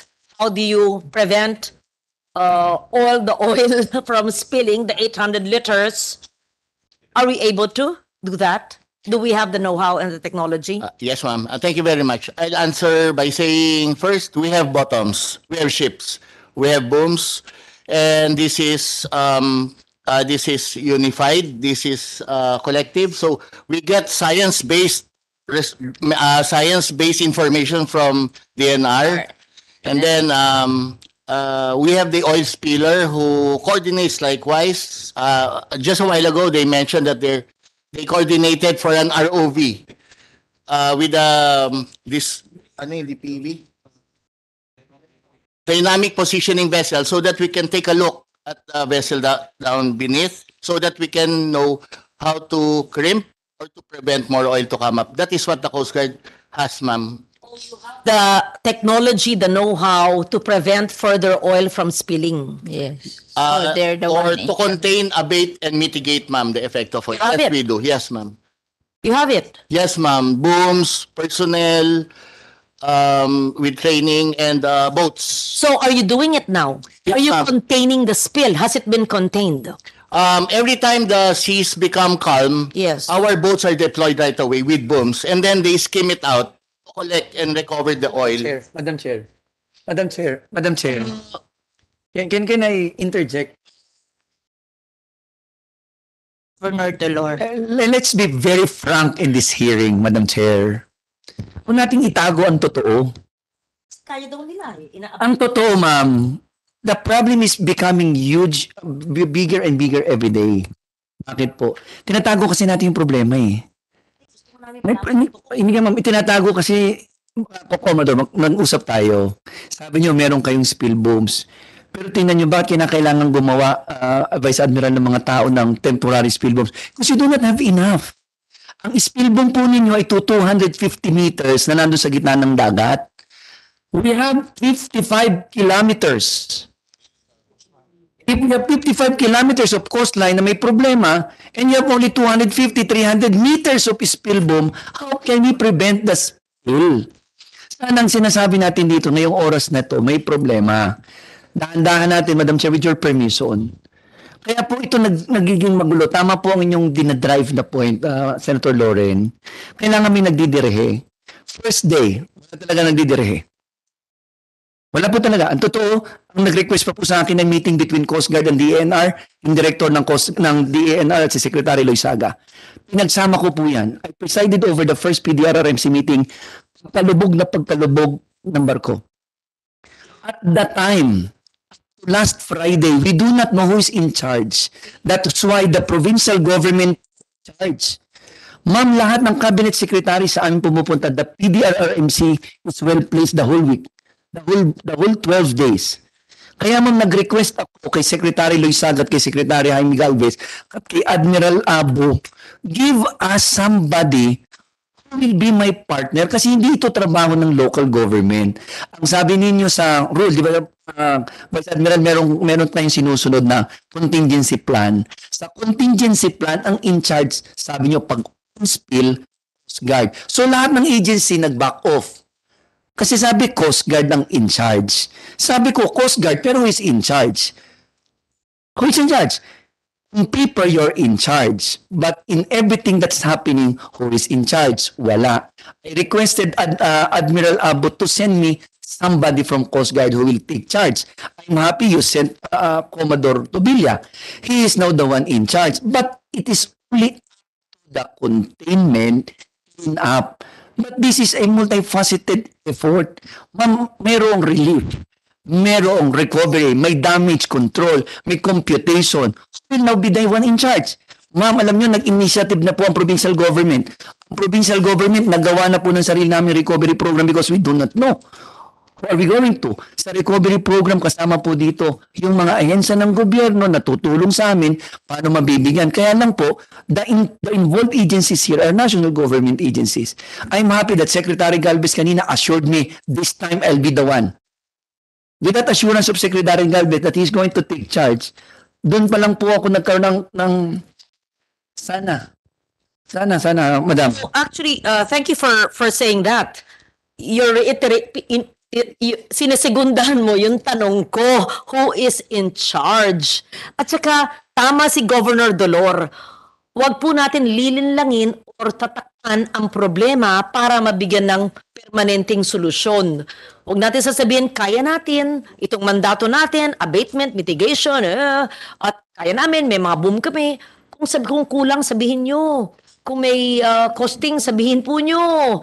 Susubukan nating gawin. Ah, natutuwa ako sa positibo nyong attitude sa buhay. Kaya namin to, kaya namin. Pero sabihin nyo, kung may kakulangan, sigurado kung may kulang, sabihin po ninyo.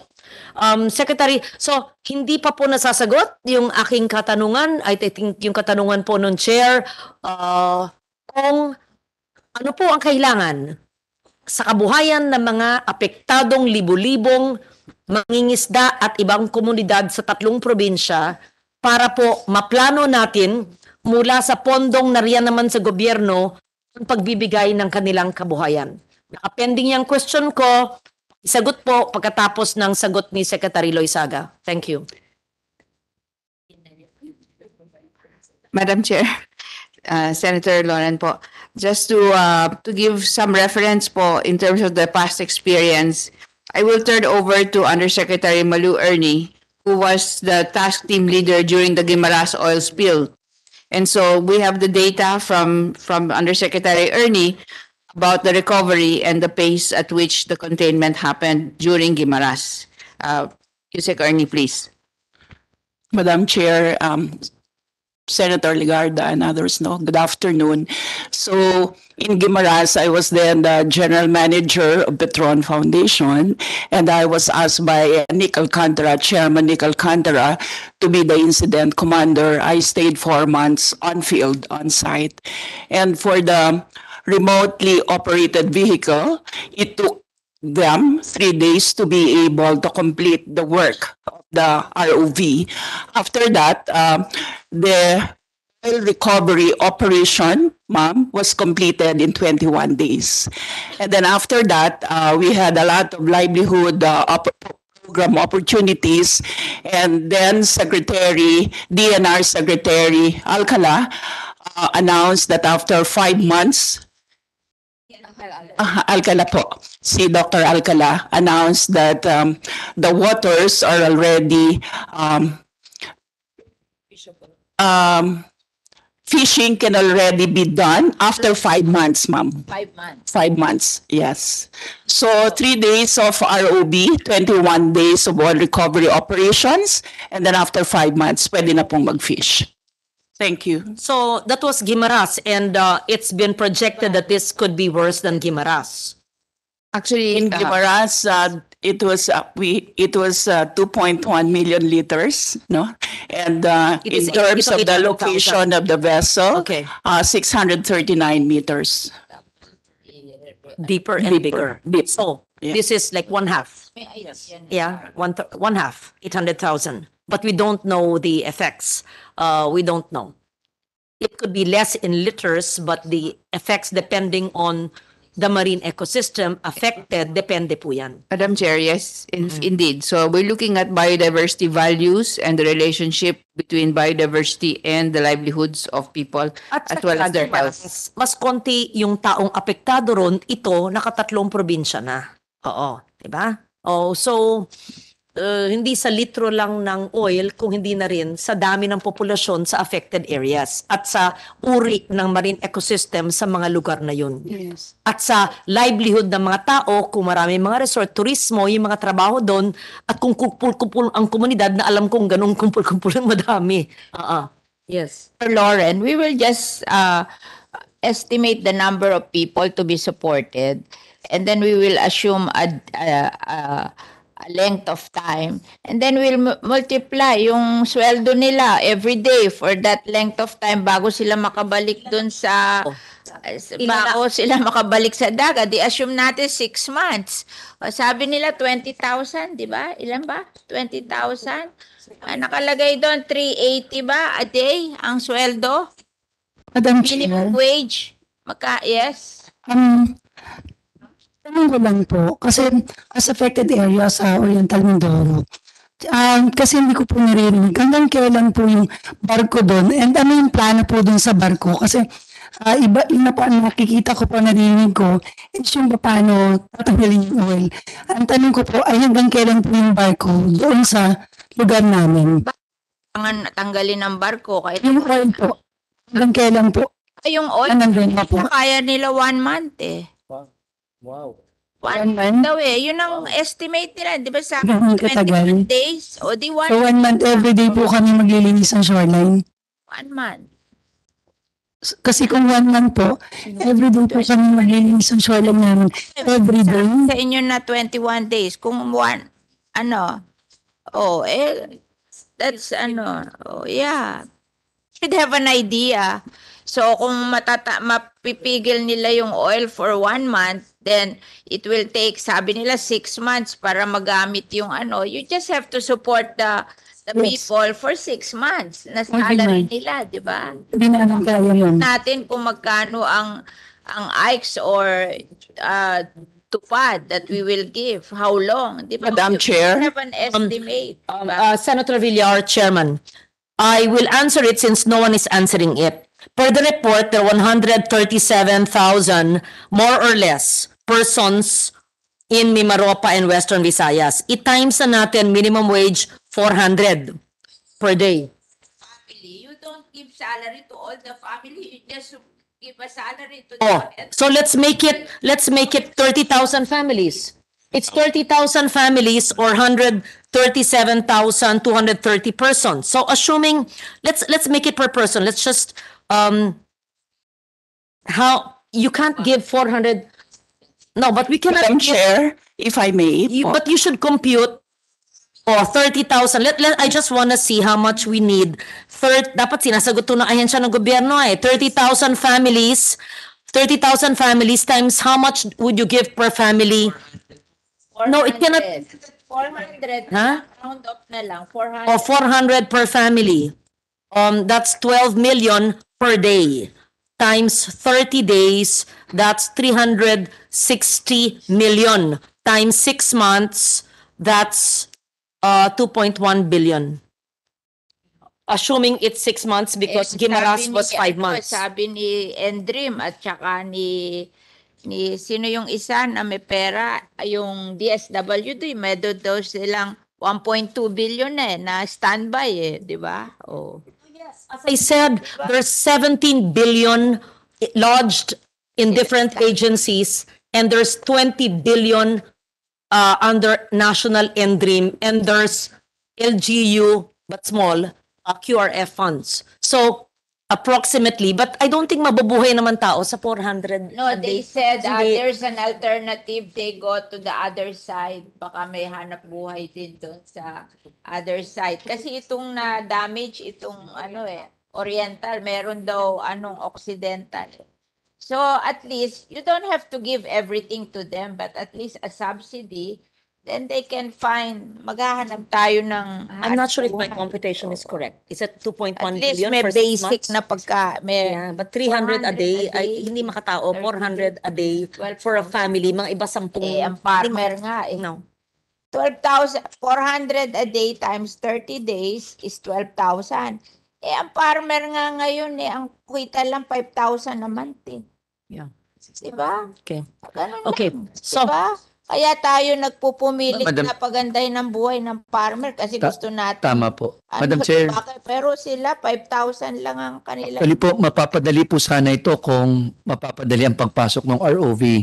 Kaya po nakikiusap during the committee hearing na rin po na ma-ensure yung lahat ng cabinet offices at mga opisina ng gobyernong dadaanan Nakasulat na po ako sa lahat ng dadaan ng opisina, Bureau of Quarantine, Coast Guard, EPA, uh, Bureau of Customs, at saka po Immigration. I've already written them a letter yesterday. Nasubmit ko na po, may specific na pangalan ng barko. Kung yung limang ahensya po na yon, ibibigay sa atin ngayon yung assurance na pagdating ng barko dyan, cleared na sila, diretso na po yung barko to Oriental Mindoro, mapapabilis po natin ang pag-solve ng problema. Yun lang po hinihingi muna namin. I-assure kami na yung pong permitting ng mga ito, sa halip na pahirapan yung barko, padaliin. Nakakatulong na po ng malaki yun. Who are you addressing your question to, uh, Governor? Ang Kasi- sabi ko sa pamamagitan po ng ng committing ito mas mapadali natin. Kaya ang uh, sasagot sa kanila para ma-assure ka na mangyayari yung hinihiling Yung barko dumating. Sino ba in charge ng barko? Coast Guard. Kasi sinabi mo yun, nakatingin lahat. O, Dapat eh, may ano, oo sino at ba in gagawin, charge di ng ba? barko? Oh, sino? Ah, partly ma'am, Coast Guard. Coast Guard. Oh, di ayan, Coast Guard daw. Coast Guard. Quarantine. Kayo na po. Safety. Kayo na po ang sasagot. Uh, at least those parts kasi we will we will uh, uh, we will collaborate with other agencies na concerned ma'am. Habang wala pa pong ina-appoint Opo, kami na po, kami na ang titingin kayo po. po. Sige po, Okay. sir. Oo. Limang opisina po yon Bureau of Quarantine. Sana magko-coordinate. Ang PPA po nandyan. Yes, sir. Coast Guard, Bureau of Immigration at Bureau of Customs. Yes, Yun. Pangalawa, Yes. Madam Chair, ah, hinihiling ko po sa lahat ng ahensya ng gobyerno yung lahat ng tulong na nabigay na mula nung February 28 hanggang sa araw na to ng hearing. Hindi ako naniniwalang 20 million lang. So lahat ng nabigay na ng DSWD, lahat ng nabigay na ng DA, lahat ng nabigay na ng BFAR sa ilalim ng DA at kung wala pa para makita natin. Senator Lauren, kasi itong Coast Guard, di naman marunong mag... Ito, hindi marunong mag-compute yan. oh. Dapat ibigay natin doon sa marunong sa compute. Oh, palagay ko. Hindi. Ginagawa po nila ang kanilang kayang gawin. Pero Sino ba magaling sa inyo lahat mag-compute? Kasi Um, that's why my, my motion, Madam Sina? Chair, is to request all agencies helping the provinces affected by the oil spill to submit to the committee all help in kind, in cost from February 28 to today. today, yeah. Uh, today is Tuesday. Uh, we hope to have March 14. the inputs, March 14. Yes, diba? the inputs from the agencies uh, by tomorrow at the latest. And uh, I and then your wish list or anong gagawin nyo sa next 30 days na ibibigay nyo. Kasi for sure, it will not be solved in 30 days. So, what have you given so far? If you have not, if not given anything, then what will you give, let's say, before? Ilang libong before boats na fiberglass boats ang nabigay nyo. Pero wala naman pwedeng mag-fishing dahil nga sa oil spill. Wala nga. Or, dole, let's say kabuhayan, nandiyan ang dole, alternative na kabuhayan. Nagbigay ba kayong capital para sa sari-sari store? Nagbigay kayo para sa gagawin? Meron na po kayong binigay? Anong klaseng kabuhayan ang binigay nyo? Magkanong capital? DSWD Sustainable Livelihood Program sa mga 4P families na nakatira sa karagatan. Sino ang nabigay, anong nabigay na nyo? O uh, lahat ng ahensya ng gobyerno magsumite sa committee chair uh, and the members, please, lahat na nabigay na na tulong at kung wala pa, anong ibibigay na tulong? At ikakalap namin yan, ibibigay namin sa mga apektong LGUs. At yun ang hahantayin, iintay nila. 30 days na ibibigay nyo. Pag hindi pa na-resolve ng 30 days, another 30 days. Pag hindi pa, another 30 days hanggang sa 5 months ng Gimaras solution or more, wag naman sana. Pero at least, meron kayong commitment na nakasulat na nasumite sa committee ito para may kinalabasan. Hindi lang investigasyon, kwentuhan, tapos hinaing, tapos. May pinanghahawakan si Mayor ng Pola at si Governor Dolor at sa lahat ng mayor na lum- lumuwas pa dito na ito ang pangako ng mga ahensya ng gobyerno. Uh, that, that's a motion, Madam Chair. Mm-mm. Thank you. uh, agencies of the government to submit what they're going to do by the oil spill by depart, by agency. Thank you. I, To us and we will give a copy to each senator. very good. Madam Chair, I think that's a very uh, concrete uh, output of this hearing while understanding the science of what will go into uh, the abatement and containment of the oil spill, but the humanitarian response and the socio-economic needs of our people in the three or more provinces up to the barangay, sitio, purok level will hopefully be addressed. And walang dahilan po ang ahensya na sabihin walang pera at meron pong pera. At sinayit ko na sa inyo ang pinanggagalingan po ng pera. Okay. At kung mabagal ang mga ahensya, sabihin nyo. At uh, hindi tayo pwedeng uh, life as usual. Hindi po. Emergency po ito, pang araw-araw na pangingisda ng ating mga fisher folks ang apektado rito. Hindi lang sa aming probinsya, kundi lalo na sa Oriental Mindoro. Okay. Finish? Yeah, thank you, Senator Lauren. Madam Chair, will you have another hearing? Yeah, You'll have uh, we'll another just hearing. Okay. suspend this and we'll decide. Yeah. uh, Sino? Hindi na, hindi na, umalis na eh. Nag-online. Ah, nasaan? Wala. Oh, oh. Suspend na natin, hindi na. Suspend na lang. 2.30 na eh. Oo. Okay. May panghuling salita si Governor Dolor Okay. na binubulong sa akin. Sabi ko sabihin na lang sa mikropono. We wish Yun to ang acknowledge kahilingan uh, niya. Governor Dolor. Greetings, ma'am. Um, first, we wish to thank the committee on uh, initiating this one and Senator Tolentino also for doing a great job. Siya po yung kapartner ko rin po sa Japanese Embassy dun sa mga sulat nating pinadala. Second, I wish to thank all the cabinet secretaries and the directors na tumutulong. Uh, Honestly po, napakaganda po ng response, kaya lang muta-mutaki. Ang kailangan po namin isang maliwanag na baton. Ano, isang maliwanag na baton. Ngayon na may baton na tayo, ang sabihin ng muta-mutaki, lahat tumutulong, lahat gumagawa ng kanilang role, kailangan lang po natin may nagbabaton. On containment and um, cleanup, meron na ngayon sa Coast Guard. Ang kailangan po natin on other uh, initiatives, meron po. Para kami naman po sana sa local government, ang concern na lang namin, paano namin aalagaan yung mamamayan namin sa local. And we think this this kind of concrete actions, uh, hearing from you and hearing from them, also dun sa owners po, babalik lang po ako dun sa owner po ng, uh, ng barko. Sana po, tulad ng ating pinangako sa hearing na ito at pinangako nyo kahapon, kayo po ay makikipagtulungan at sa lalong madaling panahon ay kukumbinsihin niyo yung counterpart ninyo sa PNI, sa Harbor Star at saka sa Malayan Towage na magawa yung part naman ninyo. On the part of the local government and the people of Oriental Mindoro, rest assured po that when all of us are doing our respective uh, responsibilities, we have a people very much appreciative of everything that you have done so far, you are doing, and you will still do. At the end of the day, let's make Oriental Mindoro, Antique, and Palawan a better place for all of us while learning the lessons brought about by the oil spill.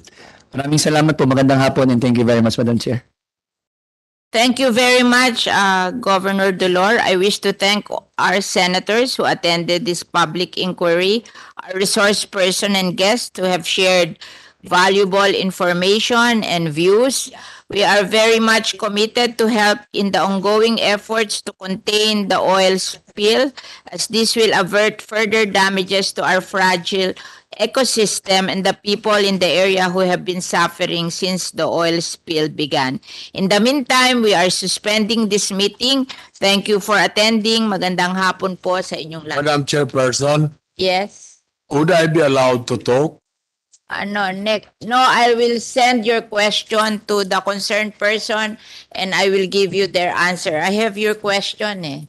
But that, Oh. that- that's another thing, uh, Madam Chairperson. This is Very short, Okay. very short, Okay, but uh, possible. uh, you you just comment because the meeting has been suspended, so you can comment. Okay.